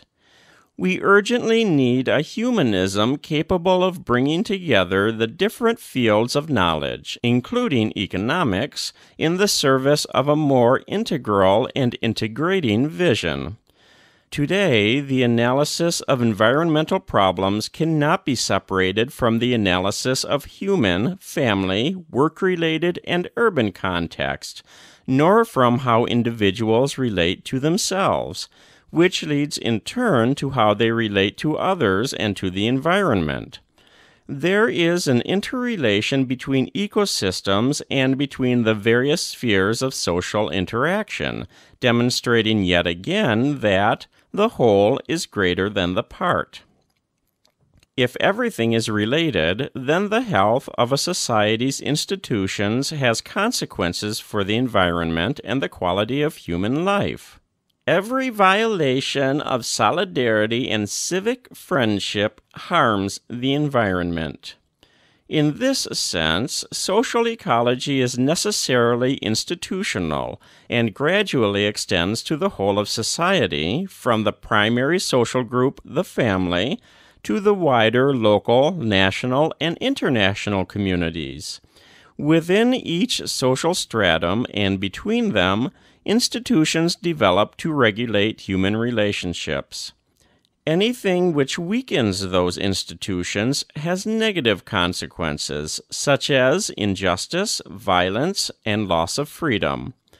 A number of countries have a relatively low level of institutional effectiveness, which results in greater problems for their people while benefiting those who profit from this situation. Whether in the administration of the state, the various levels of civil society, or relationships between individuals themselves, lack of respect for the law is becoming more common. Laws may be well framed, yet remain a dead letter. Can we hope then that in such cases legislation and regulations dealing with the environment will really prove effective? We know, for example, that countries which have clear legislation about the protection of forests continue to keep silent as they watch laws repeatedly being broken. Moreover, what takes place in any one area can have a direct or indirect influence on other areas. Thus, for example, drug use in affluent societies creates a continual and growing demand for products imported from poorer regions where behavior is corrupted, lives are destroyed, and the environment continues to deteriorate. Chapter 4 Integral Ecology Section 2 Cultural Ecology Together with the patrimony of nature, there is also an historic, artistic, and cultural patrimony which is likewise under threat. This patrimony is a part of the shared identity of each place and a foundation upon which to build a habitable city. It is not a matter of tearing down and building new cities, supposedly more respectful to the environment, yet not always more attractive to live in. Rather, there is a need to incorporate the history, culture, and architecture of each place, thus preserving its original identity. Ecology, then, also involves protecting the cultural treasures of humanity in the broadest sense. More specifically, it calls for greater attention to local cultures when studying environmental problems, favoring a dialogue between scientific technical language and the language of the people. Culture is more than what we have inherited from the past. It is also, and above all, a living, dynamic, and participatory present reality, which cannot be excluded as we rethink the relationship between human beings and the environment. A consumerist vision of human beings, encouraged by the mechanisms of today's globalized economy, has a leveling effect on cultures, diminishing the immense variety which is the heritage of all humanity attempts to resolve all problems through uniform regulations or technical interventions can lead to overlooking the complexities of local problems which demand the active participation of all members of the community. New processes taking shape cannot always fit into frameworks imported from outside. They need to be based in the local culture itself as life and the world are dynamic realities, so our care for the world must also be flexible and dynamic. Merely technical solutions run the risk of addressing symptoms and not the more serious underlying problems. There is a need to respect the rights of peoples and cultures, and to appreciate that the development of a social group presupposes an historical process which takes place within a cultural context and demands the constant and active involvement of local people from within their proper culture. Nor can the notion of the quality of life be imposed from without, for quality of life must be understood within the world of symbols and customs proper to each human group. Many intensive forms of environmental exploitation and degradation not only exhaust the resources which provide local communities with their livelihood, but also undo the social structures which, for a long time, shaped cultural identity and their sense of the meaning of life and community. The disappearance of a culture can be just as serious, or even more serious, than the disappearance of a species of plant or animal. The imposition of a dominant lifestyle linked to a single form of production can be just as harmful as the altering of ecosystems. In this sense, it is essential to show special care for indigenous communities and their cultural traditions. They are not merely one minority among others, but should be the principal dialogue partners, especially when large projects affecting their land are proposed. For them, land is not a commodity, but rather a gift from God and from their ancestors who rest there, a sacred space with which they need to interact if they are to maintain their identity and values. When they remain on their land, they themselves care for it best. Nevertheless, in various parts of the world, pressure is being put on them to abandon their homelands to make room for agricultural or mining projects which are undertaken without regard for the degradation of nature and culture. Chapter 4 Integral Ecology, Section 3 Ecology of Daily Life. Authentic development includes efforts to bring about an integral improvement in the quality of human life, and this entails considering the setting in which people live their lives. These settings influence the way we think, feel, and act. In our rooms, our homes, our workplaces, and neighborhoods, we use our environment as a way of expressing our identity. We make every effort to adapt to our environment, but when it is disorderly, chaotic, or saturated with noise and ugliness, such overstimulation makes it difficult to find ourselves integrated and happy. An admirable creativity and generosity is shown by persons and groups who respond to environmental limitations by alleviating the adverse effects of their surroundings and learning to orient their lives amid disorder and uncertainty. For example, in some places where the facades of buildings are derelict, people show great care for the interior of their homes, or find contentment in the kindness and friendliness of others. A wholesome social life can light up a seemingly undesirable environment. At times, a commendable human ecology is practiced by the poor despite numerous hardships. The feeling of asphyxiation brought on by densely populated residential areas is countered if close and warm relationships develop, if communities are created, if the limitations of the environment are compensated for in the interior of each person who feels held within a network of solidarity and belonging. In this way, any place can turn from being a hell on earth into the setting for a dignified life. The extreme poverty experienced in areas lacking harmony, open spaces, or potential for integration can lead to incidents of brutality and to exploitation by criminal organizations. In the unstable neighborhoods of megacities, the daily experience of overcrowding and social anonymity can create a sense of uprootedness which spawns antisocial behavior and violence. Nonetheless, I wish to insist that love always proves more powerful.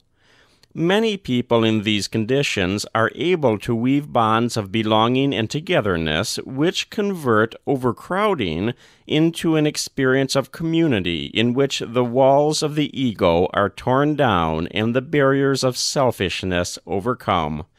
This experience of a communitarian salvation often generates creative ideas for the improvement of a building or a neighborhood. Given the interrelationship between living space and human behavior, those who design buildings, neighborhoods, public spaces, and cities ought to draw on the various disciplines which help us to understand people's thought processes, symbolic language, and ways of acting. It is not enough to seek the beauty of design. More precious still is the service we offer to another kind of beauty people's quality of life, their adaptation to the environment, encounter, and mutual assistance. Here, too, we see how important it is that urban planning always take into consideration the views of those who will live in these areas. There is also a need to protect the common areas, visual landmarks, and urban landscapes which increase our sense of belonging, of rootedness, of feeling at home within a city which includes us and brings us together. It is important that the different parts of a city be well integrated, and that those who live there have a sense of the whole, rather than being confined to one neighborhood and failing to see the larger city as space which they share with others. Interventions which affect the urban or rural landscape should take into account how various elements combine to form a whole which is perceived by its inhabitants as a coherent and meaningful framework for their lives. Others will then no longer be seen as strangers, but as part of a we which all of us are working to create. For this same reason, in both urban and rural settings, it is helpful to set aside some places which can be preserved and protected from constant changes brought by human intervention. Lack of housing is a grave problem in many parts of the world, both in rural areas and in large cities, since state budgets usually cover only a small portion of the demand not only the poor, but many other members of society as well find it difficult to own a home. Having a home has much to do with a sense of personal dignity and the growth of families. This is a major issue for human ecology. In some places where makeshift shanty towns have sprung up, this will mean developing those neighborhoods rather than razing or displacing them. When the poor live in unsanitary slums or in dangerous tenements, in cases where it is necessary to relocate them in order not to heap suffering upon suffering, adequate information needs to be given beforehand, with choices of decent housing offered, and the people directly involved must be part of the process. At the same time, creativity should be shown in integrating rundown neighborhoods into a welcoming city. How beautiful those cities which overcome paralyzing mistrust, integrate those who are different, and make this very integration a new factor in development, how attractive are those cities which, even in their architectural design, are full of spaces which connect, relate, and favor the recognition of others? The quality of life in cities has much to do with systems of transport, which are often a source of much suffering for those who use them. Many cars used by one or more people circulate in cities, causing traffic congestion, raising the level of pollution, and consuming enormous quantities of non renewable energy. This makes it necessary to build more roads and parking areas which spoil the urban landscape. Many specialists agree on the need to give priority to public transportation. Yet some measures needed will not prove easily acceptable to society unless substantial improvements are made in the systems themselves, which in many cities force people to put up with undignified conditions due to crowding, inconvenience, infrequent service, and lack of safety. Respect for our dignity as human beings often jars with the chaotic realities that people have to endure in city life. Yet this should not make us overlook the abandonment and neglect also experienced by some rural populations which lack access to essential services and where some workers are reduced to conditions of servitude without rights or even the hope of a more dignified life. Human ecology also implies another profound reality the relationship between human life and the moral law, which is inscribed in our nature and is necessary for the creation of a more dignified environment. Pope Benedict XVI spoke of an ecology of man based on the fact that Man, too, has a nature that he must respect and that he cannot manipulate at will. It is enough to recognize that our body itself establishes us in a direct relationship with the environment and with other living beings. The acceptance of our bodies as God's gift is vital for welcoming and accepting the entire world as a gift from the Father and our common home. Whereas thinking that we enjoy absolute power over our own bodies turns, often subtly, into thinking that we enjoy absolute power over creation. Learning to accept our body, to care for it, and to respect its fullest meaning is an essential element of any genuine human ecology. Also, valuing one's own body in its femininity or masculinity is necessary if I am going to be able to recognize myself in an encounter with someone who is different. In this way, we can joyfully accept the specific gifts of another man or woman, the work of God the Creator, and find mutual enrichment. It is not a healthy attitude which would seek to cancel out sexual differences because it no longer knows how to confront it. Chapter 4 Integral Ecology Section 4 The Principle of the Common Good An integral ecology is inseparable from the notion of the common good, a central and unifying principle of social ethics. The common good is the sum of those conditions of social life which allow social groups and their individual members relatively thorough and ready access to their own fulfillment. Underlying the principle of the common good is respect for the human person as such, endowed with basic and inalienable rights ordered to his or her integral development. It has also to do with the overall welfare of society and the development of a variety of intermediate groups, applying the principle of subsidiarity.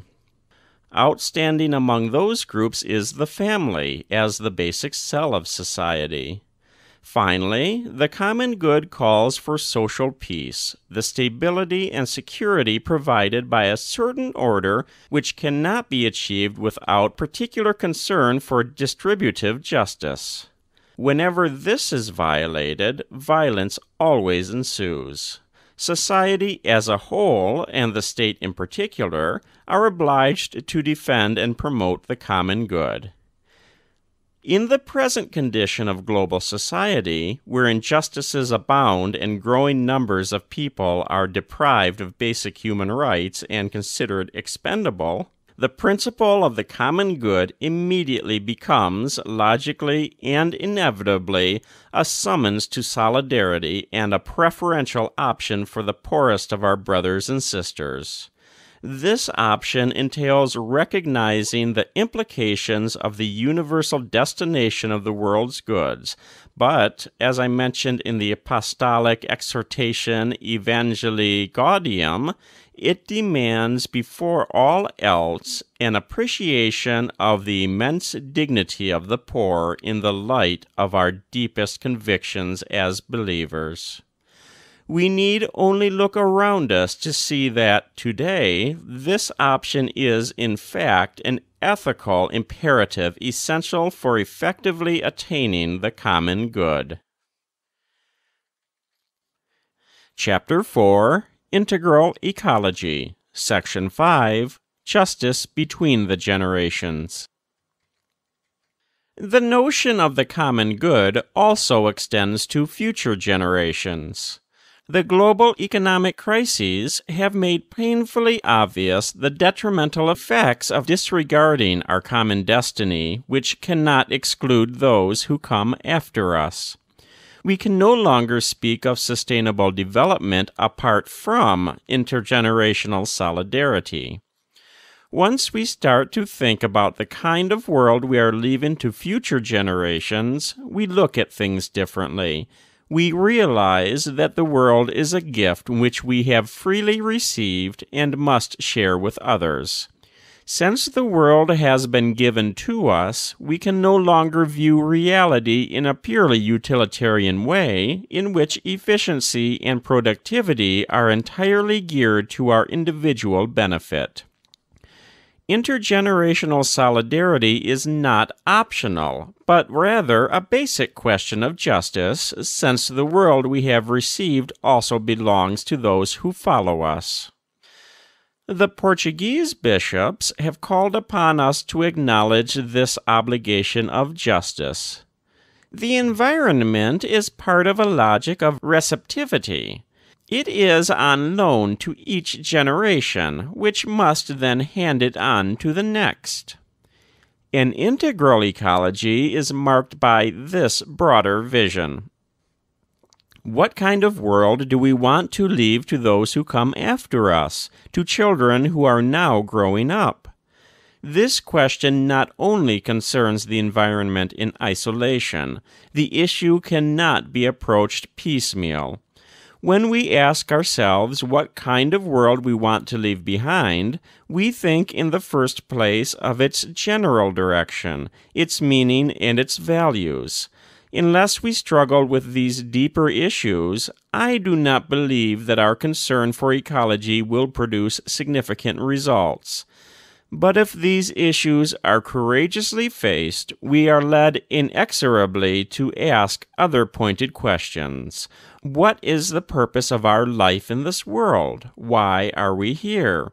What is the goal of our work and all our efforts? What need does the earth have of us?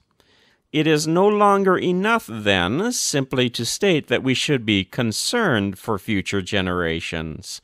We need to see that what is at stake is our own dignity.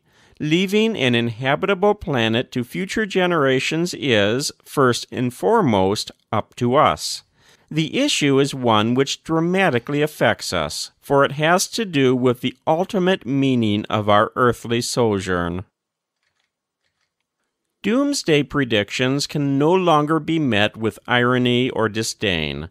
We may well be leaving to coming generations debris, desolation, and filth. The pace of consumption, waste, and environmental change has so stretched the planet's capacity that our contemporary lifestyle, unsustainable as it is, can only precipitate catastrophes, such as those which even now periodically occur in different areas of the world. The effects of the present imbalance can only be reduced by our decisive action here and now we need to reflect on our accountability before those who will have to endure the dire consequences. Our difficulty in taking up this challenge seriously has much to do with an ethical and cultural decline which has accompanied the deterioration of the environment Men and women of our postmodern world run the risk of rampant individualism, and many problems of society are connected with today's self centered culture of instant gratification. We see this in the crisis of family and social ties and the difficulties of recognizing the other. Parents can be prone to impulsive and wasteful consumption, which then affects their children, who find it increasingly difficult to acquire a home of their own and build a family. Furthermore, our inability to think seriously about future generations is linked to our inability to broaden the scope of our present interests and to give consideration to those who remain excluded from development let us not only keep the poor of the future in mind, but also today's poor, whose life on this earth is brief and who cannot keep on waiting. Hence, in addition to a fairer sense of intergenerational solidarity, there is also an urgent moral need for a renewed sense of intragenerational solidarity. Chapter 5 Lines of Approach and Action, Chapter Introduction, and Section 1 Dialogue on the Environment in the International Community. So far, I have attempted to take stock of our present situation, pointing to the cracks in the planet that we inhabit, as well as to the profoundly human causes of environmental degradation. Although the contemplation of this reality in itself has already shown the need for a change of direction and other courses of action, now we shall try to outline the major paths of dialogue which can help us escape the spiral of self destruction which currently engulfs us. Section 1 Dialogue on the Environment in the International Community. Beginning in the middle of the last century and overcoming many difficulties, there has been a growing conviction that our planet is a homeland and that humanity is one people living in a common home. An interdependent world not only makes us more conscious of the negative effects of certain lifestyles and models of production and consumption which affect us all, more importantly, it motivates us to ensure that solutions are proposed from a global perspective and not simply to defend the interests of a few countries. Interdependence obliges us to think of one world with a common plan Yet the same ingenuity which has brought about enormous technological progress has so far proved incapable of finding effective ways of dealing with grave environmental and social problems worldwide. A global consensus is essential for confronting the deeper problems, which cannot be resolved by unilateral actions on the part of individual countries. Such a consensus could lead, for example, to planning a sustainable and diversified agriculture, developing renewable and less polluting forms of energy, encouraging a more efficient use of energy, promoting a better management of marine and forest resources, and ensuring universal access to drinking water. We know that technology based on the use of highly polluting fossil fuels, especially coal, but also oil and, to a lesser degree, gas, needs to be progressively replaced without delay.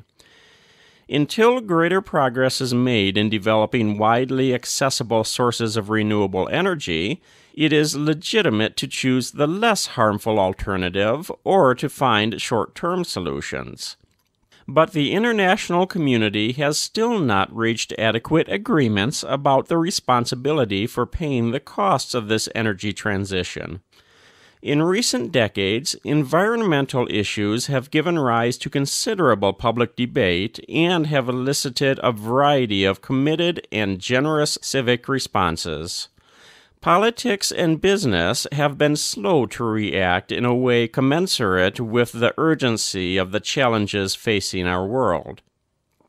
Although the post industrial period may well be remembered as one of the most irresponsible in history, nonetheless, there is reason to hope that humanity at the dawn of the 21st century will be remembered for having generously shouldered its grave responsibilities. Worldwide, the ecological movement has made significant advances, thanks also to the efforts of many organizations of civil society. It is impossible here to mention them all or to review the history of their contributions. But thanks to their efforts, environmental questions have increasingly found a place on public agendas and encouraged more far sighted approaches. This notwithstanding, recent world summits on the environment have not lived up to expectations because, due to lack of political will, they were unable to reach truly meaningful and effective global agreements on the environment. The 1992 Earth Summit in Rio de Janeiro is worth mentioning. It proclaimed that Human beings are at the center of concerns for sustainable development. Echoing the 1972 Stockholm Declaration, it enshrined international cooperation to care for the ecosystem of the entire Earth, the obligation of those who cause pollution to assume its costs, and the duty to assess the environmental impact of given projects and works. It set the goal of limiting greenhouse gas concentrations in the atmosphere in an effort to reverse the trend of global warming. It also drew up an agenda with an action plan and a convention on biodiversity, and stated principles regarding forests. Although the summit was a real step forward and prophetic for its time, its accords have been poorly implemented due to a lack of suitable mechanisms for oversight, periodic review, and penalties in cases of noncompliance. The principles which it proclaimed still await an efficient and flexible means of practical implementation. Among positive experiences in this regard, we might mention, for example, the Basel Convention on Hazardous Wastes, with its system of reporting, standards, and controls. There is also the Binding Convention on International Trade in Endangered Species of Wild Fauna and Flora, which includes on site visits for verifying effective compliance thanks to the Vienna Convention for the Protection of the Ozone Layer and its implementation through the Montreal Protocol and amendments, the problem of the layer's thinning seems to have entered a phase of resolution. As far as the protection of biodiversity and issues related to desertification are concerned, progress has been far less significant. With regard to climate change, the advances have been regrettably few. Reducing greenhouse gases requires honesty, courage, and responsibility, above all on the part of those countries which are more powerful and pollute the most. The Conference of the United Nations on Sustainable Development, Rio Plus 20, issued a wide ranging but ineffectual outcome document. International negotiations cannot make significant progress due to positions taken by countries which place their national interests above the global common good. Those who will have to suffer the consequences of what we are trying to hide will not forget this failure of conscience and responsibility. Even as this encyclical was being prepared, the debate was intensifying we believers cannot fail to ask God for a positive outcome to the present discussions, so that future generations will not have to suffer the effects of our ill advised delays.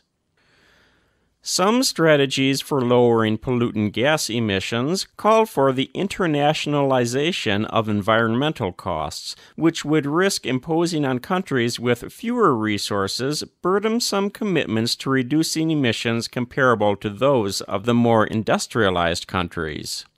Imposing such measures penalizes those countries most in need of development a further injustice is perpetrated under the guise of protecting the environment. Here also, the poor end up paying the price. Furthermore, since the effects of climate change will be felt for a long time to come, even if stringent measures are taken now, some countries with scarce resources will require assistance in adapting to the effects already being produced, which affect their economies. In this context, there is a need for common and differentiated responsibilities. As the bishops of Bolivia have stated, the countries which have benefited from a high degree of industrialization at the cost of enormous emissions of greenhouse gases have a greater responsibility for providing a solution to the problems they have caused. The strategy of buying and selling carbon credits can lead to a new form of speculation which would not help reduce the emission of polluting gases worldwide. This system seems to provide a quick and easy solution under the guise of a certain commitment to the environment, but in no way does it allow for the radical change which present circumstances require. Rather, it may simply become a ploy which permits maintaining the excessive consumption of some countries and sectors.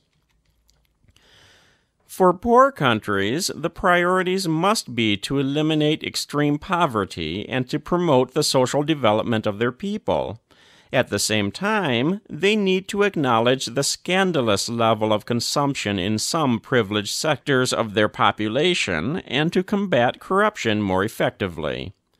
They are likewise bound to develop less polluting forms of energy production, but to do so, they require the help of countries which have experienced great growth at the cost of the ongoing pollution of the planet. Taking advantage of abundant solar energy will require the establishment of mechanisms and subsidies which allow developing countries access to technology transfer, technical assistance, and financial resources, but in a way which respects their concrete situations, since the compatibility of infrastructures with the context for which they have been designed is not always adequately assessed. The costs of this would be low compared to the risks of climate change. In any event, these are primarily ethical decisions rooted in solidarity between all peoples. Enforceable international agreements are urgently needed, since local authorities are not always capable of effective intervention. Relations between states must be respectful of each other's sovereignty, but must also lay down mutually agreed means of averting regional disasters which would eventually affect everyone. Global regulatory norms are needed to impose obligations and prevent unacceptable actions. For example, when powerful companies or countries dump contaminated waste or offshore polluting industries in other countries. Let us also mention the system of governance of the oceans. International and regional conventions do exist, but fragmentation and the lack of strict mechanisms of regulation, control, and penalization end up undermining these efforts.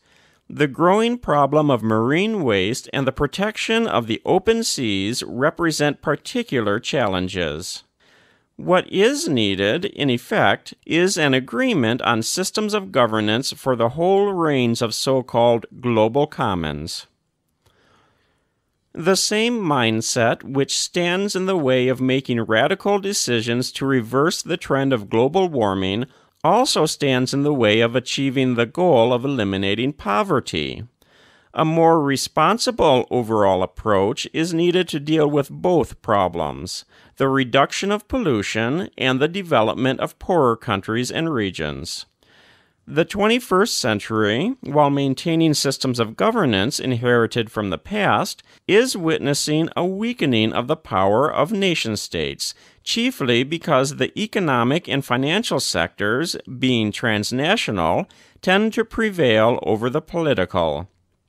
Given this situation, it is essential to devise stronger and more effectively organized international institutions, with functionaries who are appointed fairly by agreement among national governments and empowered to impose sanctions.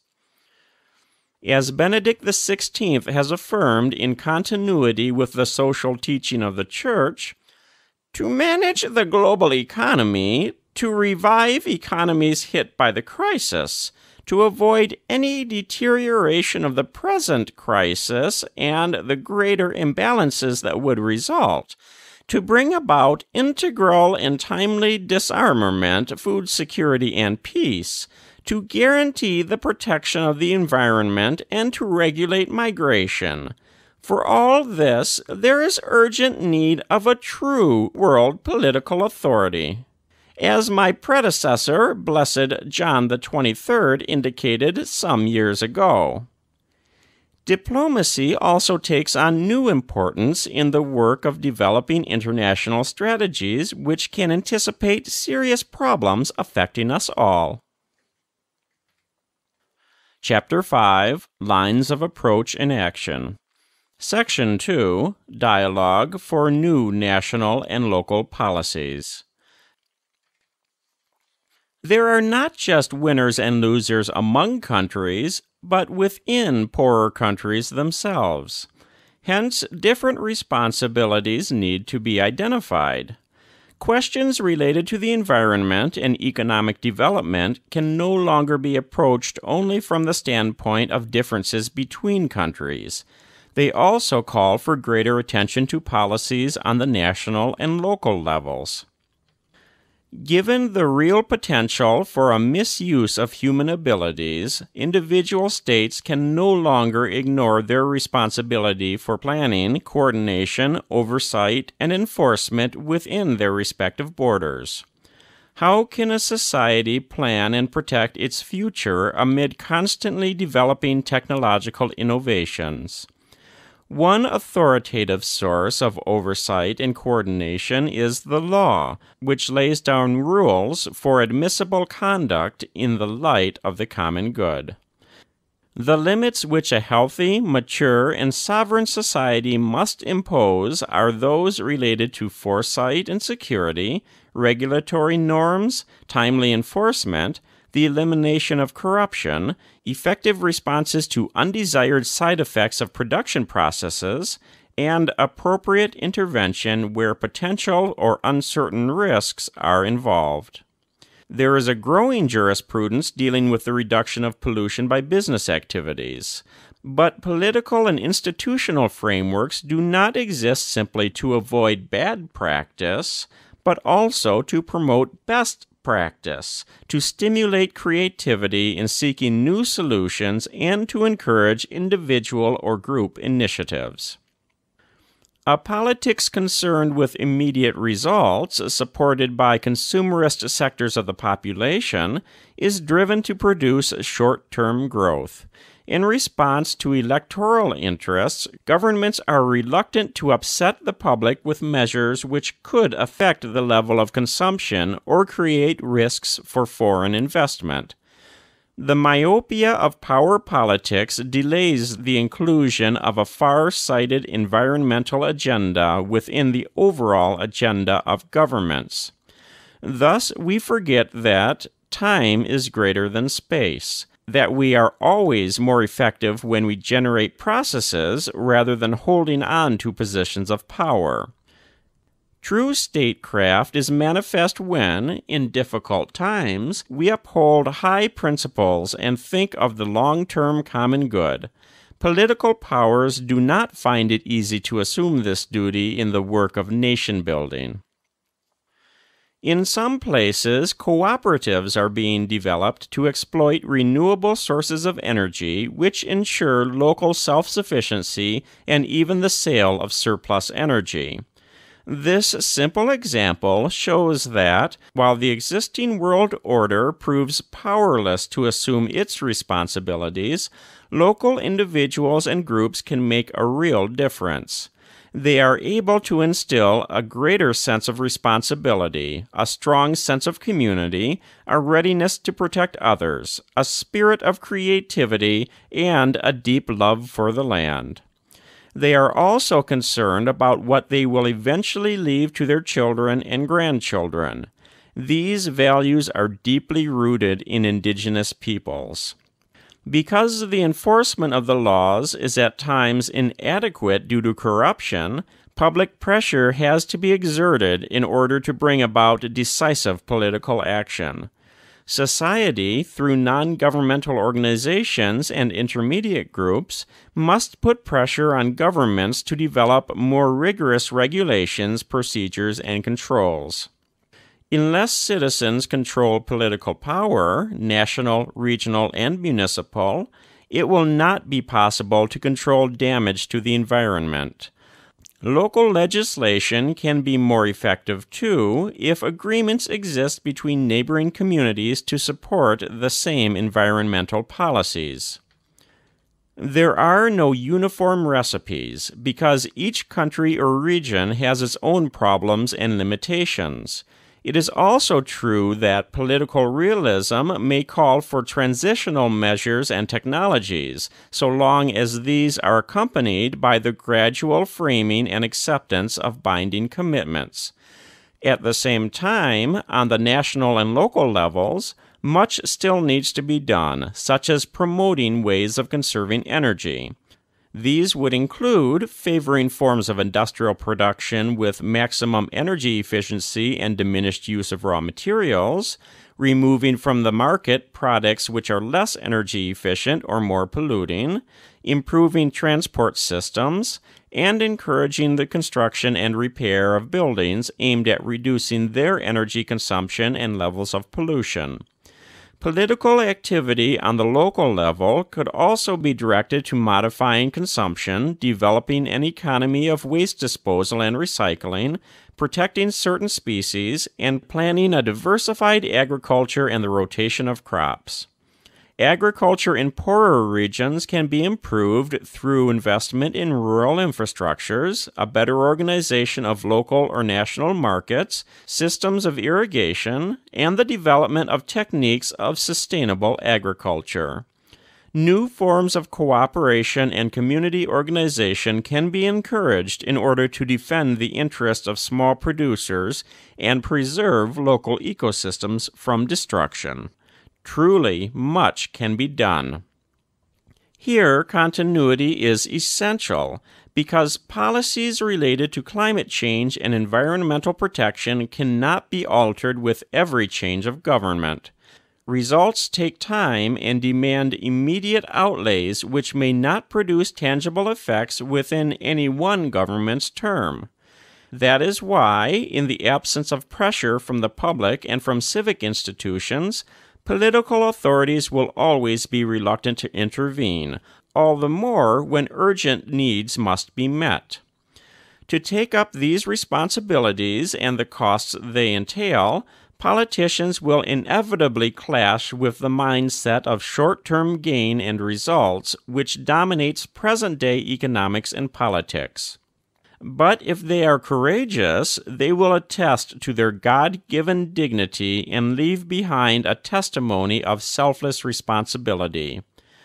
A healthy politics is sorely needed, capable of reforming and coordinating institutions, promoting best practices, and overcoming undue pressure and bureaucratic inertia. It should be added, though, that even the best mechanisms can break down when there are no worthy goals and values or a genuine and profound humanism to serve as the basis of a noble and generous society. Chapter 5 Lines of Approach and Action. Section 3 Dialogue and Transparency in Decision Making. An assessment of the environmental impact of business ventures and projects demands transparent political processes involving a free exchange of views. On the other hand, the forms of corruption which conceal the actual environmental impact of a given project in exchange for favors usually produces specious agreements which fail to inform adequately and to allow for full debate. Environmental impact assessment should not come after the drawing up of a business proposition or the proposal of a particular policy, plan, or program. It should be part of the process from the beginning and be carried out in a way which is interdisciplinary, transparent, and free of all economic or political pressure. It should be linked to a study of working conditions and possible effects on people's physical and mental health, on the local economy, and on public safety. Economic returns can thus be forecast more realistically, taking into account potential scenarios and the eventual need for further investment to correct possible undesired effects. A consensus should always be reached between the different stakeholders, who can offer a variety of approaches, solutions, and alternatives. The local population should have a special place at the table. They are concerned about their own future and that of their children, and can consider goals transcending immediate economic interest. We need to stop thinking in terms of interventions to save the environment in favor of policies developed and debated by all interested parties. The participation of the latter also entails being fully informed about such projects and their different risks and possibilities. This includes not just preliminary decisions, but also various follow up activities and continued monitoring. Honesty and truth are needed in scientific and political discussions. These should not be limited to the issue of whether or not a particular project is permitted by law. In the face of possible risks to the environment which may affect the common good now and in the future, decisions must be made based on a comparison of the risks and benefits foreseen for the various possible alternatives. This is especially the case when a project may lead to a greater use of natural resources, higher levels of emission or discharge, an increase of refuse, or significant changes to the landscape, the habitats of protected species, or public spaces. Some projects, if insufficiently studied, can profoundly affect the quality of life of an area due to very different factors such as unforeseen noise pollution, the shrinking of visual horizons, the loss of cultural values, or the effects of nuclear energy use. The culture of consumerism, which prioritizes short term gain and private interest, can make it easy to rubber stamp authorizations or to conceal information. In any discussion about a proposed venture, a number of questions need to be asked in order to discern whether or not it will contribute to genuine integral development. What will it accomplish? Why? Where? When? How? For whom? What are the risks? What are the costs? Who will pay those costs and how? In this discernment, some questions must have higher priority. For example, we know that water is a scarce and indispensable resource and a fundamental right which conditions the exercise of other human rights. This indisputable fact overrides any other assessment of environmental impact on a region. The Rio Declaration of 1992 states that where there are threats of serious or irreversible damage, lack of full scientific certainty shall not be used as a pretext for postponing cost effective measures, which prevent environmental degradation. This precautionary principle makes it possible to protect those who are most vulnerable and whose ability to defend their interests and to assemble incontrovertible evidence is limited. If objective information suggests that serious and irreversible damage may result, a project should be halted or modified, even in the absence of indisputable proof. Here, the burden of proof is effectively reversed, since in such cases, objective and conclusive demonstrations will have to be brought forward to demonstrate that the proposed activity will not cause serious harm to the environment or to those who inhabit it.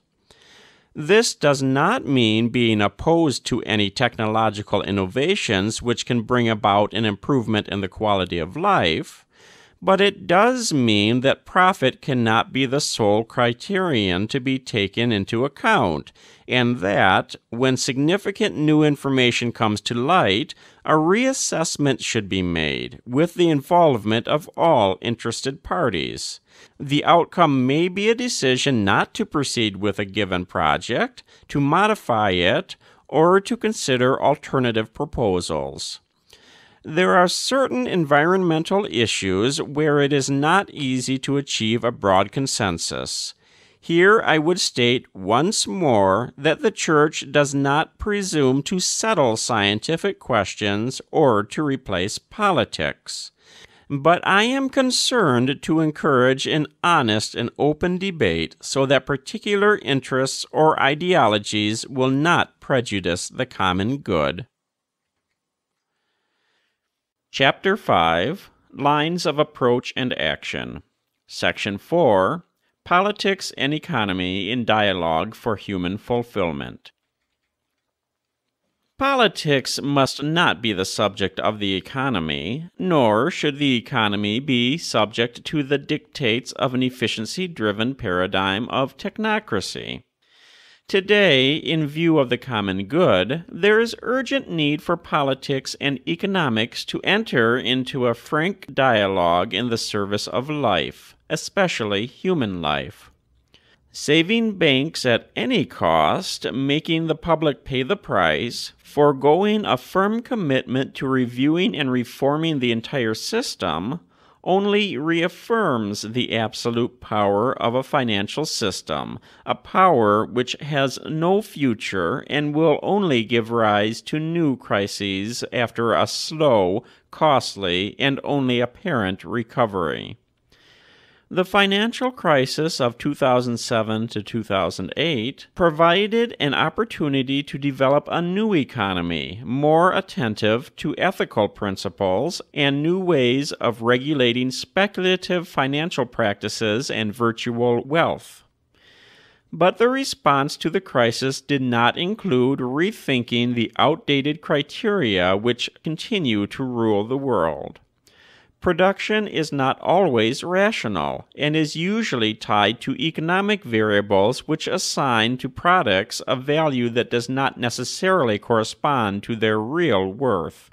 This frequently leads to an overproduction of some commodities with unnecessary impact on the environment and with negative results on regional economies. The financial bubble also tends to be a productive bubble. The problem of the real economy is not confronted with vigor, yet it is the real economy which makes diversification and improvement in production possible, helps companies to function well, and enables small and medium businesses to develop and create employment. Here, too, it should always be kept in mind that Environmental protection cannot be assured solely on the basis of financial calculations of costs and benefits. The environment is one of those goods that cannot be adequately safeguarded or promoted by market forces. Once more, we need to reject a magical conception of the market which would suggest that problems can be solved simply by an increase in the profits of companies or individuals. Is it realistic to hope that those who are obsessed with maximizing profits will stop to reflect on the environmental damage which they will leave behind for future generations?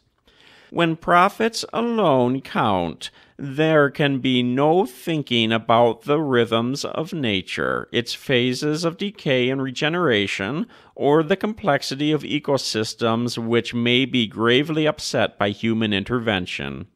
Moreover, Biodiversity is considered at most a deposit of economic resources available for exploitation, with no serious thought for the real value of things, their significance for persons and cultures, or the concerns and needs of the poor. Whenever these questions are raised, some react by accusing others of irrationally attempting to stand in the way of progress and human development but we need to grow in the conviction that a decrease in the pace of production and consumption can at times give rise to another form of progress and development. Efforts to promote a sustainable use of natural resources are not a waste of money, but rather an investment capable of providing other economic benefits in the medium term.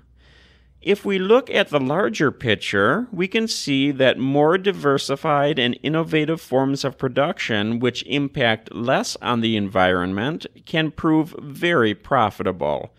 It is a matter of openness to different possibilities which do not involve stifling human creativity and its ideals of progress, but rather directing that energy along new channels. For example, a path of productive development which is more creative and better directed could correct the present disparity between excessive technological investment in consumption and insufficient investment in resolving urgent problems facing the human family. It could generate intelligent and profitable ways of reusing, revamping, and recycling, and it could also improve the energy efficiency of cities. Productive diversification offers the fullest possibilities to human ingenuity to create and innovate, while at the same time protecting the environment and creating more sources of employment. Such creativity would be a worthy expression of our most noble human qualities, for we would be striving intelligently, boldly, and responsibly to promote a sustainable and equitable development within the context of a broader concept of quality of life. On the other hand, to find even new ways of despoiling nature purely for the sake of new consumer items and quick profit would be, in human terms, less worthy and creative and more superficial.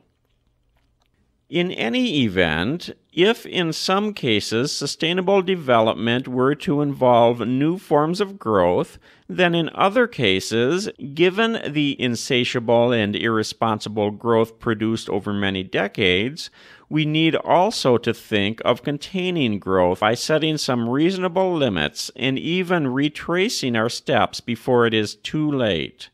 We know how unsustainable is the behavior of those who constantly consume and destroy, while others are not yet able to live in a way worthy of their human dignity.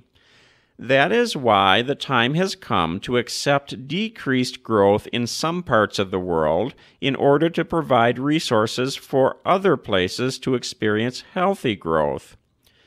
Benedict XVI has said that Technologically advanced societies must be prepared to encourage more sober lifestyles while reducing their energy consumption and improving its efficiency. For new models of progress to arise, there is a need to change models of global development. This will entail a responsible reflection on the meaning of the economy and its goals with an eye to correcting its malfunctions and misapplications. It is not enough to balance in the medium term the protection of nature with financial gain or the preservation of the environment with progress. Halfway measures simply delay the inevitable disaster. Put simply, it is a matter of redefining our notion of progress, a technological and economic development which does not leave in its wake a better world and an integrally higher quality of life cannot be considered progress. Frequently, in fact, people's quality of life actually diminishes by the deterioration of the environment, the low quality of food, or the depletion of resources, in the midst of economic growth. In this context, talk of sustainable growth usually becomes a way of distracting attention and offering excuses. It absorbs the language and values of ecology into the categories of finance and technocracy, and the social and environmental responsibility of businesses often gets reduced to a series of marketing and image enhancing measures. The principle of maximization of profits, frequently isolated from other considerations, reflects a misunderstanding of the very concept of the economy. As long as production is increased, little concern is given to whether it is at the cost of future resources or the health of the environment. As long as the clearing of a forest increases production, no one calculates the losses entailed in the desertification of the land, the harm done to biodiversity, or the increased pollution. In a word, businesses profit by calculating and paying only a fraction of the costs involved yet only when the economic and social costs of using up shared environmental resources are recognized with transparency and fully borne by those who incur them, not by other peoples or future generations, can those actions be considered ethical? An instrumental way of reasoning, which provides a purely static analysis of realities in the service of present needs, is at work whether resources are allocated by the market or by state central planning. What happens with politics? Let us keep in mind the principle of subsidiarity which grants freedom to develop the capabilities present at every level of society, while also demanding a greater sense of responsibility for the common good from those who wield greater power. Today, it is the case that some economic sectors exercise more power than states themselves. But economics without politics cannot be justified, since this would make it impossible to favor other ways of handling the various aspects of the present crisis. The mindset which leaves no room for sincere concern for the environment is the same mindset which lacks concern for the inclusion of the most vulnerable members of society.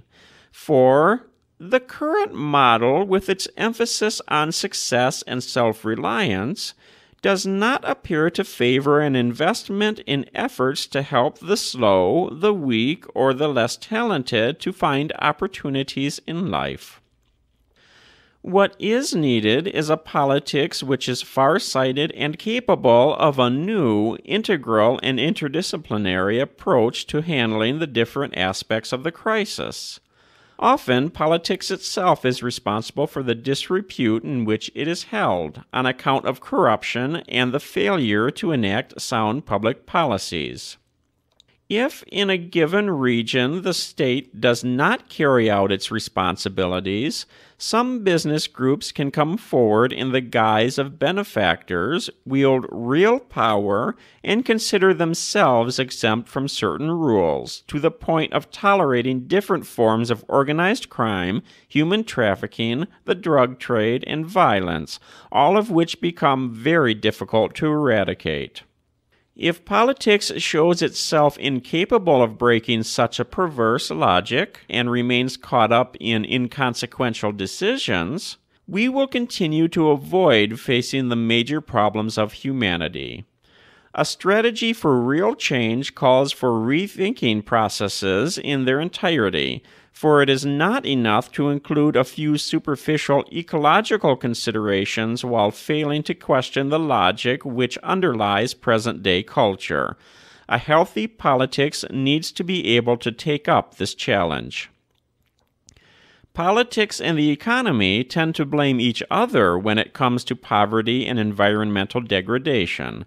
It is to be hoped that they can acknowledge their own mistakes and find forms of interaction directed to the common good. While some are concerned only with financial gain, and others with holding on to or increasing their power, what we are left with are conflicts of spurious arguments where the last thing either party is concerned about is caring for the environment and protecting those who are the most vulnerable. Here, too, we see how true it is that unity is greater than conflict. Chapter 5 Lines of Approach and Action. Section 5 Religions in Dialogue with Science. It cannot be maintained that empirical science provides a complete explanation of life, the interplay of all creatures, and the whole of reality. This would be to breach the limits imposed by its own methodology. If we reason only within the confines of the latter, little room would be left for aesthetic sensibility, poetry, or even reason's ability to grasp the ultimate meaning and purpose of things. I would add that religious classics can prove meaningful in every age. They have an enduring power to open new horizons. Is it reasonable and enlightened to dismiss certain writings simply because they arose in the context of religious belief? It would be quite simplistic to think that ethical principles present themselves purely in the abstract, detached from any context. nor does the fact that they may be couched in religious language detract from their value in public debate.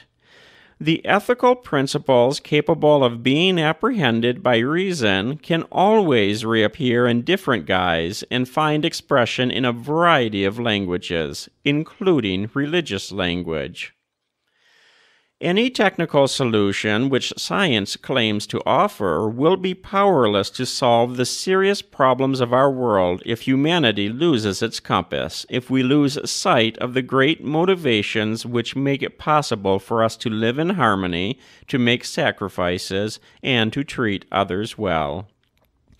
Believers themselves must constantly feel challenged to live in a way consonant with their faith and not to contradict it by their actions. They need to be encouraged to be ever open to God's grace and to draw constantly from their deepest convictions about love, justice, and peace. If a mistaken understanding of our own principles has at times led us to justify mistreating nature, to exercise tyranny over creation, to engage in war, injustice, and acts of violence, we believers should acknowledge that by so doing we were not faithful to the treasures of wisdom which we have been called to protect and preserve. Cultural limitations in different eras often affected the perception of these ethical and spiritual treasures. Yet, by constantly returning to their sources, religions will be better equipped to respond to today's needs. The majority of people living on our planet profess to be believers. This should spur religions to dialogue among themselves for the sake of protecting nature, defending the poor, and building networks of respect and fraternity. Dialogue among the various sciences is likewise needed, since each can tend to become enclosed in its own language, while specialization leads to a certain isolation and the absolutization of its own field of knowledge. This prevents us from confronting environmental problems effectively. An open and respectful dialogue is also needed between the various ecological movements, among which ideological conflicts are not infrequently encountered. The gravity of the ecological crisis demands that we all look to the common good, embarking on a path of dialogue which demands patience, self discipline, and generosity, always keeping in mind that realities are greater than ideas. Chapter 6 Ecological Education and Spirituality. Chapter Introduction and Section 1 Towards a New Lifestyle. Many things have to change course, but it is we human beings, above all, who need to change. We lack an awareness of our common origin, of our mutual belonging, and of a future to be shared with everyone. This basic awareness would enable the development of new convictions, attitudes, and forms of life. A great cultural, spiritual, and educational challenge stands before us, and it will demand that we set out on the long path of renewal. Section 1 towards a new lifestyle. Since the market tends to promote extreme consumerism in an effort to sell its products, people can easily get caught up in a whirlwind of needless buying and spending. Compulsive consumerism is one example of how the techno economic paradigm affects individuals. Romano Guardini had already foreseen this. The gadgets and techniques forced upon him by the patterns of machine production and of abstract planning mass man accepts quite simply. They are the forms of life itself. To either a greater or lesser degree, mass man is convinced that his conformity is both reasonable and just. This paradigm leads people to believe that they are free as long as they have the supposed freedom to consume. But those really free are the minority who wield economic and financial power. Amid this confusion, postmodern humanity has not yet achieved a new self awareness capable of offering guidance and direction, and this lack of identity is a source of anxiety. We have too many means and only a few insubstantial ends. The current global situation engenders a feeling of instability and uncertainty which in turn becomes a seedbed for collective selfishness. When people become self centered and self enclosed, their greed increases. The emptier a person's heart is, the more he or she needs things to buy, own, and consume. It becomes almost impossible to accept the limits imposed by reality. In this horizon, a genuine sense of the common good also disappears. As these attitudes become more widespread, social norms are respected only to the extent that they do not clash with personal needs. So our concern cannot be limited merely to the threat of extreme weather events, but must also extend to the catastrophic consequences of social unrest. Obsession with a consumerist lifestyle, above all when few people are capable of maintaining it, can only lead to violence and mutual destruction. Yet all is not lost. Human beings, while capable of the worst, are also capable of rising above themselves, choosing again what is good and making a new start, despite their mental and social conditioning we are able to take an honest look at ourselves, to acknowledge our deep dissatisfaction, and to embark on new paths to authentic freedom. No system can completely suppress our openness to what is good, true, and beautiful, or our God given ability to respond to His grace at work deep in our hearts.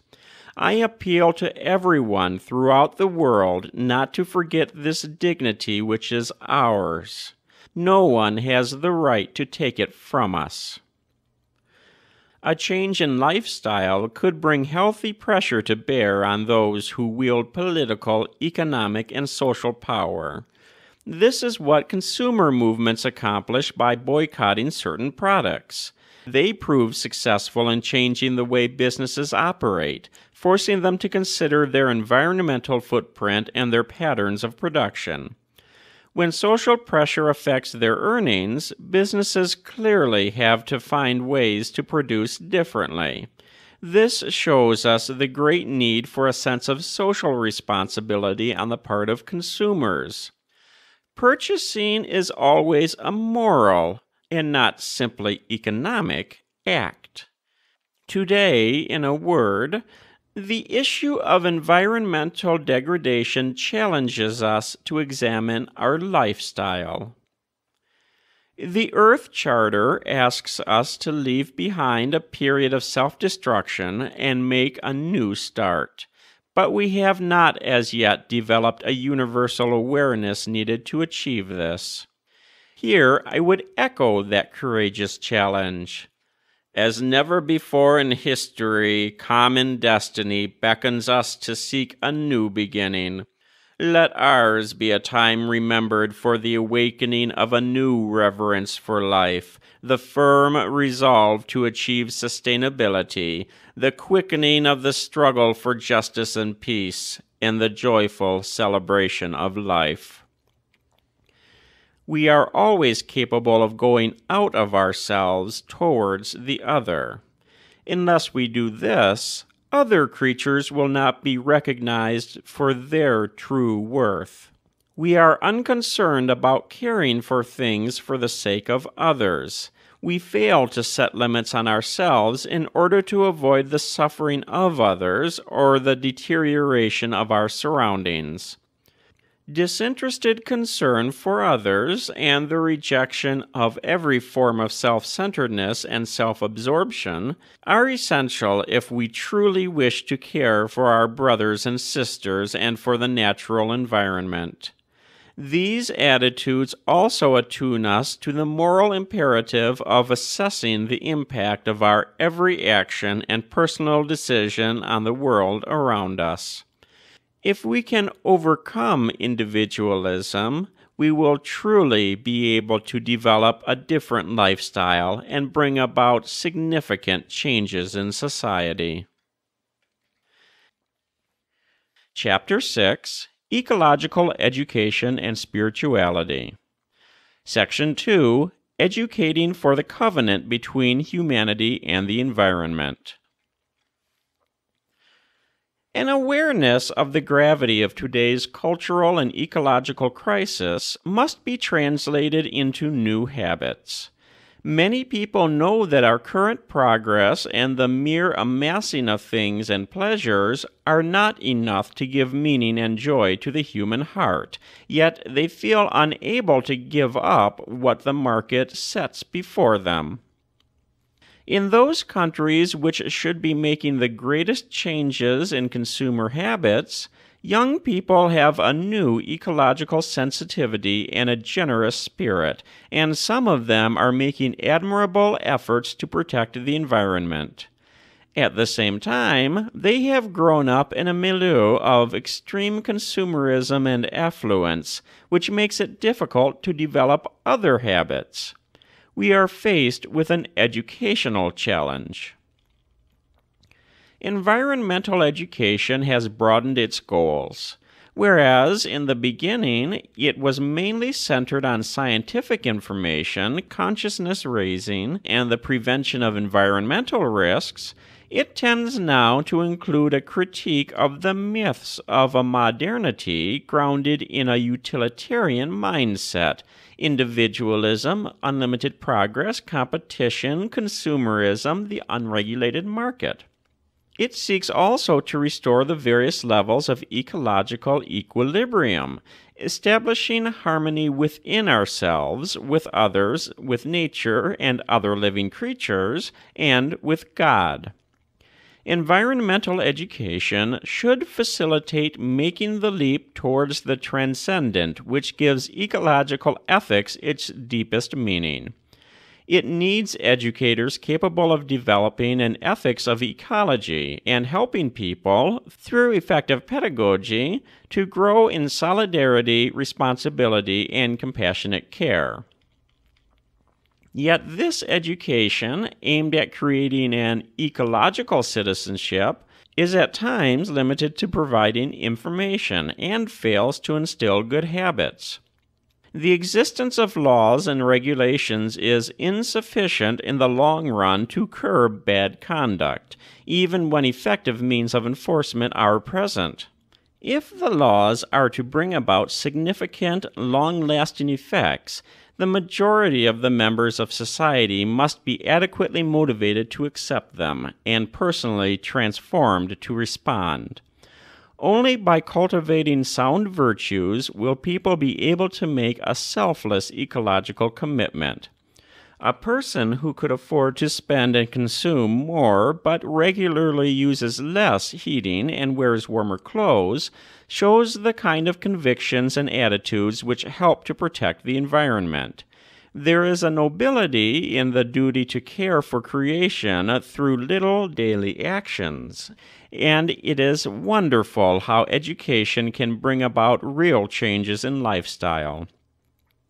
Education in environmental responsibility can encourage ways of acting which directly and significantly affect the world around us, such as avoiding the use of plastic and paper, reducing water consumption, separating refuse, cooking only what can reasonably be consumed, showing care for other living beings, using public transport or carpooling, planting trees, turning off unnecessary lights, or any number of other practices. All of these reflect a generous and worthy creativity which brings out the best in human beings.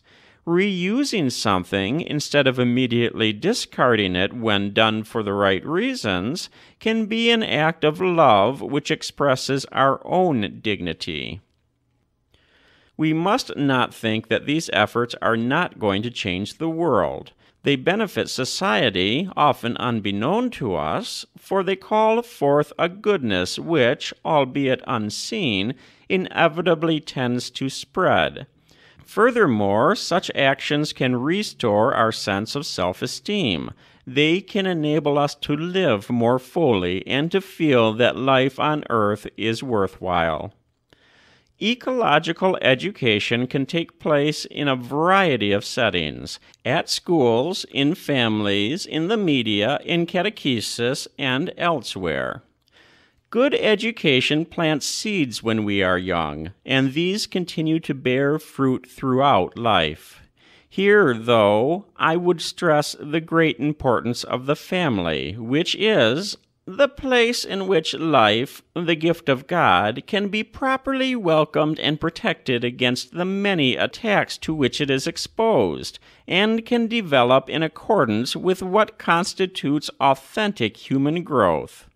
In the face of the so called culture of death, the family is the heart of the culture of life. In the family, we first learn how to show love and respect for life.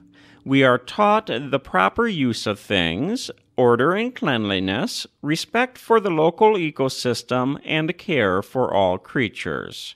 In the family, we receive an integral education, which allows us to grow harmoniously in personal maturity.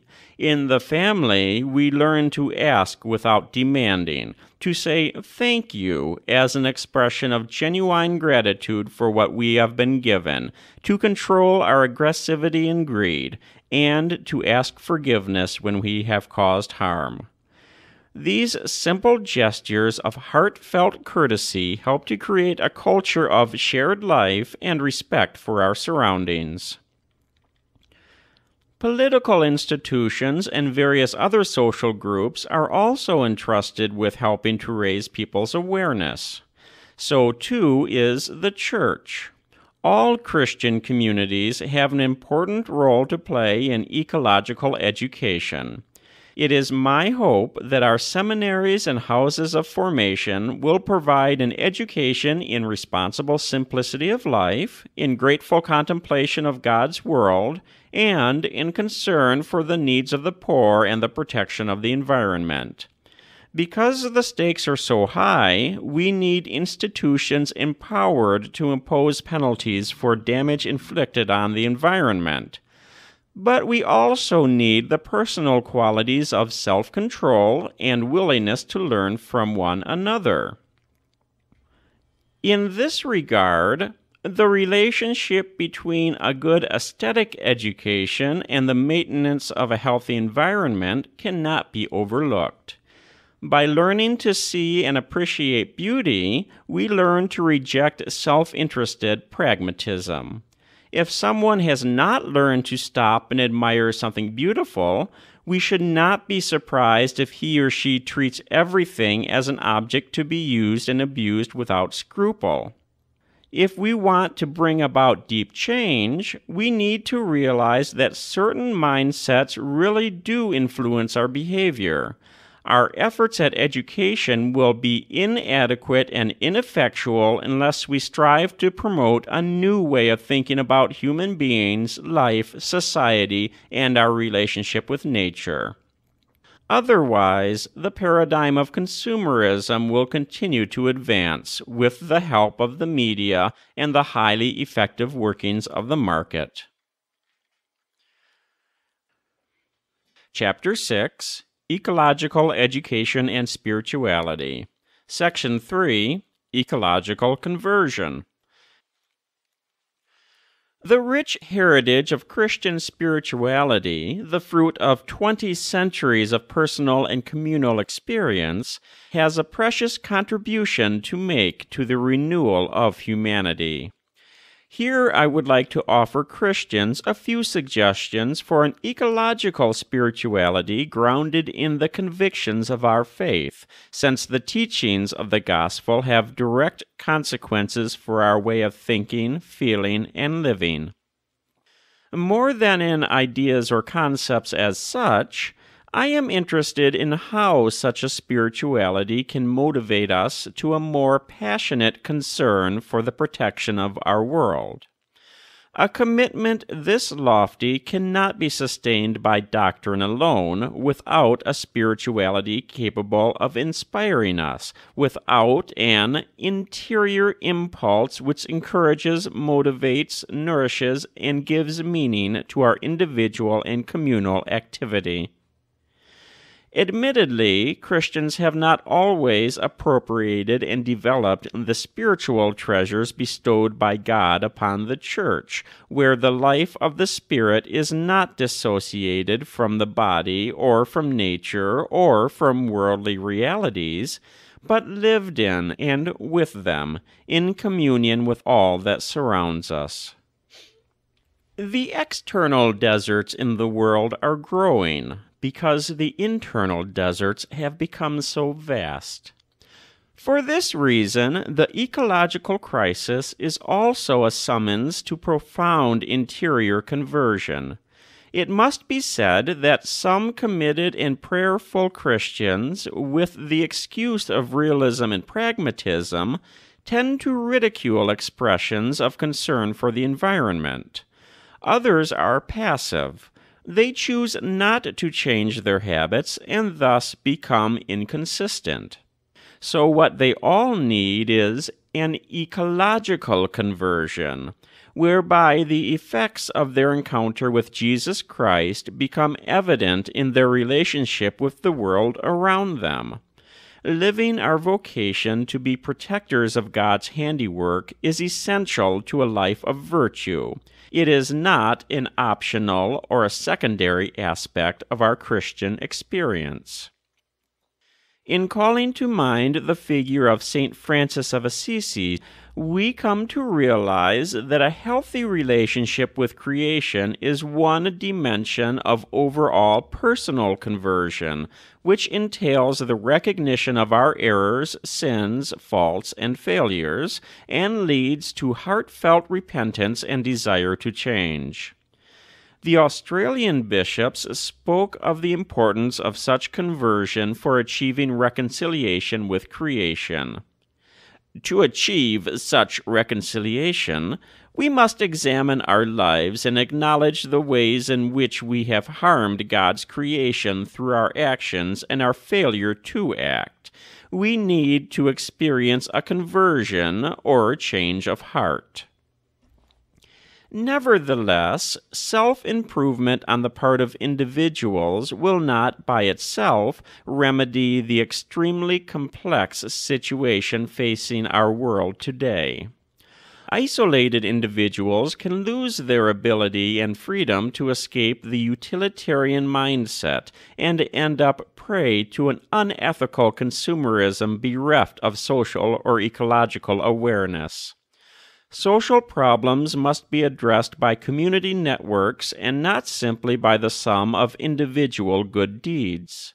This task will make such tremendous demands of man that he could never achieve it by individual initiative or even by the united effort of men bred in an individualistic way. The work of dominating the world calls for a union of skills and a unity of achievement that can only grow from quite a different attitude. The ecological conversion needed to bring about lasting change is also a community conversion. This conversion calls for a number of attitudes which together foster a spirit of generous care, full of tenderness. First, it entails gratitude and graciousness, a recognition that the world is God's loving gift, that we are called quietly to imitate His generosity in self sacrifice and good works. Do not let your left hand know what your right hand is doing, and your Father who sees in secret will reward you. It also entails a loving awareness that we are not disconnected from the rest of creatures, but joined in a splendid universal communion. As believers, we do not look at the world from without, but from within, conscious of the bonds with which the Father has linked us to all beings. By developing our individual God given capacities, an ecological conversion can inspire us to greater creativity and enthusiasm in resolving the world's problems and in offering ourselves to God as a living sacrifice, holy and acceptable. We do not understand our superiority as a reason for personal glory or irresponsible dominion but rather as a different capacity which, in its turn, entails a serious responsibility stemming from our faith.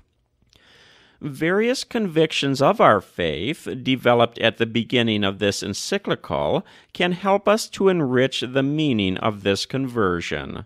These include the awareness that each creature reflects something of God and has a message to convey to us, and the security that Christ has taken unto himself this material world and now, risen, is intimately present in each being, surrounding it with his affection and penetrating it with his light.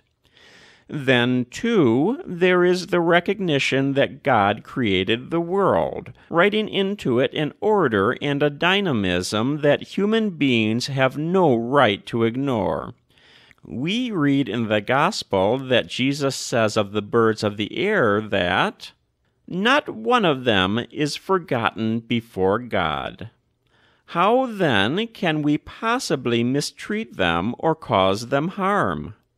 I ask all Christians to recognize and to live fully this dimension of their conversion. May the power and the light of the grace we have received also be evident in our relationship to other creatures and to the world around us. In this way, we will help nurture that sublime fraternity with all creation which St. Francis of Assisi so radiantly embodied. Chapter 6 Ecological Education and Spirituality, Section 4 Joy and Peace.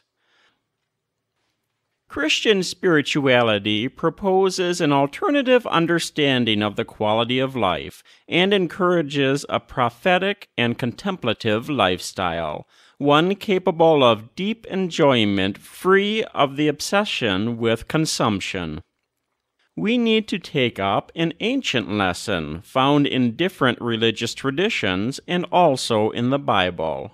It is the conviction that less is more. A constant flood of new consumer goods can baffle the heart and prevent us from cherishing each thing and each moment. To be serenely present to each reality, however small it may be, opens us to much greater horizons of understanding and personal fulfillment. Christian spirituality proposes a growth marked by moderation and the capacity to be happy with little. It is a return to that simplicity which allows us to stop and appreciate the small things to be grateful for the opportunities which life affords us, to be spiritually detached from what we possess, and not to succumb to sadness for what we lack. This implies avoiding the dynamic of dominion and the mere accumulation of pleasures. Such sobriety, when lived freely and consciously, is liberating. It is not a lesser life or one lived with less intensity. On the contrary, it is a way of living life to the full. In reality, those who enjoy more and live better each moment are those who have given up dipping here and there, always on the lookout for what they do not have they experience what it means to appreciate each person and each thing, learning familiarity with the simplest things and how to enjoy them. So they are able to shed unsatisfied needs, reducing their obsessiveness and weariness. Even living on little, they can live a lot above all, when they cultivate other pleasures and find satisfaction in fraternal encounters, in service, in developing their gifts, in music and art, in contact with nature, in prayer. Happiness means knowing how to limit some needs which only diminish us, and being open to the many different possibilities which life can offer. Sobriety and humility are not favorably regarded in the last century.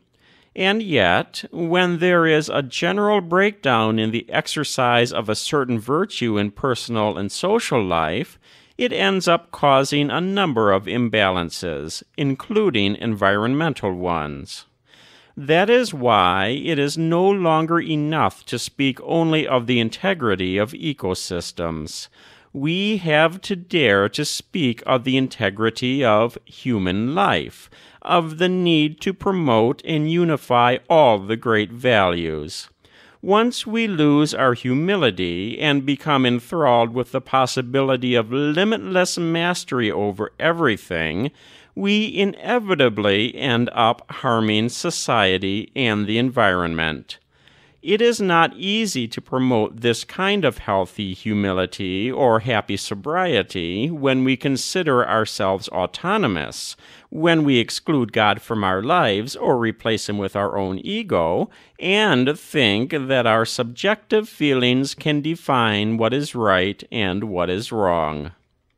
On the other hand, no one can cultivate a sober and satisfying life without being at peace with him or herself. An adequate understanding of spirituality consists in filling out what we mean by peace, which is much more than the absence of war.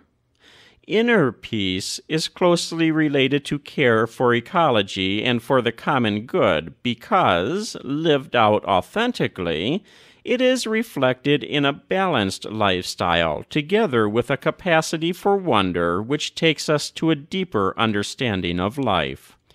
Nature is filled with words of love but how can we listen to them amid constant noise, interminable and nerve wracking distractions, or the cult of appearances? Many people today sense a profound imbalance which drives them to frenetic activity and makes them feel busy, in a constant hurry which in turn leads them to ride roughshod over everything around them. This too affects how they treat the environment. An integral ecology includes taking time to recover a serene harmony with creation, reflecting on our lifestyle and our ideals, and contemplating the Creator who lives among us and surrounds us, whose presence must not be contrived but found, uncovered, we are speaking with an attitude of the heart, one which approaches life with serene attentiveness, which is capable of being fully present to someone without thinking of what comes next, which accepts each moment as a gift from God to be lived to the full. Jesus taught us this attitude when he invited us to contemplate the lilies of the field and the birds of the air or when seeing the rich young man and knowing his restlessness. He looked at him with love. He was completely present to everyone and to everything. And in this way, he showed us the way to overcome that unhealthy anxiety which makes us superficial, aggressive, and compulsive consumers. One expression of this attitude is when we stop and give thanks to God before and after meals. I ask all believers to return to this beautiful and meaningful custom. The moment of blessing, however brief, reminds us of our dependence on God for life.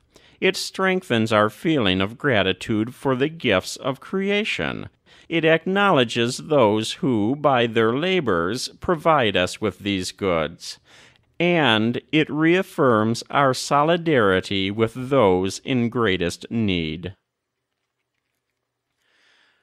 Chapter 6 Ecological Education and Spirituality.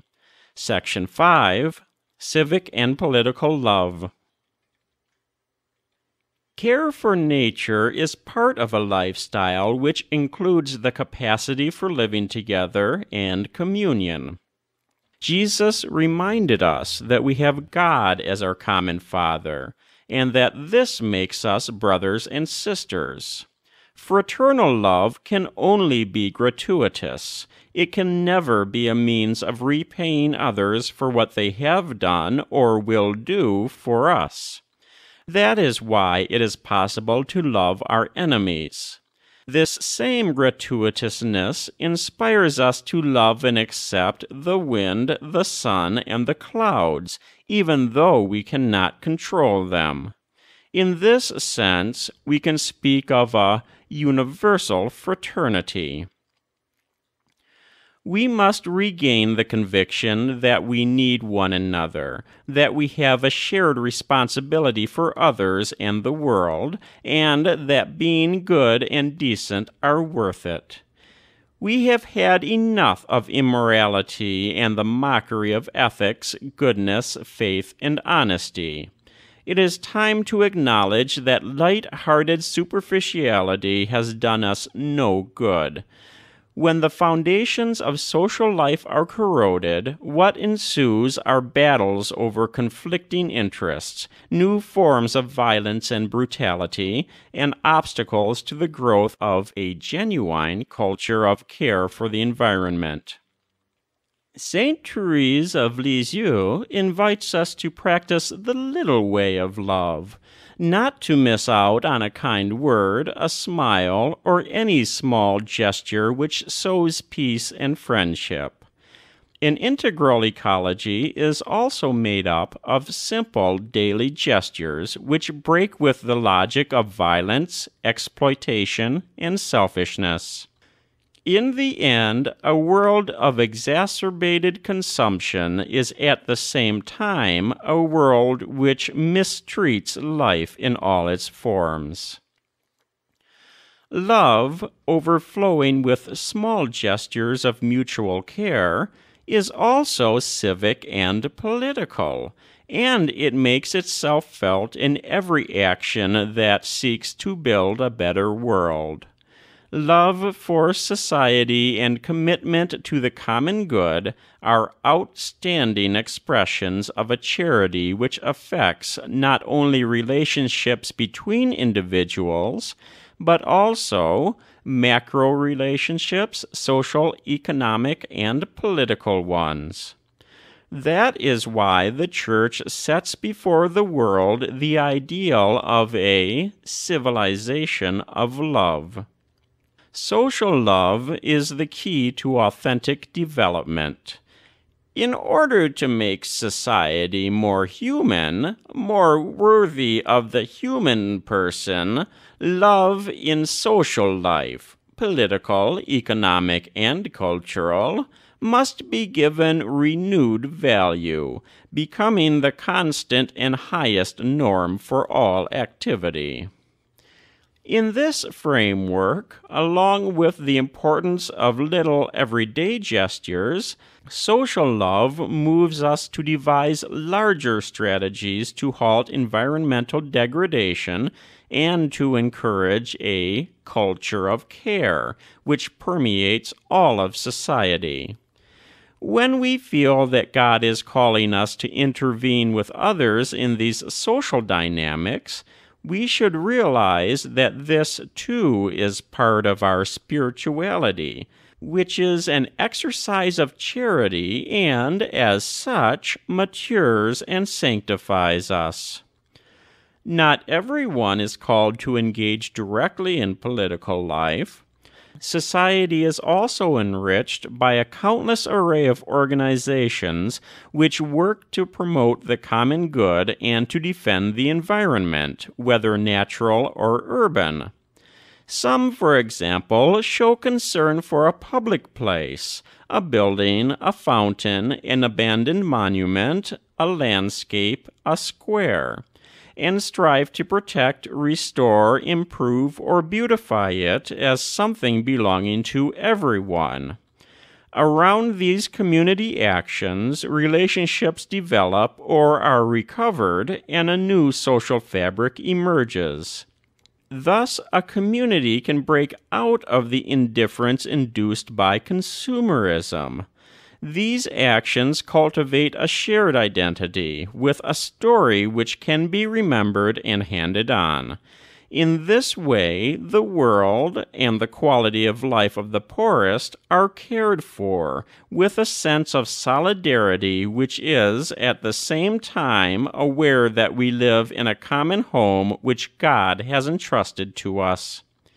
These community actions, when they express self giving love, can also become intense spiritual experiences. Chapter 6 Ecological Education and Spirituality. Section 6 Sacramental Signs and the Celebration of Rest. Translated by the Vatican, read by Frank Blissett. The universe unfolds in God, who fills it completely. Hence, there is a mystical meaning to be found in a leaf, in a mountain trail, in a dewdrop, in a poor person's face. The ideal is not only to pass from the exterior to the interior to discover the action of God in the soul, but also to discover God in all things. Saint Bonaventure teaches us that contemplation deepens the more we feel the working of God's grace within our hearts, and the better we learn to encounter God in creatures outside ourselves. St. John of the Cross taught that all the goodness present in the realities and experiences of this world is present in God eminently and infinitely, or more properly, in each of these sublime realities is God. This is not because the finite things of the world are really divine, but because the mystic experiences the intimate connection between God and all beings, and thus feels that, all things are God. Standing awestruck before a mountain, he or she cannot separate this experience from God, and perceives that the interior awe being lived has to be entrusted to the Lord. Mountains have heights, and they are plentiful, vast, beautiful, graceful, bright, and fragrant. These mountains are what my beloved is to me. Lonely valleys are quiet, pleasant, cool, shady, and flowing with fresh water. In the variety of their groves and in the sweet song of the birds, they afford abundant recreation and delight to the senses, and in their solitude and silence they refresh us and give rest. These valleys are what my beloved is to me. The sacraments are a privileged way in which nature is taken up by God to become a means of mediating supernatural life. Through our worship of God, we are invited to embrace the world on a different plane. Water, oil, fire, and colors are taken up in all their symbolic power and incorporated in our act of praise. The hand that blesses is an instrument of God's love and a reflection of the closeness of Jesus Christ, who came to accompany us on the journey of life. Water poured over the body of a child in baptism is a sign of new life. Encountering God does not mean fleeing from this world or turning our back on nature. This is especially clear in the spirituality of the Christian East. Beauty, which in the East is one of the best loved names expressing the divine harmony and the model of humanity transfigured, appears everywhere in the shape of a church, in the sounds, in the colors, in the lights, in the scents. For Christians, all the creatures of the material universe find their true meaning in the incarnate Word, for the Son of God has incorporated in his person part of the material world, planting in it a seed of definitive transformation. Christianity does not reject matter. Rather, bodiliness is considered in all its value in the liturgical act, whereby the human body is disclosed in its inner nature as a temple of the Holy Spirit, and is united with the Lord Jesus, who himself took a body for the world's salvation.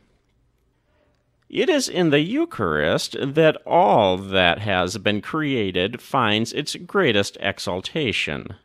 Grace, which tends to manifest itself tangibly, found unsurpassable expression when God Himself became man and gave Himself as food for His creatures.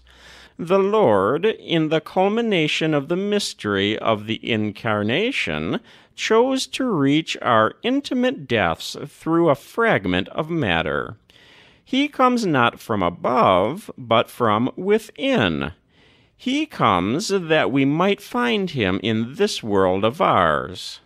In the Eucharist, fullness is already achieved. It is the living center of the universe, the overflowing core of love and of inexhaustible life. Joined to the incarnate Son present in the Eucharist, the whole cosmos gives thanks to God. Indeed, the Eucharist is itself an act of cosmic love. Yes, cosmic, because even when it is celebrated on the humble altar of a country church, the Eucharist is always in some way celebrated on the altar of the world. The Eucharist joins heaven and earth. It embraces and penetrates all creation. The world which came forth from God's hands returns to Him in blessed and undivided adoration. In the bread of the Eucharist, creation is projected towards divinization, towards the holy wedding feast, towards unification with the Creator Himself. Thus, the Eucharist is also a source of light and motivation for our concerns for the environment, directing us to be stewards of all creation. On Sunday, our participation in the Eucharist has special importance. Sunday, like the Jewish Sabbath, is meant to be a day which heals our relationships with God, with ourselves, with others, and with the world. Sunday is the day of the resurrection, the first day of the new creation, whose first fruits are the Lord's risen humanity, the pledge of the final transfiguration of all created reality. It also proclaims man's eternal rest in God.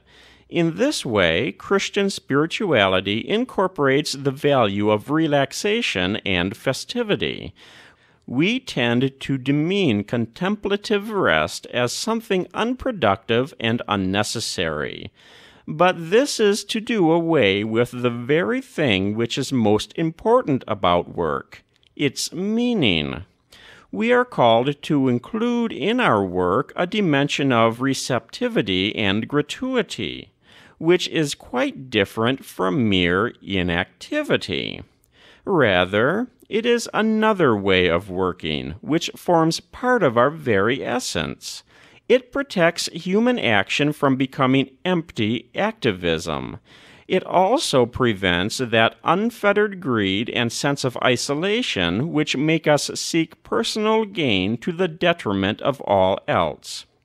The law of weekly rest forbade work on the seventh day, so that your ox and your donkey may have rest, and the son of your maidservant and the stranger may be refreshed. Rest opens our eyes to the larger picture and gives us renewed sensitivity to the rights of others. And so, the day of rest, centered on the Eucharist, sheds its light on the whole week and motivates us to greater concern for nature and the poor. Chapter 6 Ecological Education and Spirituality. Section 7 The Trinity and the Relationship Between Creatures.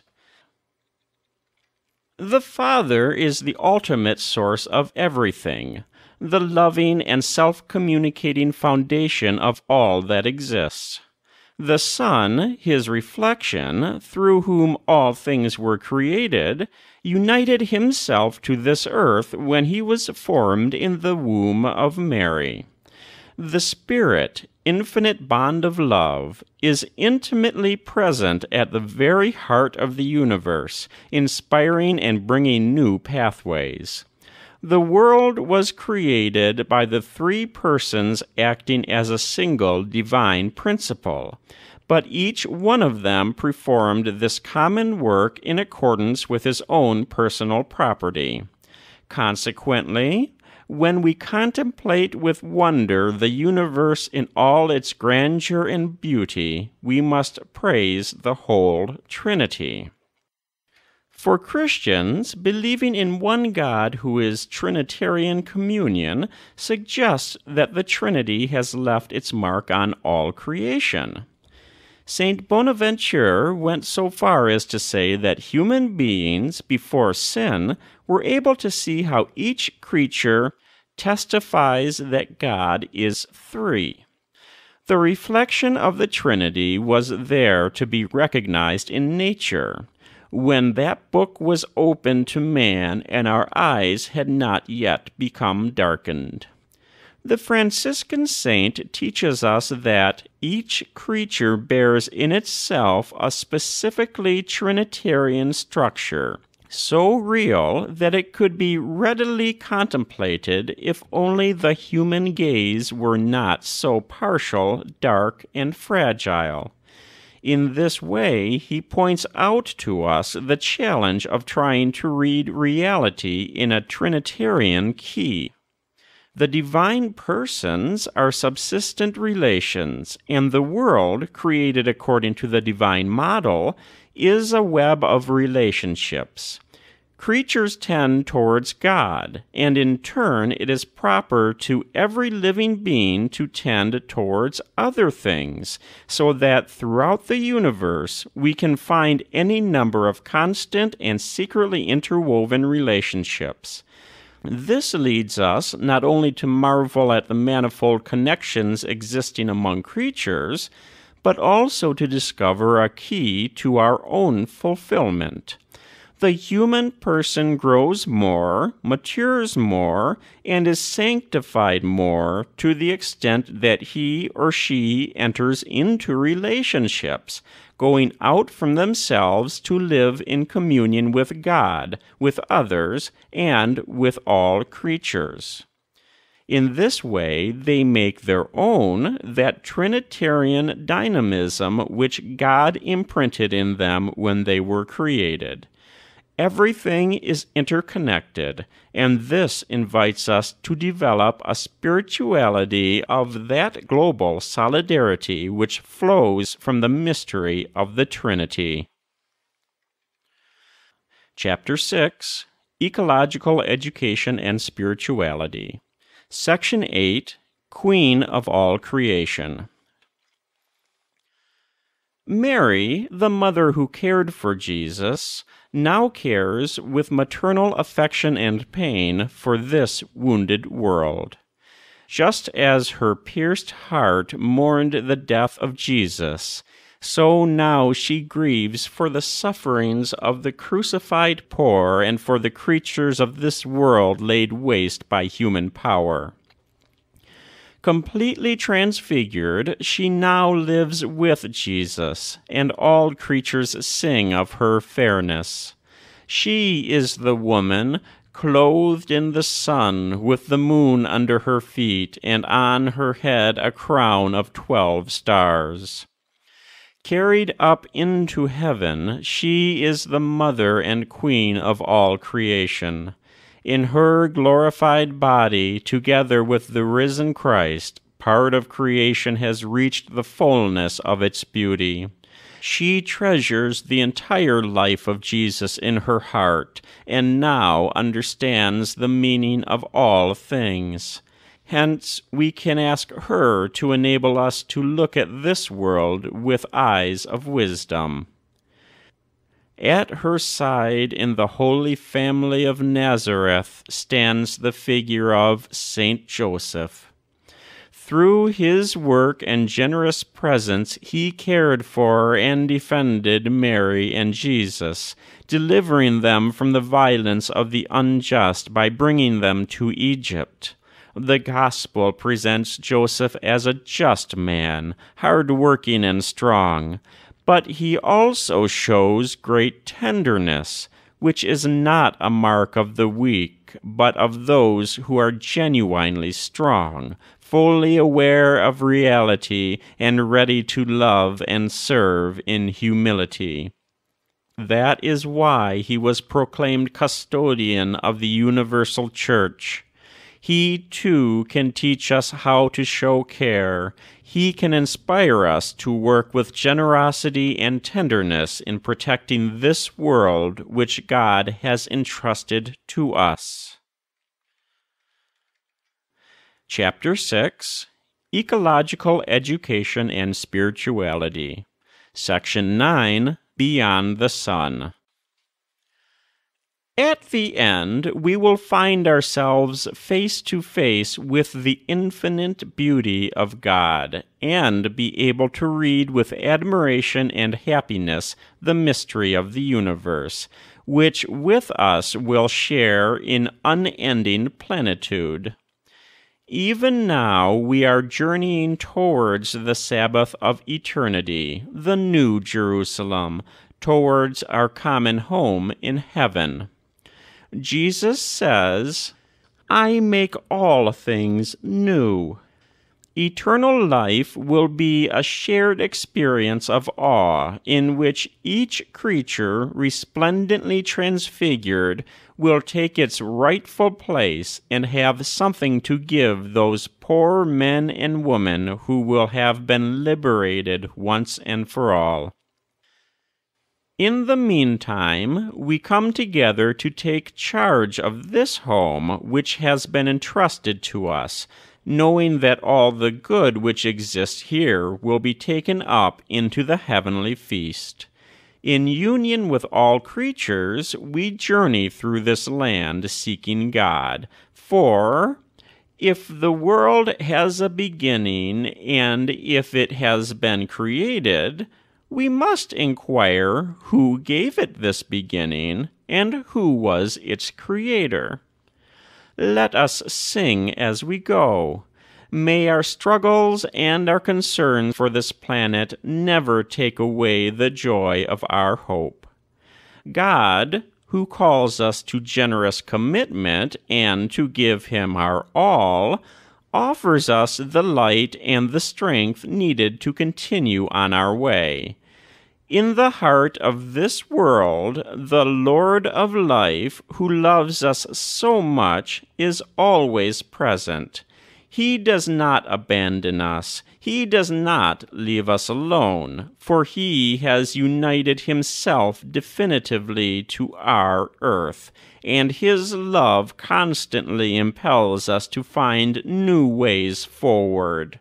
Praise be to Him. At the conclusion of this lengthy reflection, which has been both joyful and troubling, I propose that we offer two prayers. The first we can share with all who believe in a God who is the all powerful Creator. while in the other, we Christians ask for inspiration to take up the commitment to creation set before us by the gospel of Jesus. A prayer for our earth. All powerful God, you are present in the whole universe and in the smallest of your creatures. You embrace with your tenderness all that exists. Pour out upon us the power of your love, that we may protect life and beauty. Fill us with peace, that we may live as brothers and sisters, harming no one. O God of the poor, help us to rescue the abandoned and forgotten of this earth, so precious in your eyes. Bring healing to our lives, that we may protect the world and not prey on it, that we may sow beauty, not pollution and destruction. Touch the hearts of those who look only for gain at the expense of the poor and the earth. Teach us to discover the worth of each thing, to be filled with awe and contemplation, to recognize that we are profoundly united with every creature as we journey towards your infinite light. We thank you for being with us each day. Encourage us, we pray, in our struggle for justice, love, and peace a Christian prayer in union with creation. Father, we praise you with all your creatures. They came forth from your all powerful hand. They are yours, filled with your presence and your tender love. Praise be to you. Son of God, Jesus, through you all things were made. You were formed in the womb of Mary, our mother. You became part of this earth, and you gazed upon this world with human eyes. Today you are alive in every creature in your risen glory. Praise be to you. Holy Spirit, by your light, you guide this world towards the Father's love, and accompany creation as it groans in travail. You also dwell in our hearts, and you inspire us to do what is good. Praise be to you. Triune Lord, wondrous community of infinite love, Teach us to contemplate you in the beauty of the universe, for all things speak of you. Awaken our praise and thankfulness for every being that you have made. Give us the grace to feel profoundly joined to everything that is. God of love, show us our place in this world as channels of your love for all the creatures of this earth, for not one of them is forgotten in your sight. Enlighten those who possess power and money, that they may avoid the sin of indifference, that they may love the common good, advance the weak, and care for this world in which we live. The poor and the earth are crying out. O Lord, seize us with your power and light. Help us to protect all life, to prepare for a better future, for the coming of your kingdom of justice, peace, love, and beauty. Praise be to you. Amen. That was the encyclical letter of the Holy Father Francis on care for our common home. Translated by the Vatican, read by Frank Blissett.